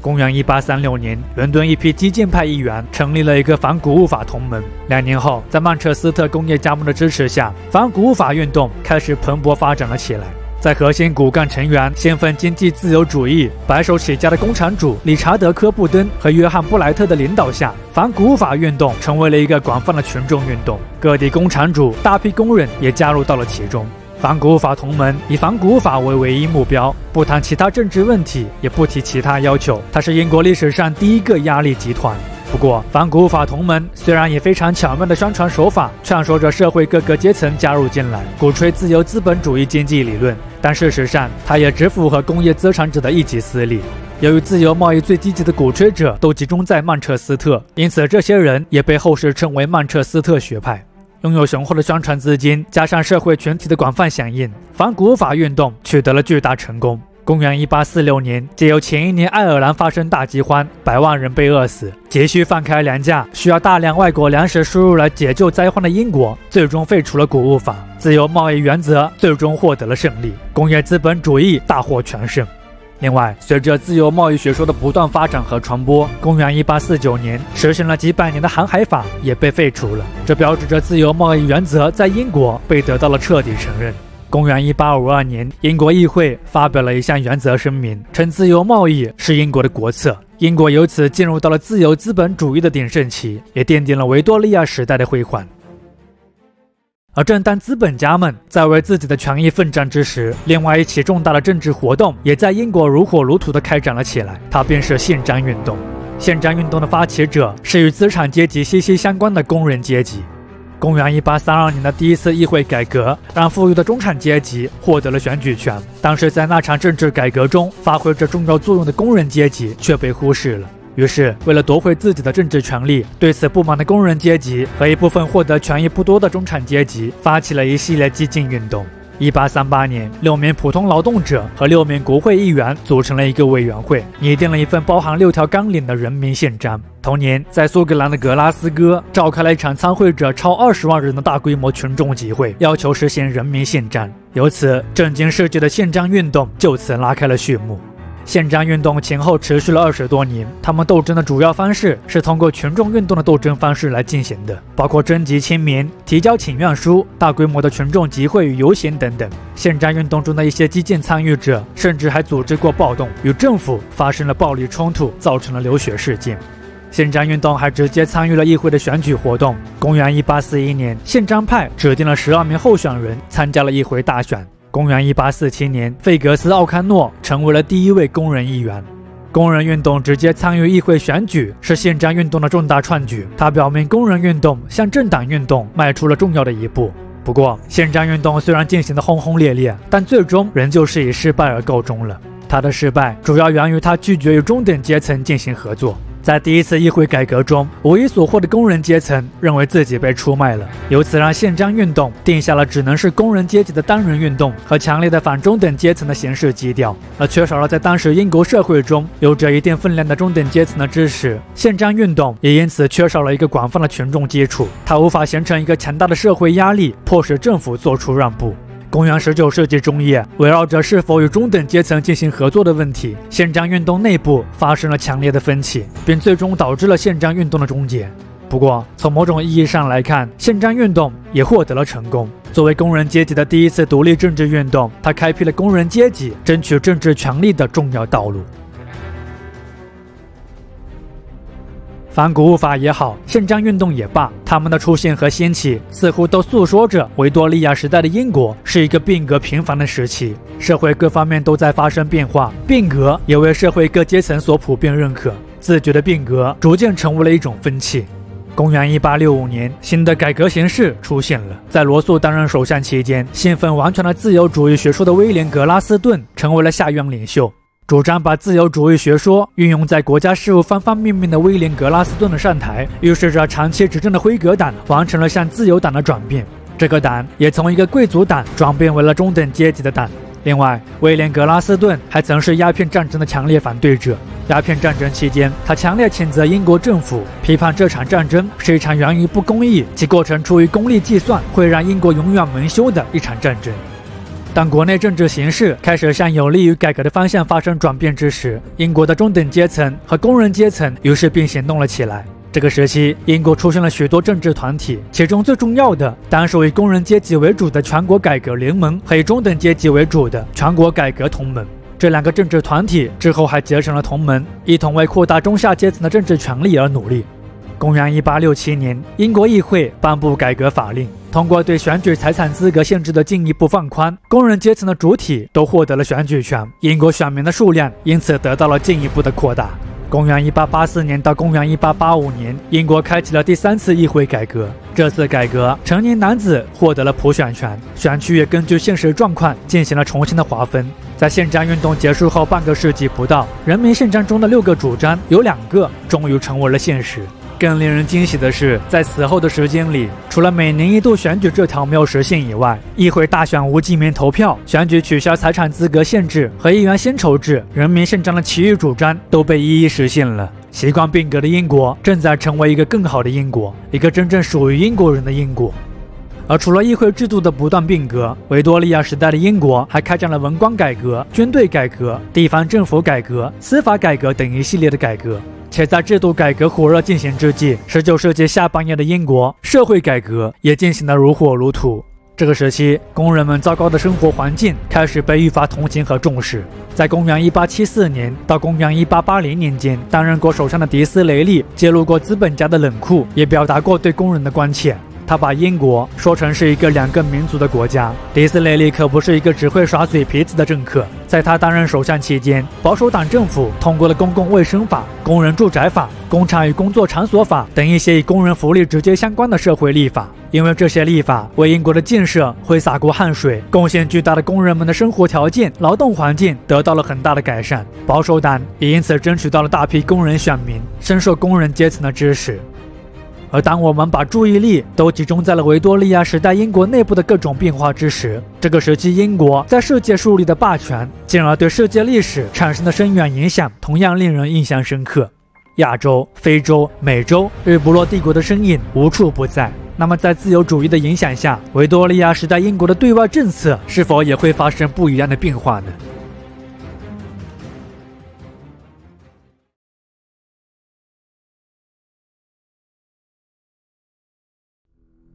北美独立战争是英国殖民事业遭受到的一次巨大挫折。这场战争让英国失去了富饶的北美十三州，也丢掉了第一帝国的威名。在度过了近半个世纪的低谷期以后，拿破仑战争成为了英国殖民事业的一个转折点。这场战争，英国击溃了曾经的欧陆霸主法国。战后获得了一些极具战略意义的立足点，比如二手海上要道的好望角和西兰。英国的海外殖民事业得到了复兴，而这个正在形成的新帝国便是大英第二帝国。这个时期，英国对一些海外殖民地的策略开始出现变化。除了为扩大利益，在被视为海外殖民事业基石的印度地区开启了进一步的扩张，英国对澳大利亚政策的改变也尤为值得注意。公元一七七零年，英国人詹姆斯·库克发现了澳大利亚，将此地命名为了新威尔士。公元一七八八年，第一面英国国旗在悉尼升起，澳大利亚、新西兰、塔斯马尼亚被编入新南威尔士，正式成为英帝国的一员。早期的澳大利亚由于不受英国政府重视，它并未被得到全力开发。这片广袤的大陆在当时是一片真正意义上的不毛之地。这里之后被英国作为流放犯人的大型监狱，在很长的一段时间里，澳大利亚最高行政长官就是典狱长。截止公元一八六八年到达的最后一批英国囚犯，几十年的时间里，英国送至澳大利亚的总囚犯数可能在十六万人左右。公元十九世纪初，为了填补在北美的损失，澳大利亚开始被英国政府重视，英国自由民被允许移民澳大利亚，这片大陆也因此迎来了一个新的发展机遇。先到来的英国殖民者在澳大利亚发展养羊业，羊毛出口为这里创造了大量财富。此后，更多的移民接踵而来，澳大利亚被得到了进一步的开发，变得愈发富有的澳大利亚也逐渐成为了英帝国的一个重要组成部分。自由主义是19世纪英国历史的一个关键词。除了国内受自由主义影响所发生的一些社会事件，在对外政策方面，这个时期的英国也深受自由主义影响。在工业革命以前，英国的殖民地政策主要建立在重商主义的基础之上，缺乏生产力的明显优势，且又想要加速经济的发展，保持对殖民地市场的垄断就显得尤为重要了。比如英国的航海条例便是在这种背景下诞生的。不过，要实现这种完全垄断，显然是要付出一些代价的。外部方面，英国要面临其他国家对本国殖民地的威胁；内部方面，殖民当局还要面临殖民地民众的各种情绪。这些来自内外部的各种挑战，也让殖民地成为了英国政府的一个沉重负担。工业革命以后，以亚当·斯密为代表的自由主义经济理论的新观点认为，控制殖民地需要行政经费和防务开支，这会增加母国的负担。英国作为一个有着绝对工业优势的国家，完全没有必要对殖民地实行垄断，开展自由竞争，才能为英国争取到最大的经济利益。来自自由主义的新观点之后，被越来越多的政治家和社会活动家所认可，其中也包括了以工业家为主的曼彻斯特学派。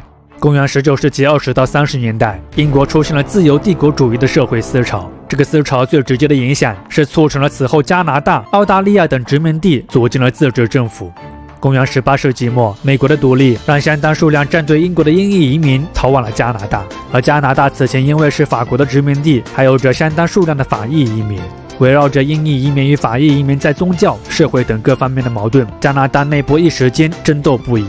为了避免殖民地的问题扩大化，进而损害英帝国的整体利益，受自由帝国主义理论的影响，本就把殖民地视为一种包袱的英国政府决定让殖民地自己处理内部事务。公元一八三九年，被委派到加拿大解决问题的总督达勒姆勋爵提出了一份涉及土地分配、城市建设、移民以及政治方面等诸多问题的达勒姆报告。达勒姆报告之后，为英国确立了在不涉及帝国问题时，殖民地政府可以是自治责任制的一个先例。英国殖民统治方式从此有了一个新的思路。公元一八六七年，英国政府颁布英属北美洲法，加拿大省、新布伦瑞克省、新斯科舍省三个英属北美殖民地组成了加拿大联邦，建立了拥有内部治理权的自治责任制联邦政府。此后，加拿大自治领不断扩大，直至形成今日的疆域。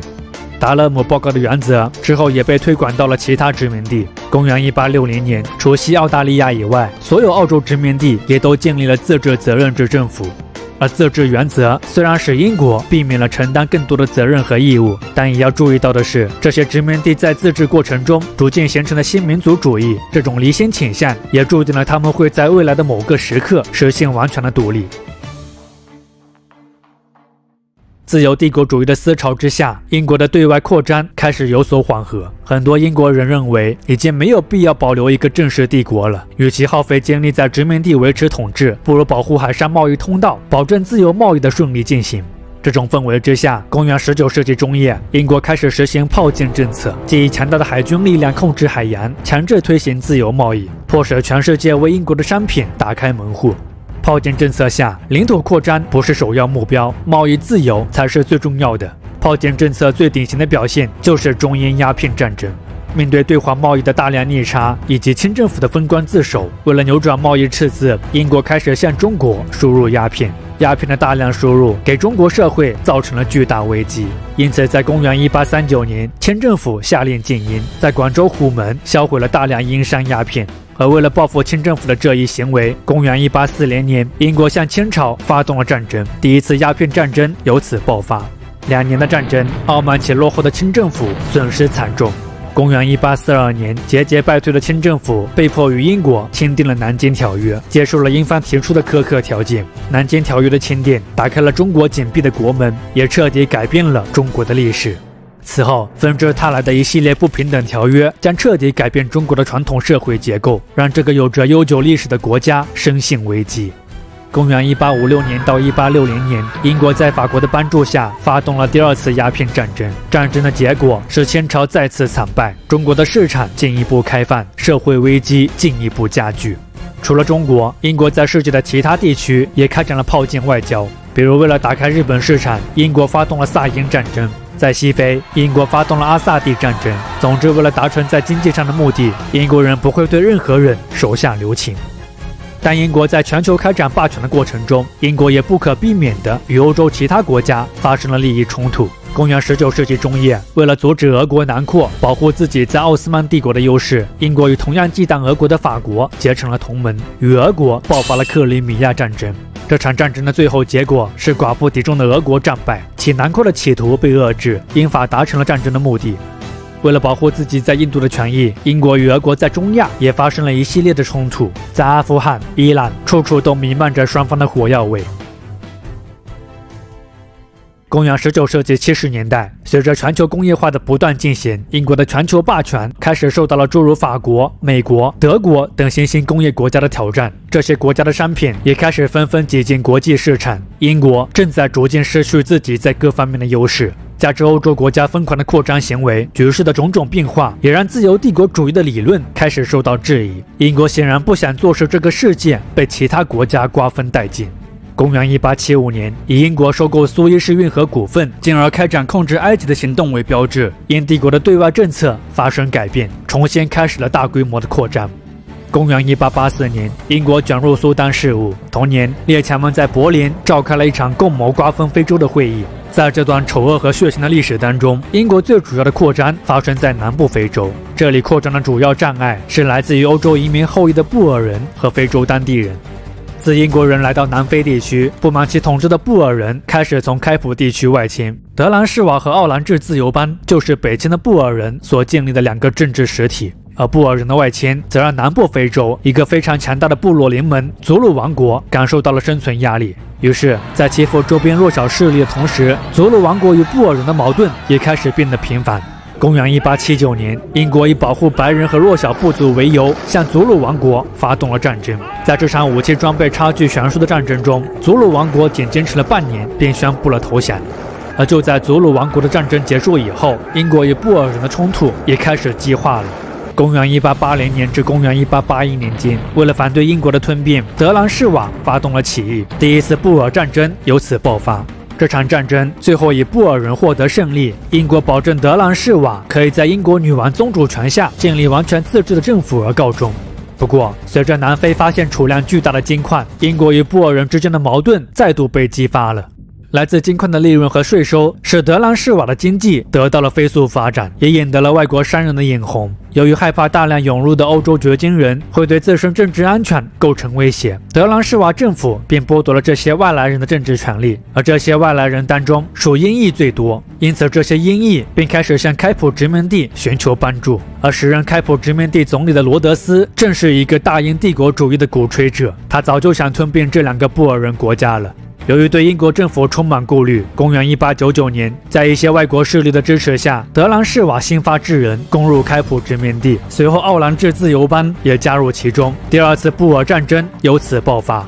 虽然这场战争最后以德兰士瓦和奥兰治被英国所兼并而告终了，但耗费两年多的时间，动用了巨大人力物力以及其他殖民地力量支持的英国，也为此付出了巨大的战争代价。同时，在这场战争中陷入孤立的英国也愈发意识到自己的能力是有限的，且仅仅是面对一个小势力就陷入苦战。英国在欧洲列强心中的地位也无形被降低了。第二次布尔战争已经揭示了英国的虚弱，但日不落帝国需要面对的挑战还远不止如此，因为在未来即将发生的一场可怕战争将会彻底终结这个已维持了一个世纪的不列颠治世时代。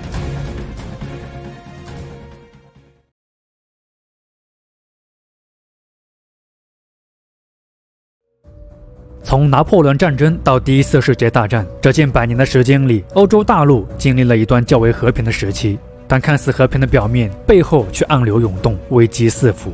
公元一八八四年，瓜分非洲的柏林会议释放了一个强烈的信号：围绕在殖民地的纷争、利益上的纠葛，让列强内部的矛盾昭然若揭，也让英国的全球霸权地位备受威胁。这些威胁当中，德国是最受引人瞩目的。统一后的德国，在工业化上的快速发展、经济的突飞猛进、军事力量的不断增强，让这个国家的野心也愈发膨胀。德皇威廉二世推行的世界政策，叫嚣着要建立一个可以与之势力相匹配的殖民帝国。加之社会达尔文主义的盛行，德国的扩张主义达到了一个癫狂的地步。而面对德军的积极扩军以及其建立的准军事同盟，深感其威胁。尤其是在第二次布尔战争中，感到自己被孤立和虚弱的英国，放弃了奉行百年的光荣孤立，与法俄建立了三国协约。两大军事集团的出现，不仅没有为这个紧张的局势带来缓和，反而还进一步激化了对立情绪，把欧洲推向了崩溃的边缘。公元一九一四年六月，以萨拉热窝事件爆发为导火索，第一次世界大战就这样以预料之中的发展，却又是一个预料之外的缘由和节点爆发了。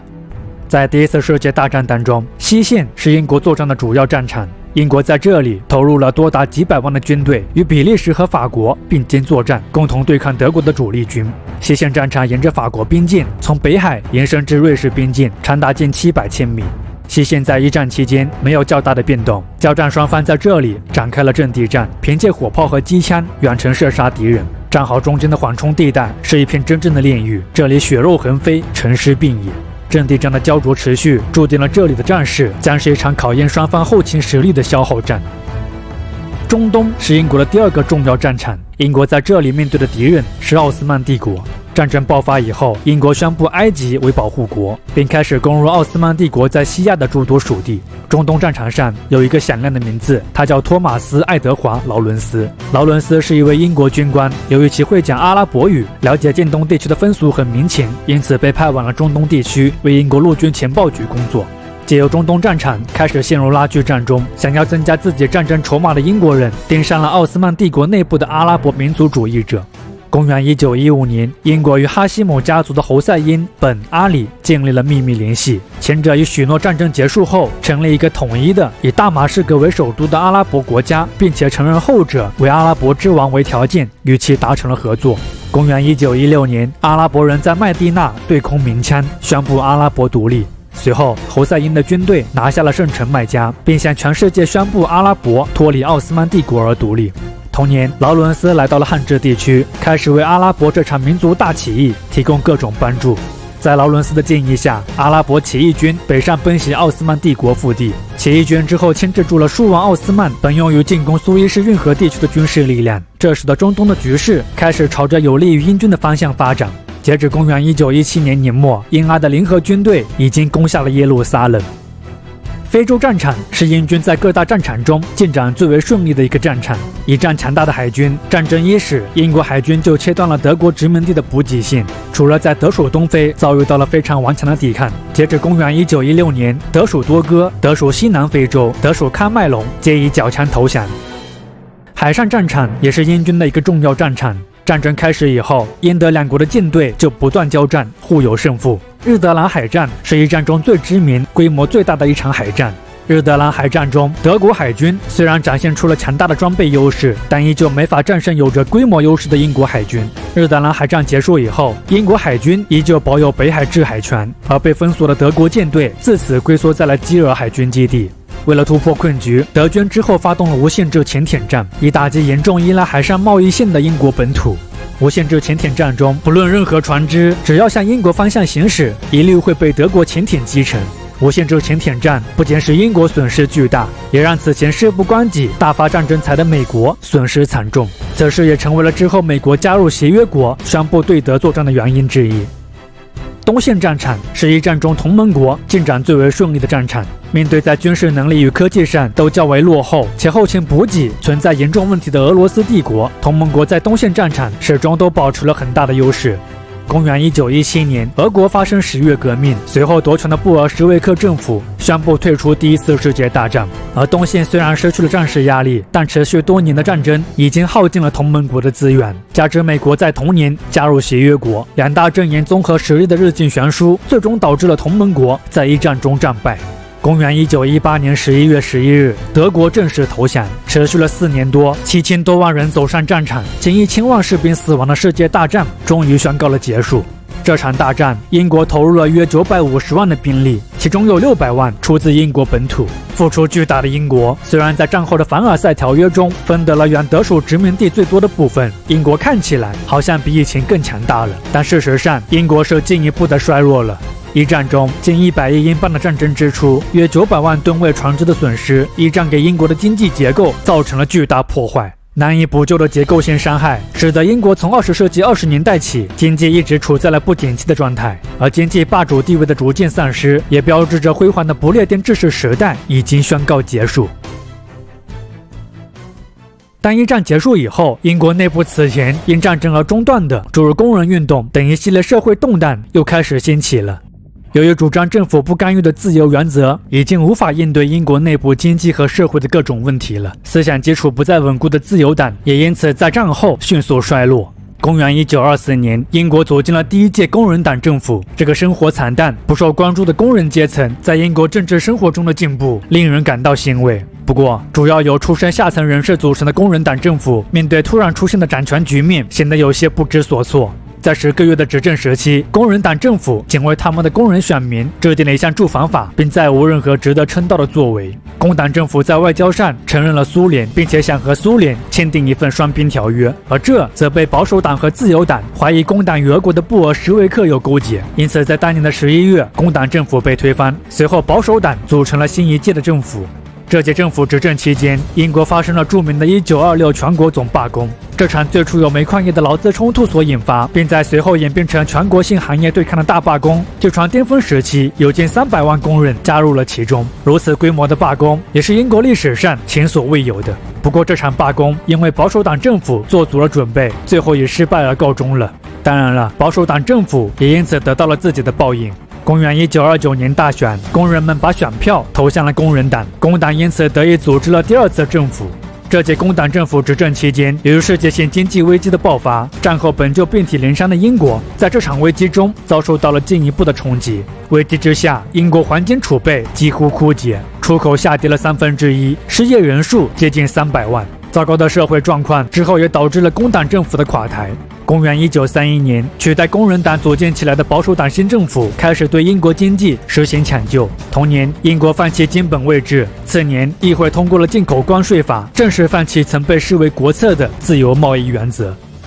安全与军备是二十世纪三十年代英国政治的另外一个重大话题。一战结束以后，英国和平主义思潮严重，人们对一战造成的巨大苦难感到了深深的恐惧。尤其是当纳粹党在德国掌权以后，英国人对战争的焦虑情绪更是愈发严重。这个时期，大多数英国政治家大都持和平主义立场，反对重整军备。只有一个男人看到了战争的危机，警告国人做好战争准备。这个男人便是丘吉尔。鉴于时局的不断恶化，保守党政府还是从公元一九三五年起开始了有限的重整军备，而这个半信半疑的举措，未来将会帮助英国度过最初的难关。三十年代还有一件重要的事情是英国的王位危机。时任英王爱德华八世因为爱上了一个结过两次婚的美国女人，遭到了英国民众的普遍反对。鼎沸的舆论之下，首相鲍德温让爱德华八世做出选择，即要么放弃王位，要么放弃这个女人。爱美人不爱江山的爱德华八世随后选择了前者。公元一九三六年十二月，爱德华八世宣布退位，并在随后离开了英国，从此再也没有回来。除了战后国内发生的诸多事件，二十世纪上半叶，英国的殖民政策也发生了巨大变化，几英帝国完成了向英联邦的转变。第一次世界大战结束以后，曾在大战中派遣军队参战、贡献巨大的英国各自治领，也都参加了战后的巴黎和会，并随后成为了国际联盟的成员。这种现象的出现，表明自治领的国际地位已经发生了变化，也透露出了自治领希望有完整的国际地位，而不是依附于英国的倾向。公元一九二一年，以天主教徒居多的爱尔兰南部取得自治地位为标志，各自治领的自主意识达到了空前的地步。在此背景下，为了避免与殖民地发生冲突，公元一九二六年，英国召开了帝国会议，对自治领的地位重新加以了界定，也为英联邦的建立打下了基础。会议指定的委员会随后制定了一份报告，即贝尔福报告。根据报告，今后各自治领和英国在法律上将彼此平等，互不隶属。各地区都只以英王为共同效忠为纽带，结合在一起，形成一个英联邦。公元一九三一年，英国议会颁布了威斯敏斯特法案，宣布英联邦正式成立。而正当英帝国中白人殖民地谋求真正意义上的独立地位之际，随着民族主义的浪潮席卷全球，英国其他殖民地想要独立的情绪也开始日益高涨。不过，这些国家的独立进程将会被新一轮兴起的世界大战所中断。那么，这场世界大战的爆发又将给这个世界带来怎样的影响？日落西山的英帝国又将如何应对时代浪潮的不断侵袭呢？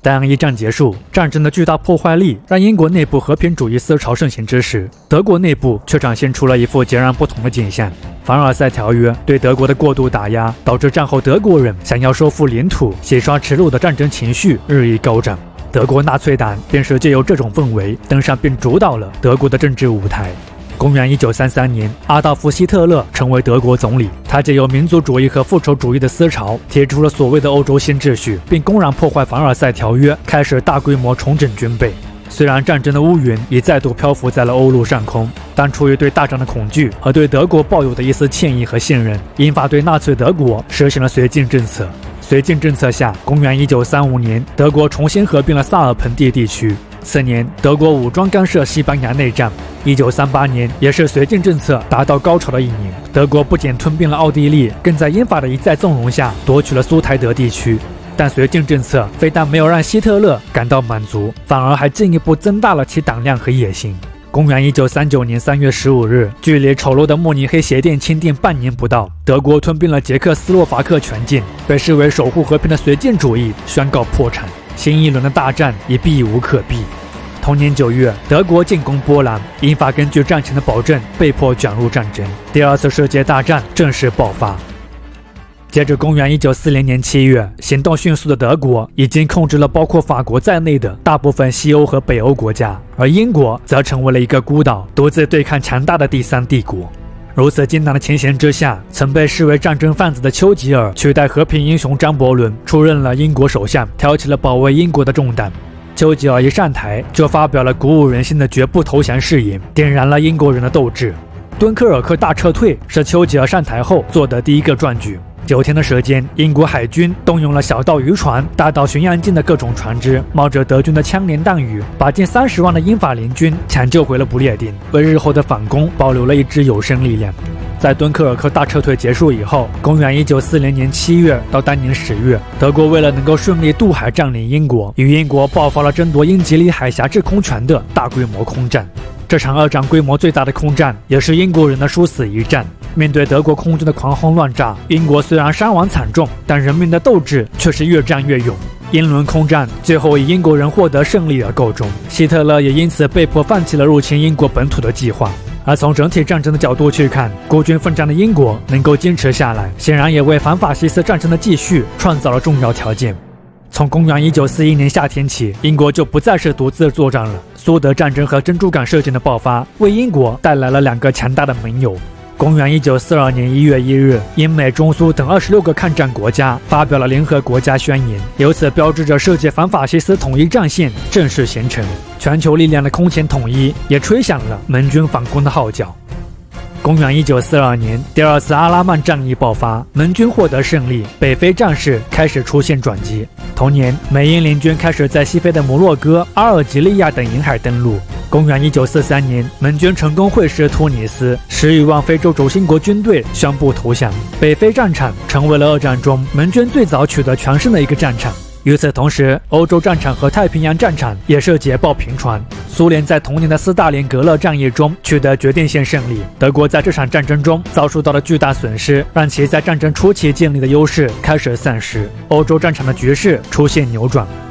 美军在瓜岛战役中阻断了日本的不断扩张，守护住了澳大利亚和南太平洋的运输航线。太平洋战场也开始转入战略反攻阶段。同年八月，英美联军在意大利西西里岛登陆。一个月后，意大利政府宣布投降，并在不久之后宣布对德作战。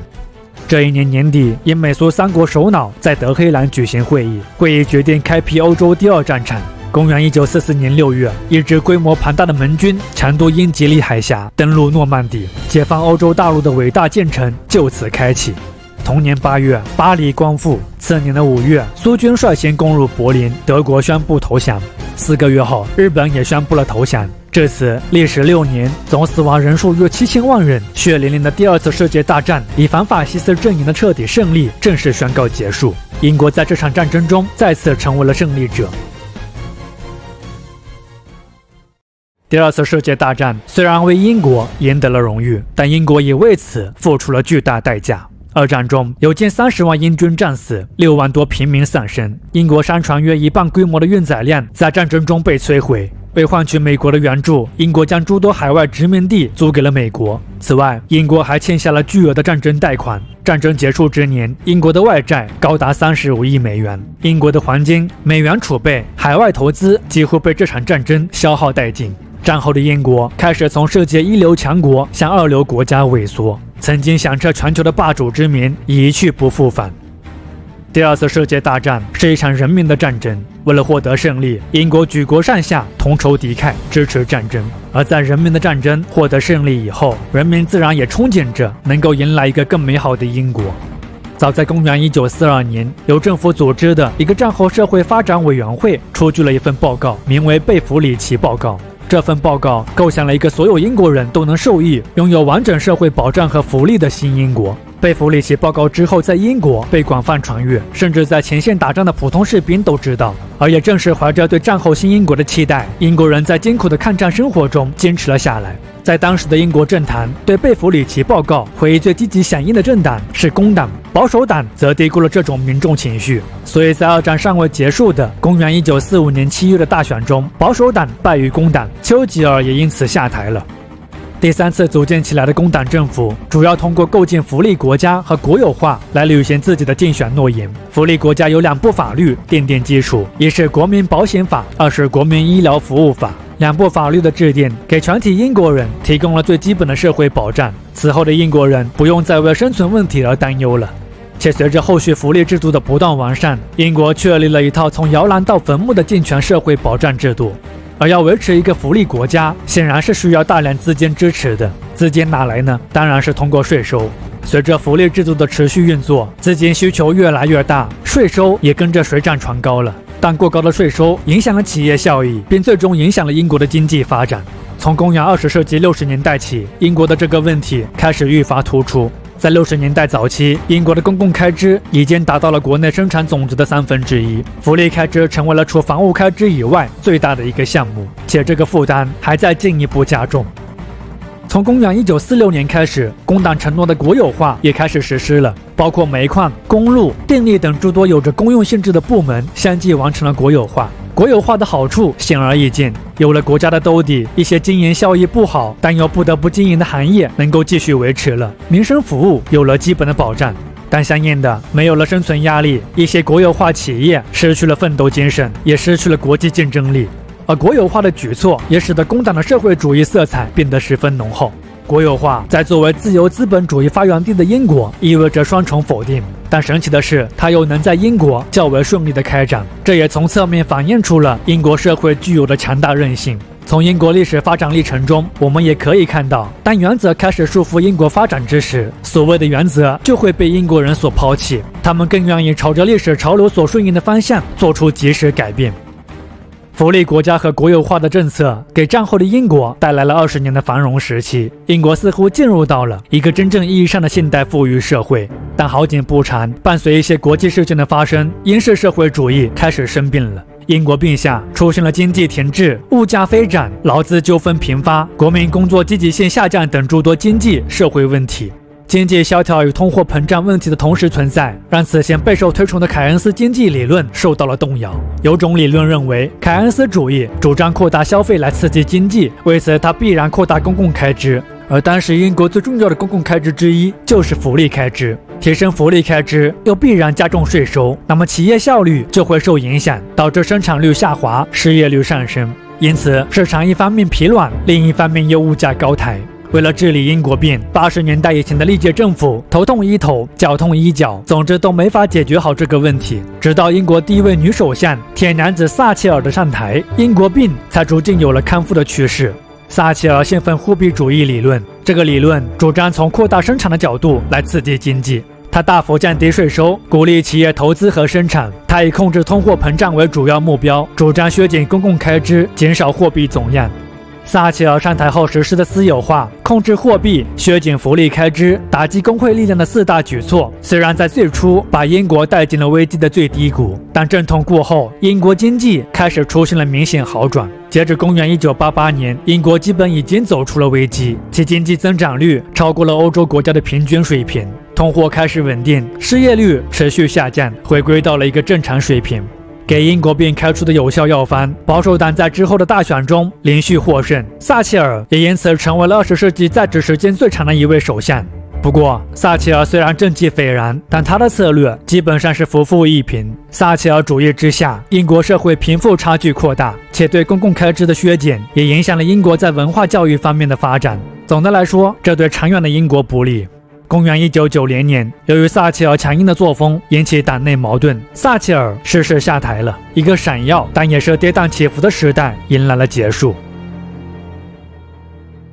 在二战结束以后，我们看到了英国内部因战争所带来的各种变化。但作为曾经世界上最强大的殖民帝国，战后蓬勃发展的民族主义运动以及国际局势的诸多变化，英国的对外政策也深受其影响。而这些变化都是塑造我们今天所熟知的世界格局的一个重要环节。那么，这一历史过程又是如何发生和不断演进的呢？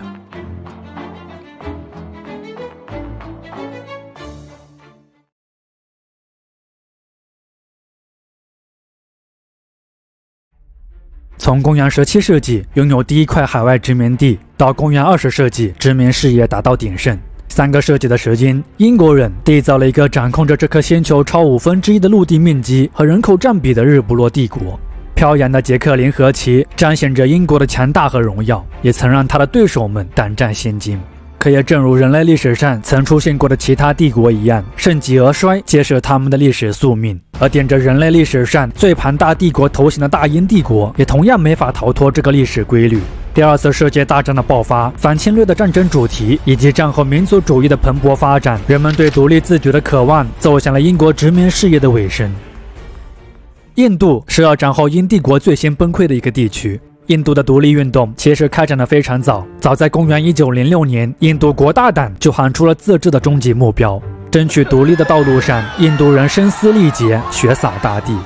甘地是印度独立运动中一个至关重要的人物。非暴力不合作运动是他开创的一个独特抗争形式。从公元一九二零年甘地当选国大党领袖起，他便在印度发动了非暴力不合作运动，得到了上千万印度人的响应。参与运动的人拒绝与殖民当局合作，无声的抗议，沉寂的愤怒给殖民当局造成了极大的恐慌。印度坚决的独立意向，迫使英国在一九三五年制定了印度政府法，向印度做出了巨大的让步。根据这部法律，印度人得到了管理内务和地方事务的权利。可随着二战的爆发，印度的独立进程被中断了。二战进行时，印度的反英情绪强烈，许多人不愿为英帝国打仗，有的为了反对英国统治，甚至还站在了日本侵略者这一边。公元一九四二年，日军侵略缅甸，并开始威胁印度边境。为了获得印度人的支持，英国与国大党展开了谈判，并许诺了诸多保证，但唯独没有对战后给予印度政治独立做出承诺。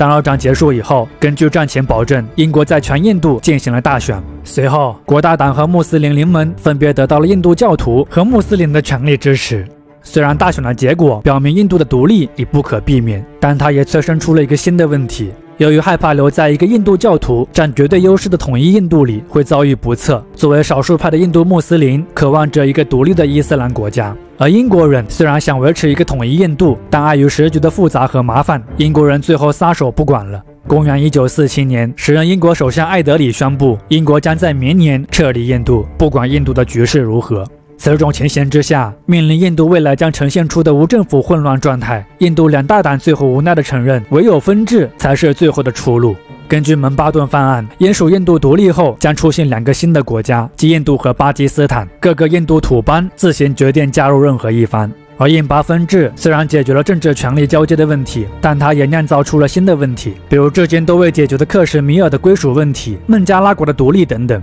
此外，印巴分治在当时还引发了一出惨剧。在印巴独立前夕，就有两个教派间的冲突，一场可怕的大仇杀爆发了。这场大屠杀事件中，据传有五十万人被对立教派的狂热分子所杀害。为了躲避宗教迫害，印巴两侧还形成了数以百万相互逃离的难民。这些难民在途中饥寒交迫，饱受劫难。为了呼吁人们保持理智，拒绝暴力，您与古希的甘地进行了最后一次的绝食。公元一九四八年一月，甘地在做祷告时被一名印度教徒射杀。暗杀的原因是这名印度民族主义者不满甘地对印巴分治的妥协。而这一系列悲剧为英属印度的终结留下的是一个猩红的句号。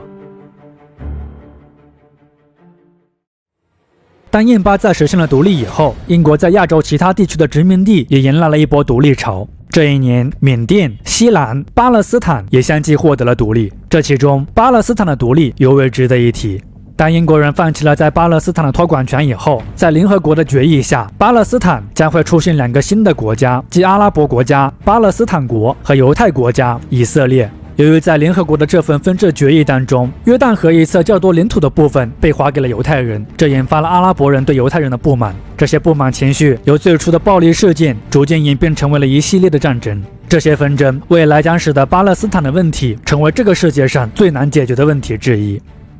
到了二十世纪五十年代，由于英国保守党政府的重新上台，英国的外交政策重新变得强硬了起来。而这则把英国拖进了三场没有太多政治意义的殖民地战争当中。在马来西亚，英国与马共发生了武力冲突。七年里，英国派遣了多达二十五万的军队，只为镇压大约只有八千人的马共游击队。最后，军事上，英国虽然获得了胜利，但马来亚依旧还是在公元一九五七年实现了独立。公元一九六三年，马来亚连同沙巴、沙拉越、新加坡组成了一个新的多元民族国家，视为马来西亚联邦。在非洲的肯尼亚，英国卷进了第二场殖民地战争。为了镇压主要由基库游人组织起来、谋求政治自由和独立的毛毛起义，英国人在这里耗费了四年多的时间。虽然英国最后成功镇压了毛毛起义，但肯尼亚人还是于公元1963年获得了独立。公元一九五四年，英国在地中海的塞浦路斯展进了第三场殖民地战争。尤卡是塞浦路斯占多数的希腊裔所组织起来的一个武装力量。这个组织的目标是希望结束英国在塞浦路斯的殖民统治，并最终实现塞浦路斯与希腊的统一。英国为了镇压尤卡的叛乱，为此投入了约三万的兵力，但依旧没能制服尤卡。之后，塞浦路斯于公元一九五九年获得了独立。而如果说这三场殖民战争是英国在自讨没趣，那么公元一九五六年英国卷入的苏伊士运河战争，则显然是英国犯下另外一个迎面扫地的巨大错误。这一年，时任埃及总统纳赛尔宣布了苏伊士运河的国有化，这极大的触犯了拥有着苏伊士运河大量股票的英法的利益。于是，英法和以色列达成了秘密协定，即以色列对埃及发动进攻，英法以保护运河、制止战争为由，重新军事占领运河区。如果这个计划可以成功，对英国而言，那将是一举两得，里子面子全都有。但英法算盘打得太响了，东海岸都听到了。美国出于自身的利益，不支持英法动武。战争爆发以后，美国迫使以色列接受了停火，英法也失去了干涉的借口。在世界舆论的谴责下，英法最后尴尬的撤军了。苏伊士运河事件之后，也成为了英国殖民史的一个重大转折点。在美苏两个新的世界舆论塑造者的影响下，四面楚歌的老牌殖民主义再也无法维持下去了。事实上，直至苏伊士运河的糗事发生之前，英国人其实还不打算离开非洲，因为他们认为非洲民族尚不成熟，不能管理自己。英国有义务继续在这片大陆主持开化工作。但鉴于时局的变化，认清现实的英国人如今只想加速从殖民地撤退。公元一九六零年，时任英国首相麦克米伦访问南非，在开普敦发表了著名的病格之分演说。在演说中，他承认非洲大陆已经开启了民族主义的觉醒，英国将接受这股病格风潮。在这种思想的指导下，二十世纪六十年代，几乎所有的非洲殖民地都实现了独立。自此，盛极一时的日不落帝国已经事实上终结了。不过，与历史上其他帝国的烟消云散不同，善于顺从历史潮流、懂得退让的英帝国，在终结以后还留下了一个帝国的幻影。英属殖民地在独立以后，也大多留在了英联邦内。从感情上来说，英国也没有与这些殖民地发展到势不两立的地步。这些种种，对已逝的英帝国而言，多多少少是一种安慰吧。而当英帝国在全球的各个殖民地有序撤退之时，一根扎在他们身上的芒刺却愈发让英国感到进退两难。这便是爱尔兰的问题。英国对爱尔兰人的种种不公平对待，致使爱尔兰南部早在公元一九二一年就成为了类似加拿大的自治领。英国的国民也因此更名为了大不列颠及北爱尔兰联合王国。不过，事情发展到了这里才是麻烦的开始。当南爱尔兰独立以后，许多南爱尔兰人并不接受这一安排，他们想要完整的爱尔兰。可不同于天主教占多数的南部，北爱尔兰人又大多是新教徒，他们对英国有更强的归属感，反对合并。于是，南北爱尔兰围绕着这个问题开始争斗不休，血流不止。爱尔兰的问题之后成为了英国的一个包袱，他想丢却又丢不掉。英国人无论怎么做都无法让两边感到满意，他能做的就是让双方心平气和地坐下来谈判。经过漫长的斗争，公元一九九八年，爱尔兰和平议会终于取得了一个成果。根据协商出的贝尔法斯特协议，北爱尔兰无论是留在联合王国，还是与南爱尔兰合并组成统一爱尔兰的主张，都被视为合法。北爱尔兰现在仍是联合王国的一部分，直至北爱尔兰和爱尔兰共和国的大多数人都希望改变。届时，英国和爱尔兰政府都有执行该选择的约束性义务。贝尔法斯特协议颁布后，南北爱尔兰举行了公投，公投结果显示，大多数人都赞同贝尔法斯特协议。公元一九九九年，伦敦将权力正式移交给了新的北爱尔兰议会。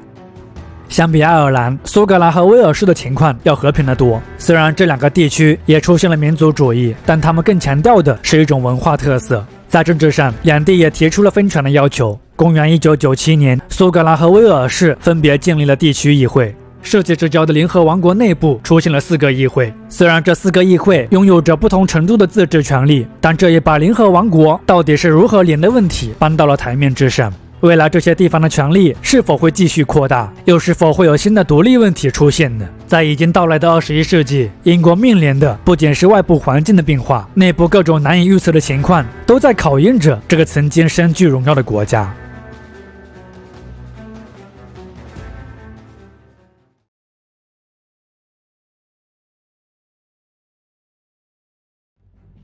公元二零一四年，英国经历了一场自南爱尔兰独立以后的又一场分裂危机。这一年，针对苏格兰是否应该成为一个独立的国家，苏格兰举行了一场全民投票。投票结果显示，百分之五十五的人选择继续留在联合王国内。而公投结果虽然有惊无险，但有近半数苏格兰人表现出的独立倾向，显然也足以引起英国政客们的警觉了。自公元一七零一年与英格兰正式合并为联合王国，苏格兰见证了英国的崛起，也享受过强盛的英国所给予它的各种红利。也正因如此，曾经的苏格兰对联合王国是有着高度认同的。但进入新世纪以后，时隔三百多年，苏格兰又为何重提独立议题？联合王国又是怎么一步步沦落至如今这个危险境地当中的呢？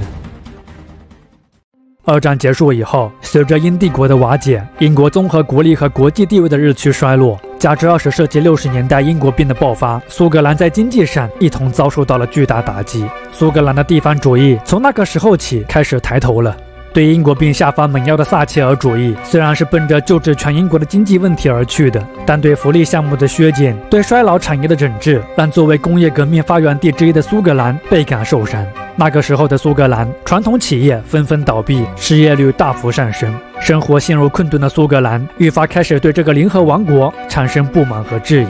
他们把责任统统归咎于威斯敏斯特的统治，归咎于英格兰对苏格兰的掠夺。此等情形之下，一直以来都有着独立倾向的苏格兰民族党开始趁机煽风点火，宣传独立口号。苏格兰民族党把政治分离主义和社会经济问题联系在了一起。苏格兰的独立被描述成为了摆脱危机的唯一办法，独立的选项由此开始成为苏格兰人可以思考的一个选择。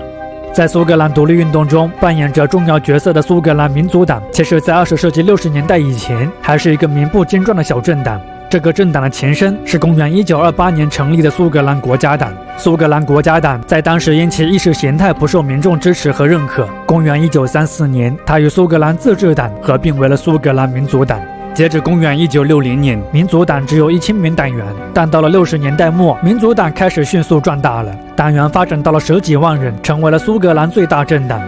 而在苏格兰独立运动不断发展的过程中，除了苏格兰人自己进行的工作以外，工党和保守党为了党派利益屡屡犯错，也是促使苏格兰离心倾向进一步扩大的重要原因。为了争夺选民，两大政党从七十年代起就开始大打分权牌。苏格兰民族党就是在此过程中借题发挥，于一九九七年成功分权，成立了苏格兰地方议会，迈出了苏格兰独立的第一步。拥有了合法的政治舞台以后，苏格兰的独立进程开始迅速推进。公元二零一四年的独立公投，便是民族党向独立目标发起的第一次冲击。而如果说事情发展到了这里，苏格兰的独立与否还不甚明朗，那么之后发生的英国脱欧事件，则显然又为苏格兰的分离主义踩了一脚油门。公元二零一六年举行的脱欧公投当中，苏格兰人普遍反对脱欧，而英格兰则以接近百分之六十的大比数支持脱欧，这使得公投的最后结果并非苏格兰人所愿。苏格兰民族党更是对此表示，苏格兰是被裹挟着脱欧的。英国脱欧以后，苏格兰的独立倾向急剧加深。民意调查显示，公元二零二一年，一半以上的苏格兰人表示愿意离开联合王国。而脱欧除了使苏格兰的问题日益严峻，他也把曾让英国人头疼万分的爱尔兰问题重新搬到了台面之上。自公元一九九八年爱尔兰和平议会取得巨大进展，南北爱尔兰此后都一直相安无事，友好共处。但英国脱欧把模糊南北爱尔兰问题的一个大框架给破坏了。英国退出了一个有着共同市场、不设边界、人员物资都可自由流动的欧盟。那么从理论上来说，北爱尔兰也要脱欧了。这意味着南北爱尔兰将恢复边境，爱尔兰统一问题也因此再次凸显。事实上，在脱欧公投中，北爱尔兰有近百分之五十六的人是选择留欧的，他们也跟苏格兰一样是被脱欧的。为了解决因脱欧所引发的爱尔兰问题，不只是英国政界、欧盟、爱尔兰、北爱尔兰都因卷进这个问题，一时间吵得不可开交。这个问题直至鲍里斯·约翰逊的上台，才有了一个结果。这个暂时结束争论的方案是同意将北爱尔兰继续留在欧盟，南北爱尔兰依旧开放，不设边界。英国与欧盟的边界则退居到海洋中线。而这样的结果虽然暂时解决了问题，但仔细一想，当下的这个情况对于英国而言，北爱尔兰究竟是属于联合王国的，还是属于欧盟的？此外，北爱尔兰的现状也被一些不愿离开英国的新教徒视为了一种背叛。而在天主教徒看来，爱尔兰又有了统一的希望。事实上，主张统一爱尔兰的新芬党已经放话，他们将在未来发动爱尔兰统一公投。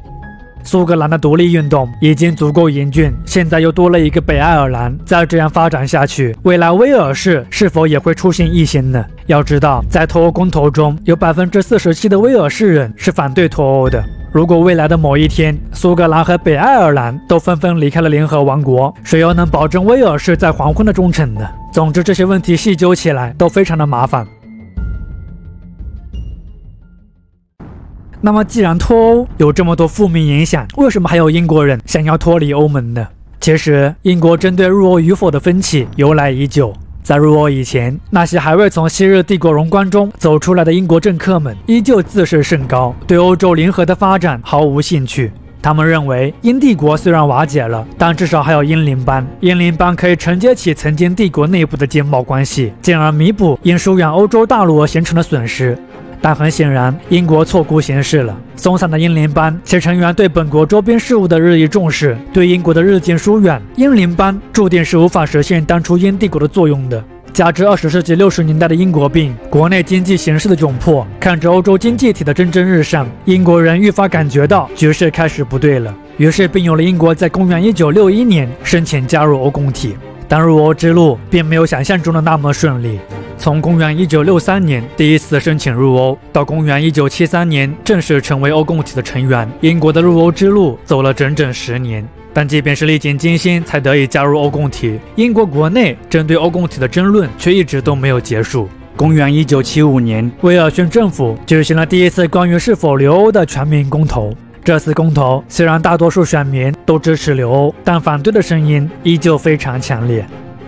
总的来说，英国入欧在经济上的考量，主要是想分得欧洲大陆发展的红利；在外交上，受迫于当时涉及两极化的政治格局，国际形势的种种变化，也是英国加入欧共体的原因之一。而至于脱欧，英国也有足够的理由。就认同感来说，英国人一直都是传统的岛国认同，而非欧洲认同，他们对欧洲自古以来都存在着戒备心。经济上，英国虽想分得欧洲发展的红利，但同时他也不想被欧洲所约束，卷入欧洲的事务当中。而就英国具有统治地位的精英阶层来说，他们大多是不主张脱欧的。他们明白，从长远的眼光来看，脱欧势必会损害英国的经济，降低英国的国际地位。而在公元二零一六年发起脱欧公投的英国首相卡梅伦，他其实也是个留欧派，但由于卡梅伦执政六年以来，联合政府实行了诸多饱受争议的政策，这场脱欧公投最后演变为了对卡梅伦的信任投票。为了反对卡梅伦，英国人的不满情绪最后成为了一张张脱欧的选票。即使这些选民根本没有弄明白脱欧对英国意味着什么，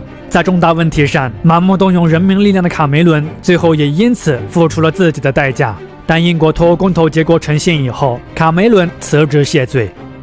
欧盟对英国的公投结果感到非常愤怒，他们认为英国已经成为了一个坏榜样。为了以儆效尤，欧盟对英国的脱欧之举提出了很高的分手费，而英国为了维护自身的利益，并开始与欧盟扯皮。脱欧之后，也因此演变成为了旷日持久的脱欧。四年的时间，脱欧工程让英国人身心俱疲。接替卡梅伦上台，被寄予厚望的特蕾莎梅也没能化解脱欧僵局，最后遗憾下台。当约翰逊上台以后，面对各方面的巨大分歧，他采用了铁头打法，才让这个问题有了一个结果。他以英国的民意为由，宣布公元二零二零年一月是英国脱欧的最后期限。不管届时双方谈判结果如何，英国都会离开欧盟。而如果英国真的以无协议的情况下离开欧盟，双方都会有巨大损失。欧盟在面对这套毫无章法的路数之时，率先认了怂，开始对英国的脱欧事项做出诸多让步。公元二零二零年的圣诞节前夜，英欧签署了协议，长达四年半的脱欧终于宣告了结束。离开了欧盟，英国重新掌握了更多的自主权。虽然这一过程看起来代价巨大，未来也隐患重重，可回看英国上千年的文明史，英国人在做历史选择之时，又似乎总能走在正确的道路上。至于这一次正确与否，未来也一定会有个答案的。如今的英国确实不再像以前那般强大了，但并不代表英国是虚弱的。作为世界前十的经济体，欧洲最大的电子工程及信息通讯产业基地，拥有世界上最具经验且实力充足的蓝水海军之一，当下的英国仍旧是这个世界上一股绝不可忽视的强大政治力量。英国的历史真的让人意犹未尽，从一个默默无闻的边缘小国，到叩开宪政民主的大门，继而走上现代化的道路，崛起为一个全球帝国，不列颠民族的表现太过惊人了。工业化、民主化、世界化、城市化，这些现代化有形的标志，是英国送给这个世界的大礼，也至今都在影响着这个世界。如果文明存在一个殿堂，要嘉奖所有对人类有过贡献的文明，不列颠文明，我想他一定有充足的理由为自己赢得喝彩和一席之地。